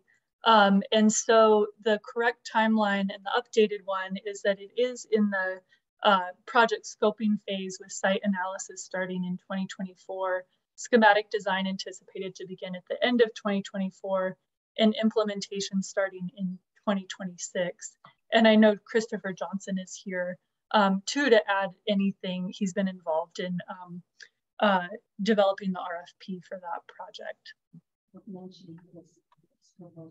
Yeah, thanks, Marcy. I'll just I'll just confirm that as well. That um, the uh, the actual uh, analysis, site analysis, really runs through all of 24, and schematic design would run through 2025. So any kind of uh, more detailed design development construction is is still much further out into the 2026 27 timeframe. Uh, and the RFP that um, will be uh, issued for some of that planning and design work um, is likely to be released sometime in the next couple of weeks. So um, by the time that process goes through and actually get consultants on board, um, I would imagine that will be at least October um, by the time any that would actually be uh, under contract, probably closer to the end of the year. Thank you, Christopher, for clarifying that and Marcy for bringing that to our attention. Thank you. So now I think we're ready to move on to board discussion. I ask that everyone else mute your computer or phone during the duration of this discussion. And Aubrey, I know you're going to keep a timer or kind of do a time check for us as we proceed with this discussion. And um, I really don't remember my Robert's Rules of Orders that well, but I don't believe I'm I'm happy to jump in and start this discussion, but I don't I can't remember if that's kind of forbidden for the chair to do so. It is. Go for it. Okay. Go for it, Abby. Yeah. Wait, I can go for it? No, please go for it. Oh, okay, sorry. So uh, so I just there's this wonderful report that was written by Beverly Kerrigan, and it was part of the Boulder Historic Context Project. And her paper was entitled Frederick Law Olmsted Jr., Maker of Parks, Planner of Cities. And the reason I'm calling it out in the beginning of my remarks tonight is that on, on the last page of her report, she says, Boulder was indeed fortunate to have a handful of citizens contact a landscaper from the east, a dedicated man who climbed up our mountains and down our ditches and presented plans that would improve with passage of years. The parkways, open space, and ribbon of green along Boulder Creek are all elements of a lifestyle that draws visitors and citizens alike and serves as living testimony to visionary man end quote. But I wanted to start with that because I want to thank more than a handful of people who were the coalition that submitted this application, as well as the members of the public who have written us emails, spoken, and um, were with us tonight to, to share their um, share their thoughts with us as a board. So I think I thank you for your tireless time and energy on this endeavor. That same report also mentions that in 1917, Olmsted sent a telegraph to a, a, telegram to a member of the Boulder Civic Improvement Association, and I think it was to Dr. William Baird, but I could be wrong. And what Olmsted Jr. was proposing is that the city of Boulder create a planning department. So Christopher, Marcy, Aubrey, Claire, um, Brad, you know, it seems like the genesis for the very department you serve came from Frederick Law Olmsted Jr. The next thing I want to point out, because there, there is a thread, if you'll bear with me just a few moments, is that when the country was celebrating its 200th birthday, and the state of Colorado was celebrating its centennial in 1976, the Denver Civic Center Historic District was designated as a landmark. This district showcases the wonderful, um, is a wonderful stunning example of the city beautiful movement that swept across the country after the 1893 Chicago World's Fair Columbian exhibition. And the person who picked the site of that exhibition was Frederick Law Olmsted Jr. He picked a site along the shores of Lake Michigan. And after the crowds had gone away and the displays were taken down, the vast majority of buildings were razed, even Louis Sullivan's um, transportation building. Um, the only things that remained that enhanced Chicago after that World's Fair were the parkways and the waterfront designed by the Olmsted firm. And how I can connect that now to the Civic Center in Denver is the fact that Frederick Law Olmsted Jr. was one of the landscape architects on that. And what kind of blows me away about Denver Civic Center is that a smaller portion of that was even designated as a National Historic Landmark in 2012. And we know we have Chautauqua as a National Historic Landmark and the part in, in Denver Civic area that is designated as a historic National Historic Landmark is one of 26 total in the state of Colorado. There is no other area in Boulder that better celebrates the best of Boulder and our progressive, innovative spirit than our Civic Center and the more than 100 year old Central Park, as Olmsted envisioned a lot of it as the park at Boulder Creek.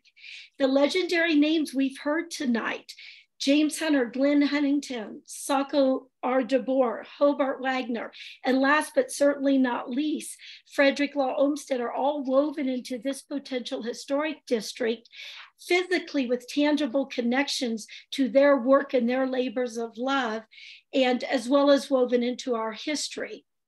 I was grateful to be invited to be a stakeholder in the 2013 creation of the uh, excuse me, the city's historic preservation plan, and it's entitled A Sense of Place, A Sense of Purpose. On page 34 of the plan, I'm going to quote Boulder aspires to lead by example, modeling excellent stewardship for all city owned historic buildings, including those in parks and on open space. Additionally, city owned buildings can be used effectively to illustrate successful integration of historic preservation and environmental sustainability the city's willingness to actively participate in its own historic preservation program instills a sense of unity with owners of landmark properties and buildings within historic districts, end quote. I think that the Landmarks Board purpose tonight is to initiate this historic district. And I think that this is, um, we need to embrace it. I think the time has come. We traveled down one path a year ago, then was told to create a historic district. Members of the community came forward to do that. I think we owe it to them.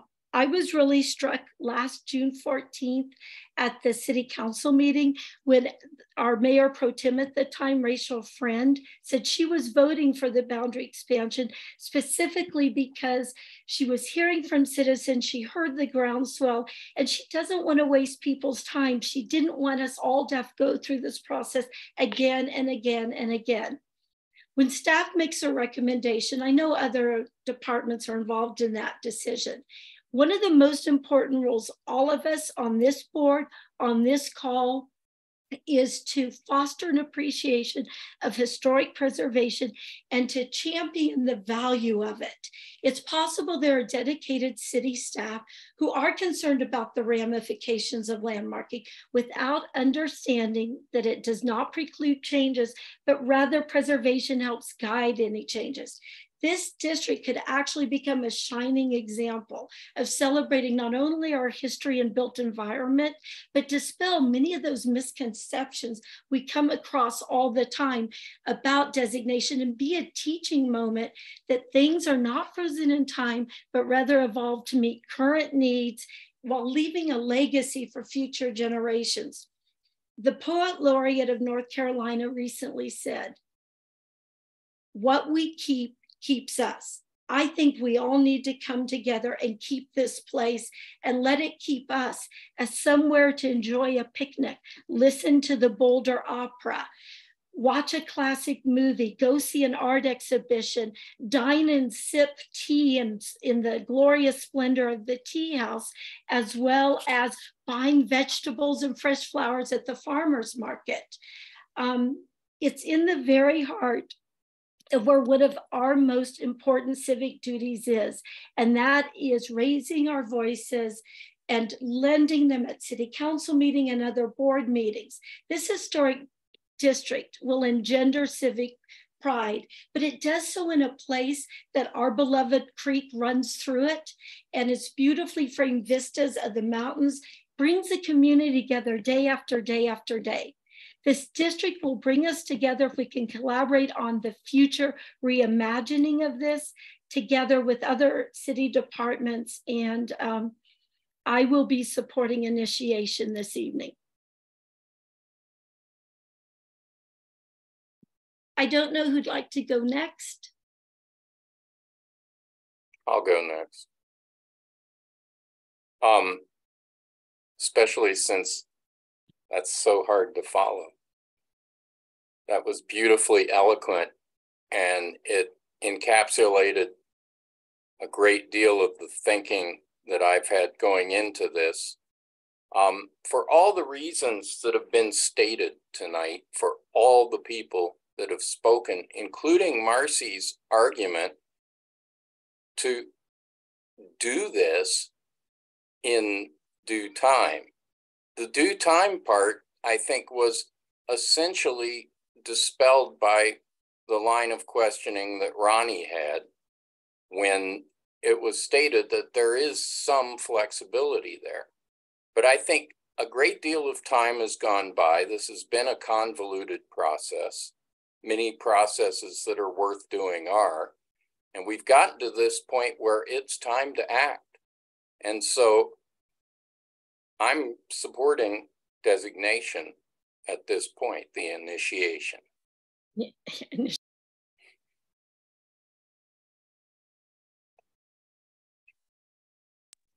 Chelsea Ronnie? Mark has his hand up. Mark. Um, thanks. I, I actually, I, I am, um, I'm, I'm worn uh, from last night, and uh, and this has been wonderfully interesting and fascinating. But I'm going to excuse myself after just a very brief comment, and I, I just want to say that um, this this whole discussion has reminded me of the uh, graph uh, that back in the 80s is that people would talk about important and urgent. And I find the um, proposal tonight to be very important. Um, I also uh, am not typically one to um, just blindly uh, agree with agree with staff. And uh, if Brad were still on the call, he could certainly attest that I am not a um, I see both sides kind of guy, and I can't make up my mind.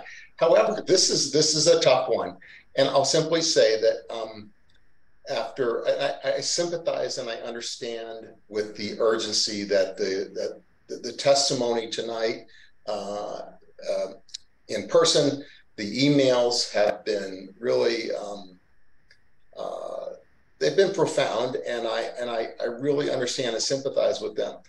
Um, conversely, I have uh, uh, experience over the last year plus with the planning department and their load and and and their struggles. And I know that um, Marcy and her team are not they're part of the planning department. There's a little bit of separation there, but I, I I'm going to sum up and say that I find this to again be important and um, I understand the urgency and but would if I had a vote tonight and finally and I'm, maybe I'm glad I don't tonight um, I would uh, I would uh, fall down on staff's side of this reluctantly and uh, with the uh, hope that um, they would uh, hold true to their commitment to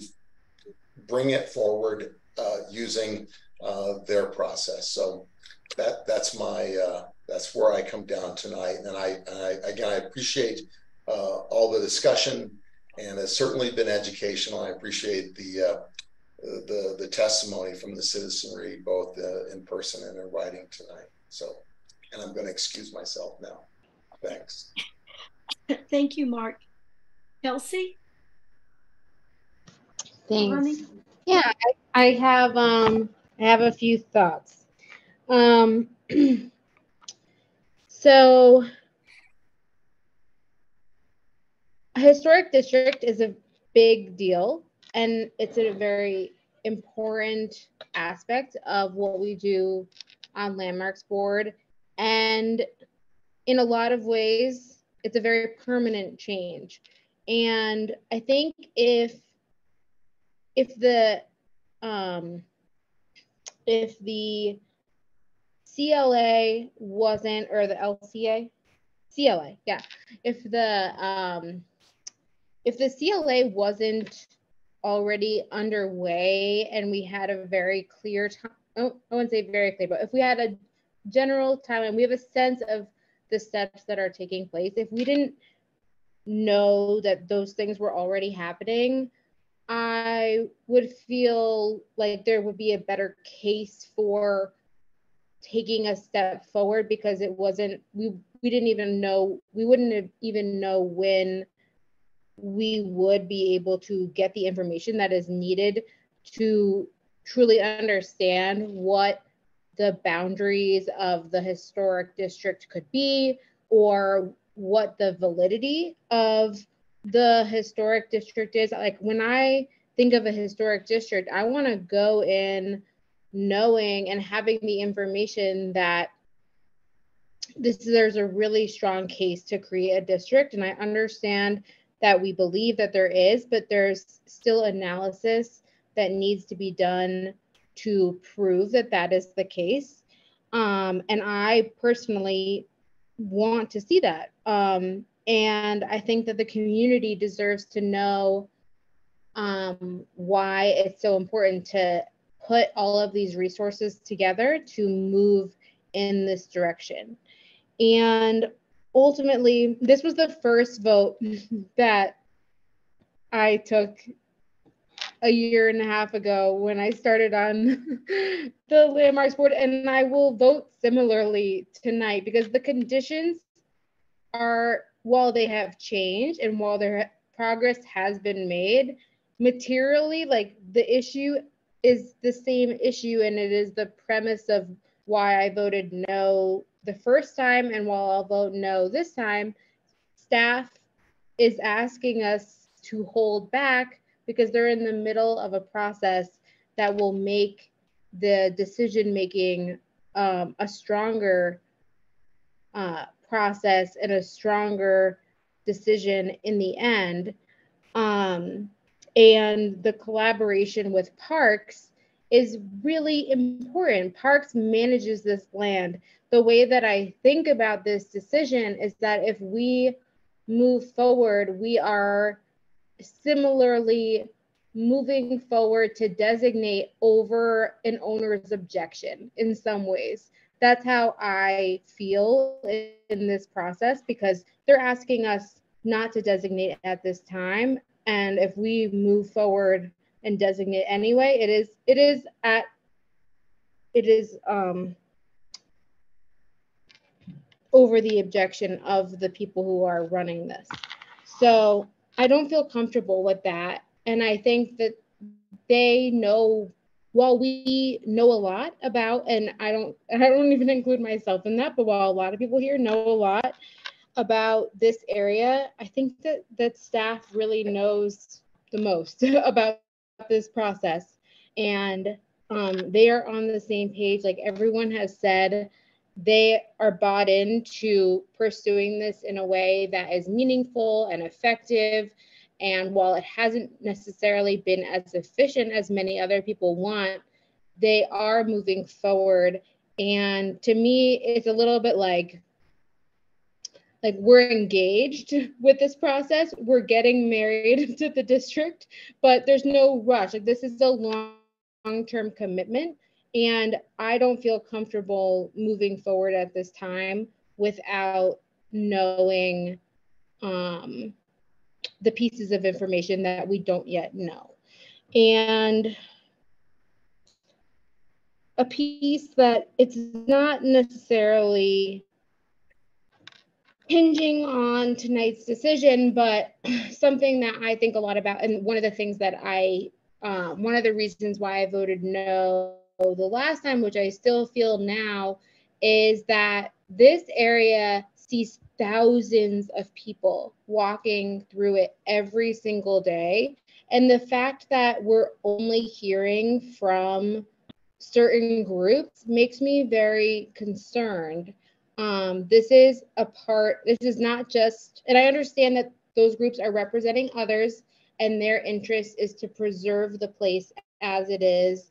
Um, but I want, and I'm not, and I don't discredit that. And I think that those are very important perspectives to hear, especially in this context. But without hearing from more day to day users of the area, I just don't feel as though we've done enough diligence in having a community feedback process to this at this point. Um, and I know that that will happen once designation occurs, whether it's now or in the future, but it does not make me comfortable. Um, I've been a part of really big community conversations in Boulder over the last few years, and 13 people providing emails like that's that's not a lot. Um, it's a very small group of people who have are having an outsized influence over what happens to the future of the heart of our community.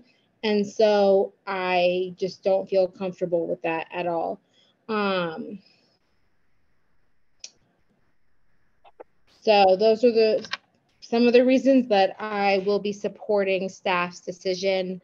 Um, and I also think that, that there's a chance that council will do the same thing that they did the last time and reject the designation because we are in the same situation and the, for the same reasons that they voted no the last time. So. So, um, Ronnie, do you mind if I just make a few comments Chelsea, thank you for your comments. Thank you for your point of view. I totally respect that. I'm going to push back a little bit because the input from the people who use the park every day actually happens, I think, after the initiation happens. And my concern with this is a year ago, you know, we were told not to support the boundary and go for historic district we did and then now we're supposed to support a cla which is not part of our preservation ordinance. The cla underway can still proceed on a parallel track to designation but i just um, i just have a feeling that um, if we don't act tonight this just goes away the application goes away and staff might come back with us. But i think my biggest concern if i understood tina correctly is that as this if they do the CLA and we just say oh go ahead and we'll revisit this down the road at any point in that process if they have one of the 13 criteria that they don't agree with or doesn't think is met the whole process stops and there'll never be a historic district and landmarks board is no longer involved in that potential district. Okay ronnie mm-hmm. Okay. Um, I mean, I imagine that you all know what I'm going to say because it's what I said at the beginning. Um, and, and so let me start by asking I need to address a couple of things that have been said tonight, but I want to start by asking Lucas a question. Lucas, can you confirm that there is an opportunity to extend the 120 day um, requirement or whatever, the 120 day um, standard that's in place uh, after initiation to hold the hearing? Yeah, let me clarify that. Um, so 911.5 states that for individual landmark designation applications, um, so not historic designations, but for individual landmark designation applications, the time requirements uh, may be waived if mutually agreed upon by the board, the applicant, and the owner. Um, what that means most likely is that the city and the applicants would have to mutually agree in the form of a tolling agreement. So that would be a written agreement that the city has used on occasion um, for this kind of situation. So we've heard today something that they might be willing to do that, the applicants. I think if the board were going to, I don't think the board can force them to do that. It would be more of a an understanding of the board we hope or request that they're going to do this. Um, but ultimately, I think that's going to be a decision they make if this if this board votes to move forward. Does that make okay. sense? It does make sense. So I will get to that momentarily. Okay. So I had a couple of things I just wanted to say to kind of address a handful of things that have come up tonight. First of all, the gratitude piece. Um, a lot of people have worked on this and brought us to the point we're at today. And I understand that it has been a long effort. And it's because of many individuals that were where we are tonight. And can you still hear me? Can Lucas, can you raise your hand if you can hear me? Okay, great. Um, so, you know, I don't want to overlook that. Um, and I really just want to say, you know, thank you for your efforts. I do also hear that there's quite a bit of frustration and to some degree some anger um, because of the process. And I think maybe expectations that were put in place um, that may or may not have been delivered upon or may or may not have been, um, you know, fulfilled in ways um, that people were hoping. And so I, I also do hear that. Um, I want to clarify that I do not think that our staff or our board thinks that an integrity interpretation um, associated with the CLA is the pivot point for us to make a decision about whether or not initiation um, should happen. So I don't think that is the piece that we're focusing on. I think what we're hearing from staff is the report itself and the content um, may illuminate additional information, and it may not, um, but that that process, along with um, working with other departments and making a more robust and timely communication um, with a, I'm sorry, community engagement effort um, is the reason why they were suggesting um, that we don't do not initiate tonight. I do have to say, there's been a major change in our um, preservation program, and that is we we had our senior preservation planner retire, and then we were without a, pres- a senior preservation planner for a while, and that we are extremely fortunate to have Marcy. And I am so grateful that she is here helping us. And I promise you that in every interaction I've had with her, and I meet with her often as a board member, that she continues to demonstrate extreme knowledge about the subject matter and personal integrity um, whenever she's conducting herself. And so it's very hard for me to hear any type of attack to her. This is our common responsibility pushing these things forward. I think we hear truthful information from Marcy. I think if there has been any conflict of information, there's nothing intentionally deceptive. Um, and I think that we would be further behind in this process had she not been the applicant or an applicant in the process of selecting a new senior preservation planner. Okay. So I want to one recognize that the timeline may be delayed and that the words end of year this year came up from a previous preservation planner. And those are use like loose terms. And that we have somebody that is an amazing person on our staff helping us and that we should respect that. And I do. So I'm grateful that Marcy's here. And I really feel like I have to say that because it's hard to digest when I hear this. That's not to diminish anybody's experience that they may be frustrated because I understand why you would be as well. Okay, so what about this? Um, just going back to um, kind of what I said at the beginning.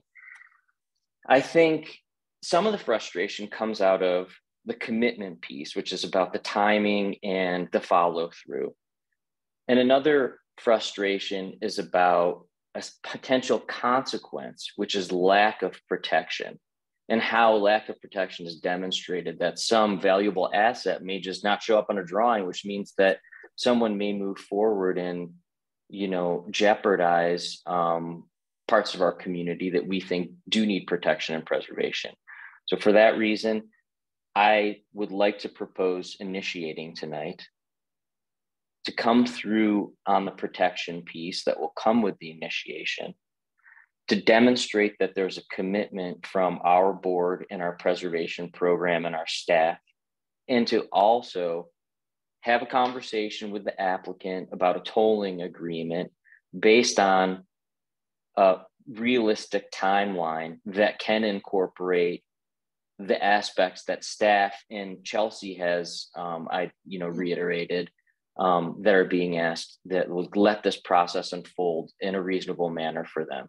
And so, on that note, Marcy, I'm wondering if you could help us understand what a possible extension to the 120 days might be that could be reasonable so that I can understand that and maybe we could talk about that. And Ronnie, as always, you're articulate and eloquent. And one thing, Marcy, if you could also do, I know you had mentioned that earlier, you wanted to really know the timing piece.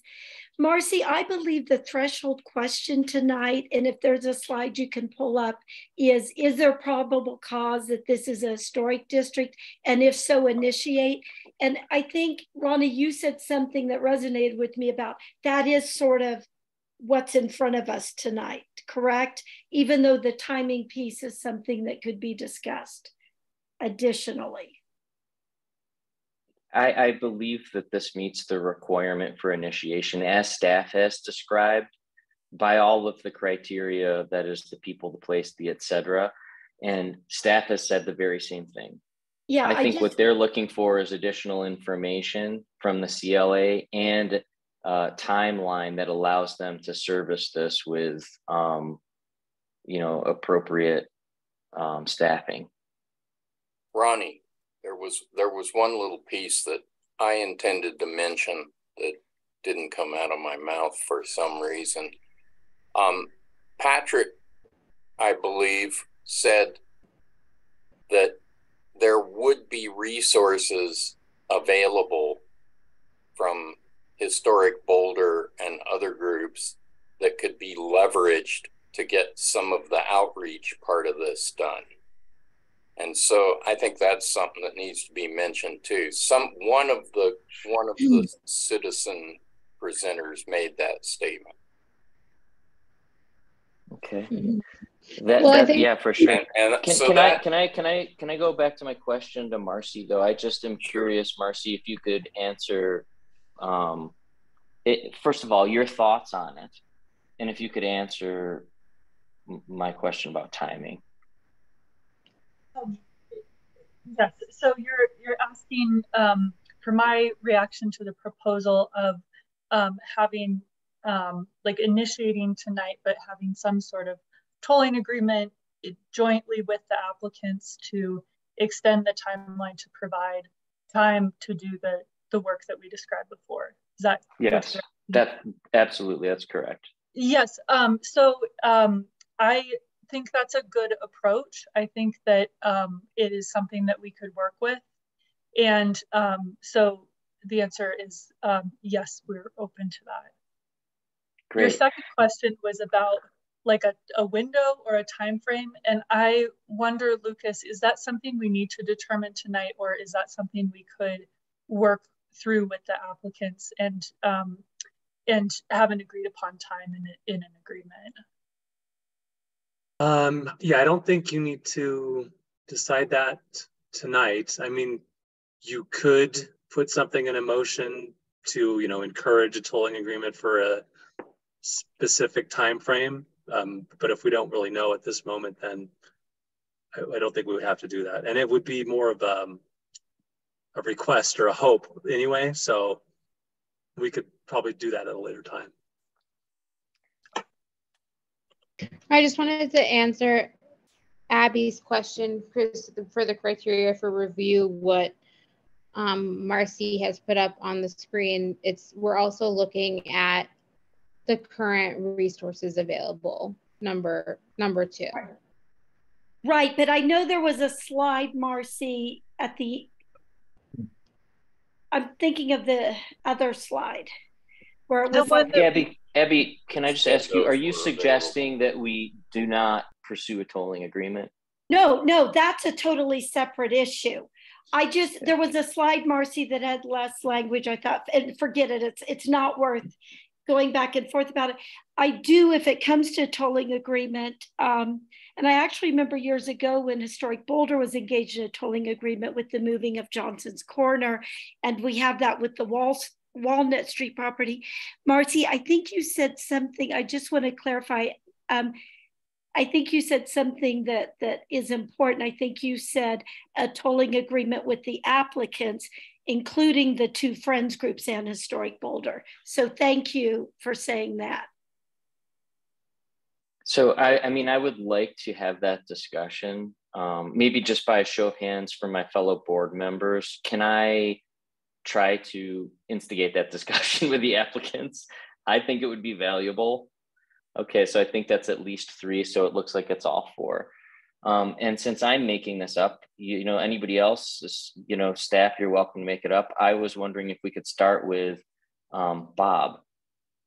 And then, and maybe I could get some assistance on other um, representatives that might be here because I don't see everybody.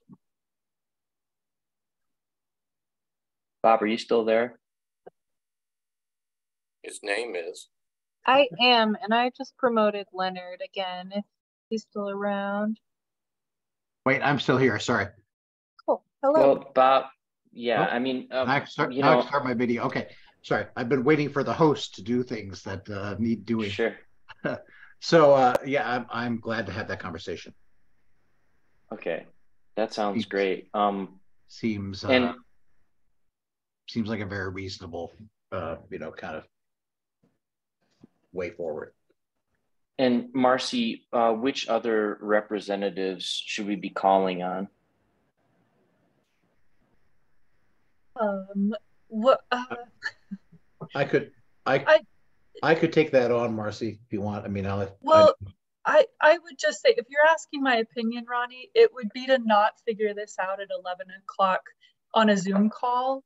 Um, my my request or my um, preference would be that we hear your intent, um, which is to figure out a time that that both moves it along in maybe a reasonable time, but provides the time that we as case managers feel we need to do the the level of analysis and community outreach and that we hear that um, direction from the board and then um, with fresh coffee fueled energy um, lucas and um, you know representatives from the applicant group and staff we all meet and then decide on a, a specific timeline Can I um ask Tina if she can weigh in on what is currently being discussed? Well, Tina's, can I just say, Tina's schedule is set for us already. Like she says, by October, they will finish. Well, I would like to ask Tina, so can I please ask Tina?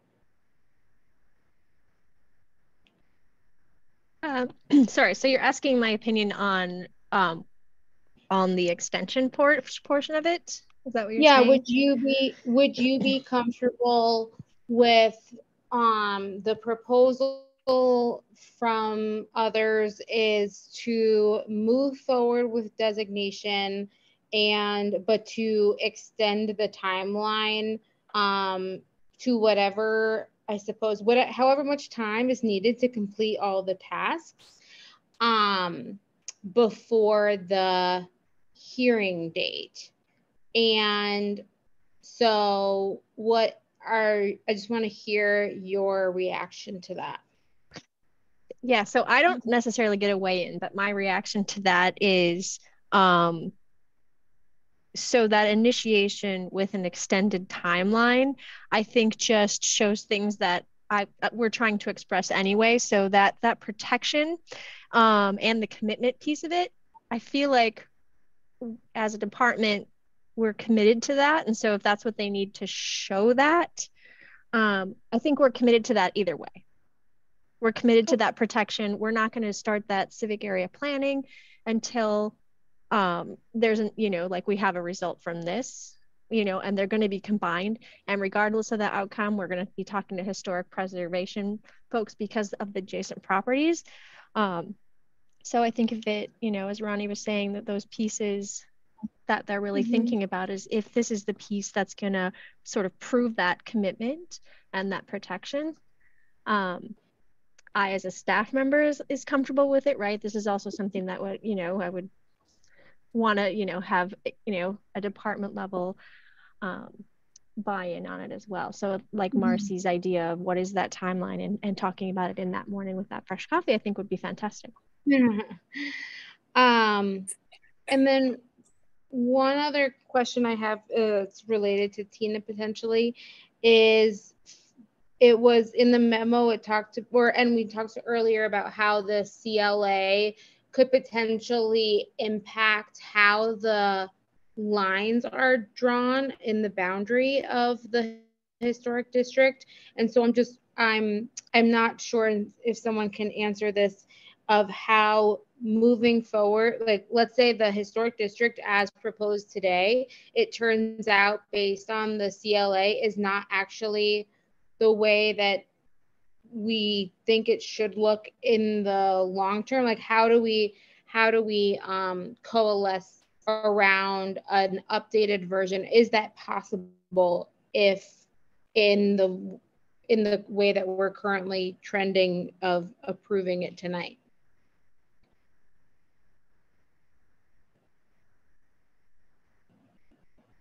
Um, this might be more of a Marcy question, but as I understand it, right, in this process, there is the opportunity to kind of to change that property line if it makes more sense throughout the, the process. Is that true, Marcy? Yeah, so the boundary can be modified through the process and um, up until council, you know, would de- would vote on the designation. Yeah. And Marcy, that even includes a name of a historic district, correct? Yeah, that I mean that gets sorted out through the process. Correct. Yeah, the process allows for some evolution of the definition.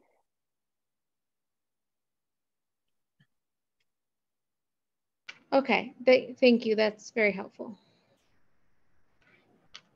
Um, I, I would like to make a motion.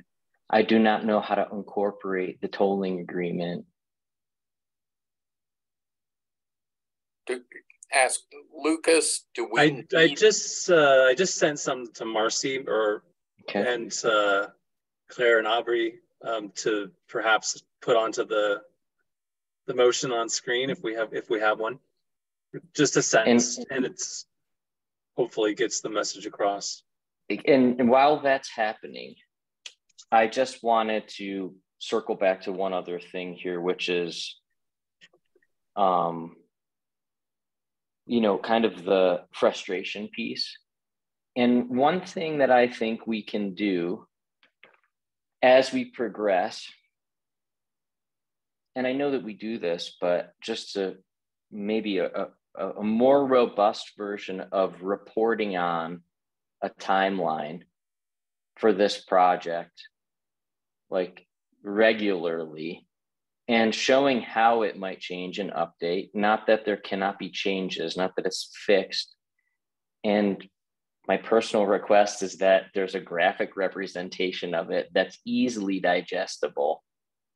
Um, that shows us kind of a totality of things that we might expect and experience and windows of times in which they might occur.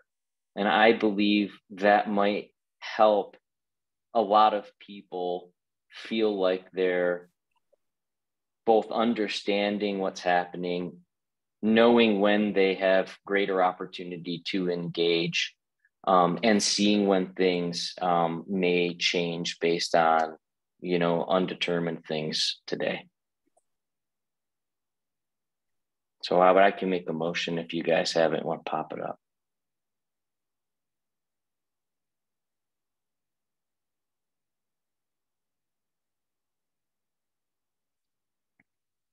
Okay. And somewhere in here, the tolling is at the end. Okay. Yeah. Okay. All right. And and I hope that this is a celebration for everybody. You know, I know we're late on in time here, but I move that the Landmarks Board adopt a resolution, attachment B, to initiate the historic district process for a portion of the civic area as shown in figure two, finding that it meets the criteria for such initiation pursuant to section 911.3, initiation of designation for individual landmarks and historic districts of the Boulder Revised Code 1981 and in balance is consistent with the goals and policies of the Boulder Valley Comprehensive Plan. This resolution is passed with the understanding that the applicants are willing to extend the timelines in sections 911.4 and 911.5 BRC 1981 to allow the CLA and other necessary components of the process to be completed prior to the designation hearing described in section 911.5. The Landmarks Board strongly encourages the applicants and historic preservation staff to work together to execute a tolling agreement with the city to accomplish this goal. I second that. Is there any um, amendments to Ronnie's motion or any discussion from the board members? I don't see any raised hands or hear from anyone, so we will do the roll, roll call vote. Chelsea? No. John? Aye. Ronnie? Aye. And I vote aye, so the motion carries three to one.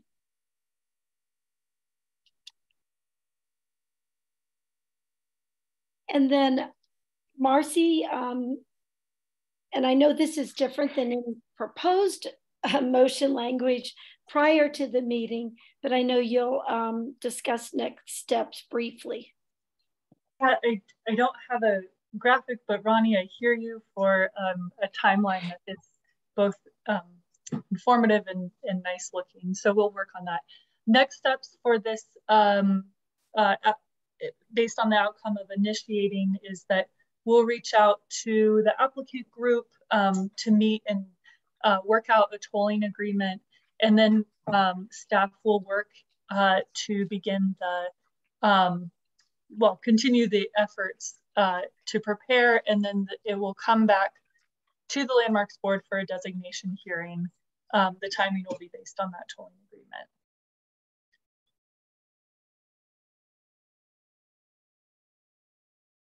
Okay.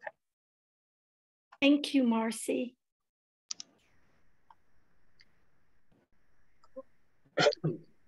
Well, I mean, again, I hope that this is a celebration. Um, I know that it feels a little contentious. It's an awfully quiet right now. Um, but I think that this is a huge step forward. And um, I am hopeful again that, you know, we can continue to move forward with the same level of support and um, you know, see this come to fruition. So thank everybody for coming and participating yet again um, for something that I think will have uh, really significant impact on our city.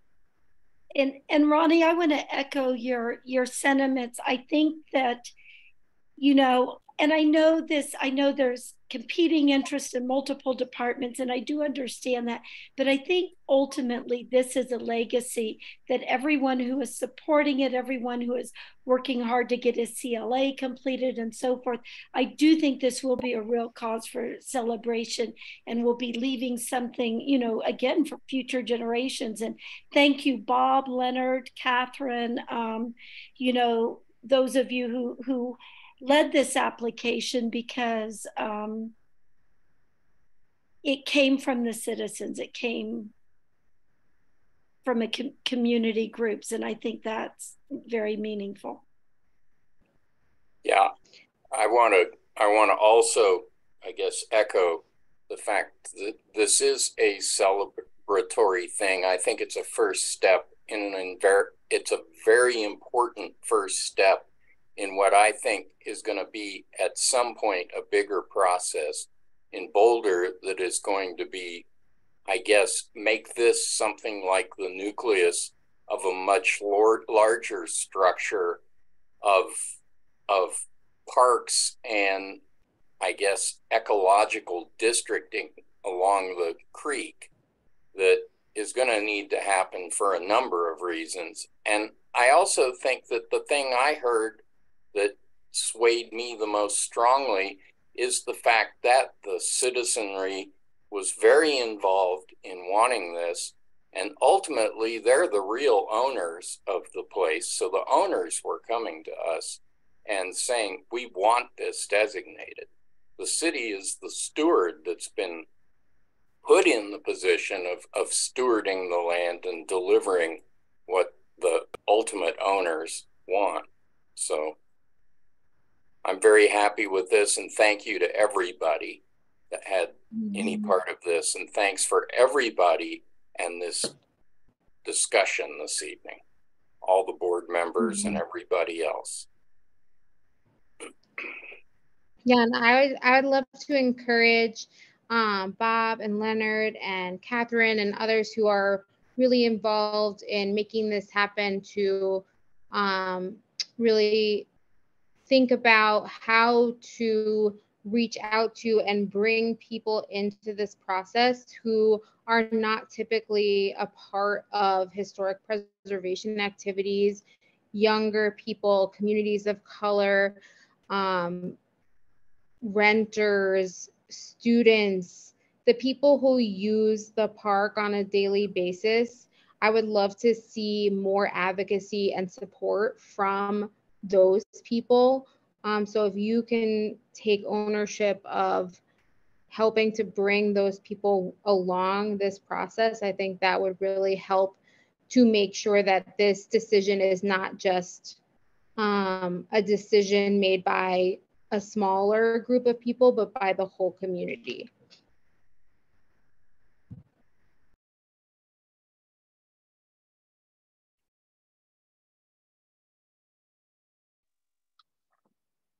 What else is on our agenda tonight?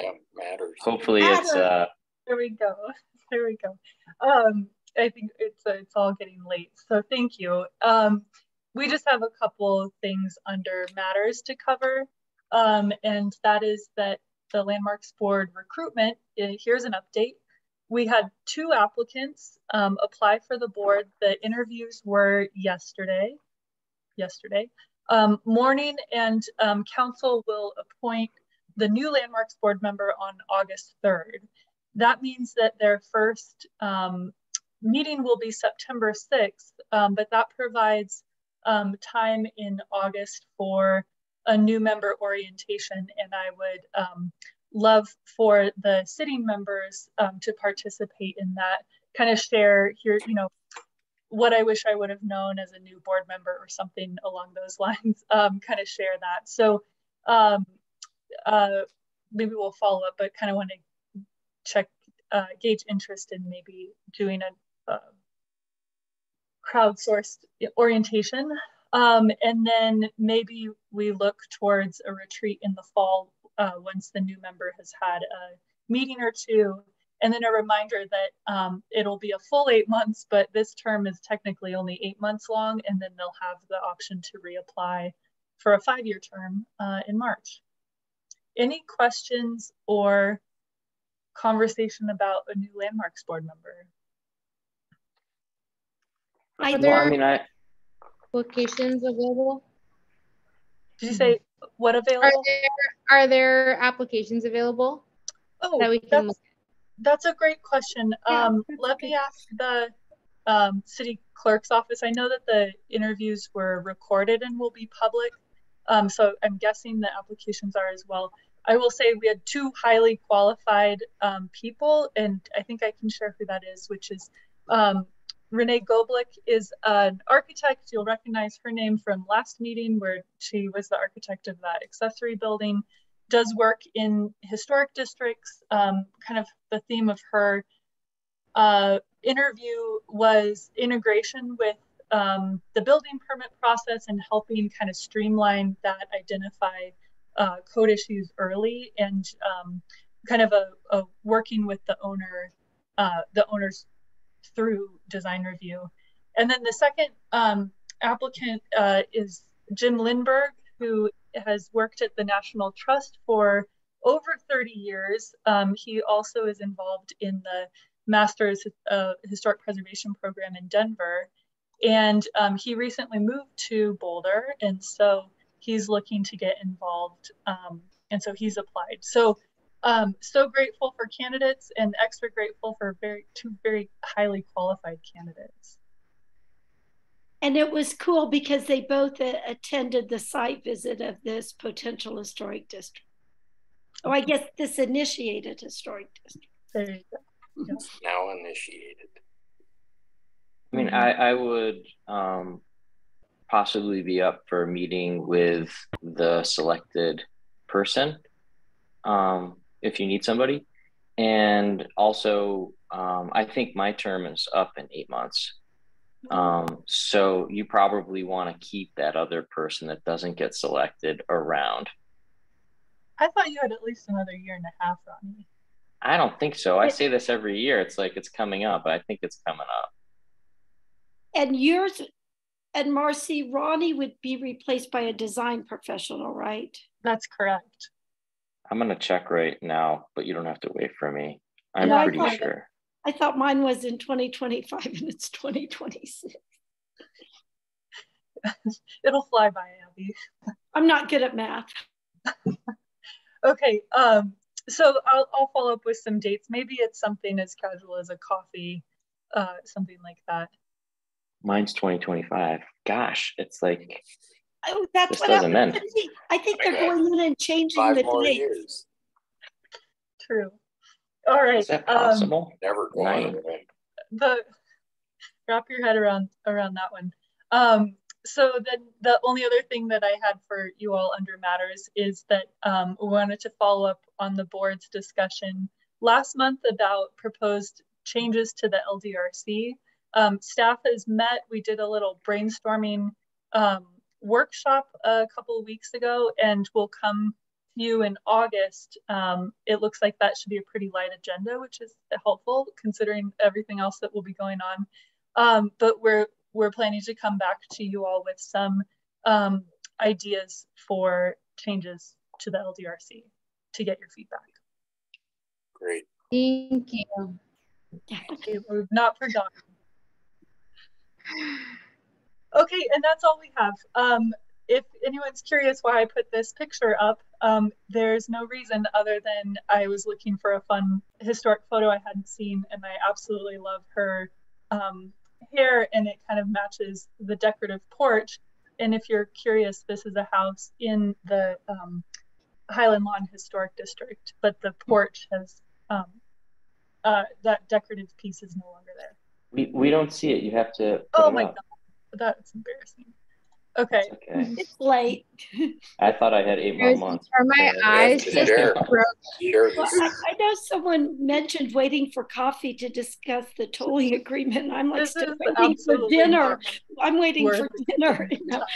Oh no. Okay. I couldn't resist There it that. is. Yeah. Oh, that's cool. Everyone That's appreciate cool. this cool old photo. Here's I the love entire house if you're curious. Oh my Cool. goodness. So cool. That's awesome. Okay. Well, end Does um, it that still have that porch? So yeah, this this kind of funky porch is no longer there. That's hmm. too bad. The, the porch roof is, but all the decorative But kind of spindles are gone. yeah, that's awesome. Yeah. So you guys, thank you for this. You know, and this was a this was a hard issue to do, you know, but thank you for taking the time and staff for staying and hanging in while we had this kind of robust discussion. But I think it was very important. We haven't done a historic district since 2006, so it's a lot, you know. So if that's it, the meeting is adjourned at 11:24 p.m. Okay. Good night. Thank you. Bye. Bye. Thanks, everyone. Thank you. Thanks, guys.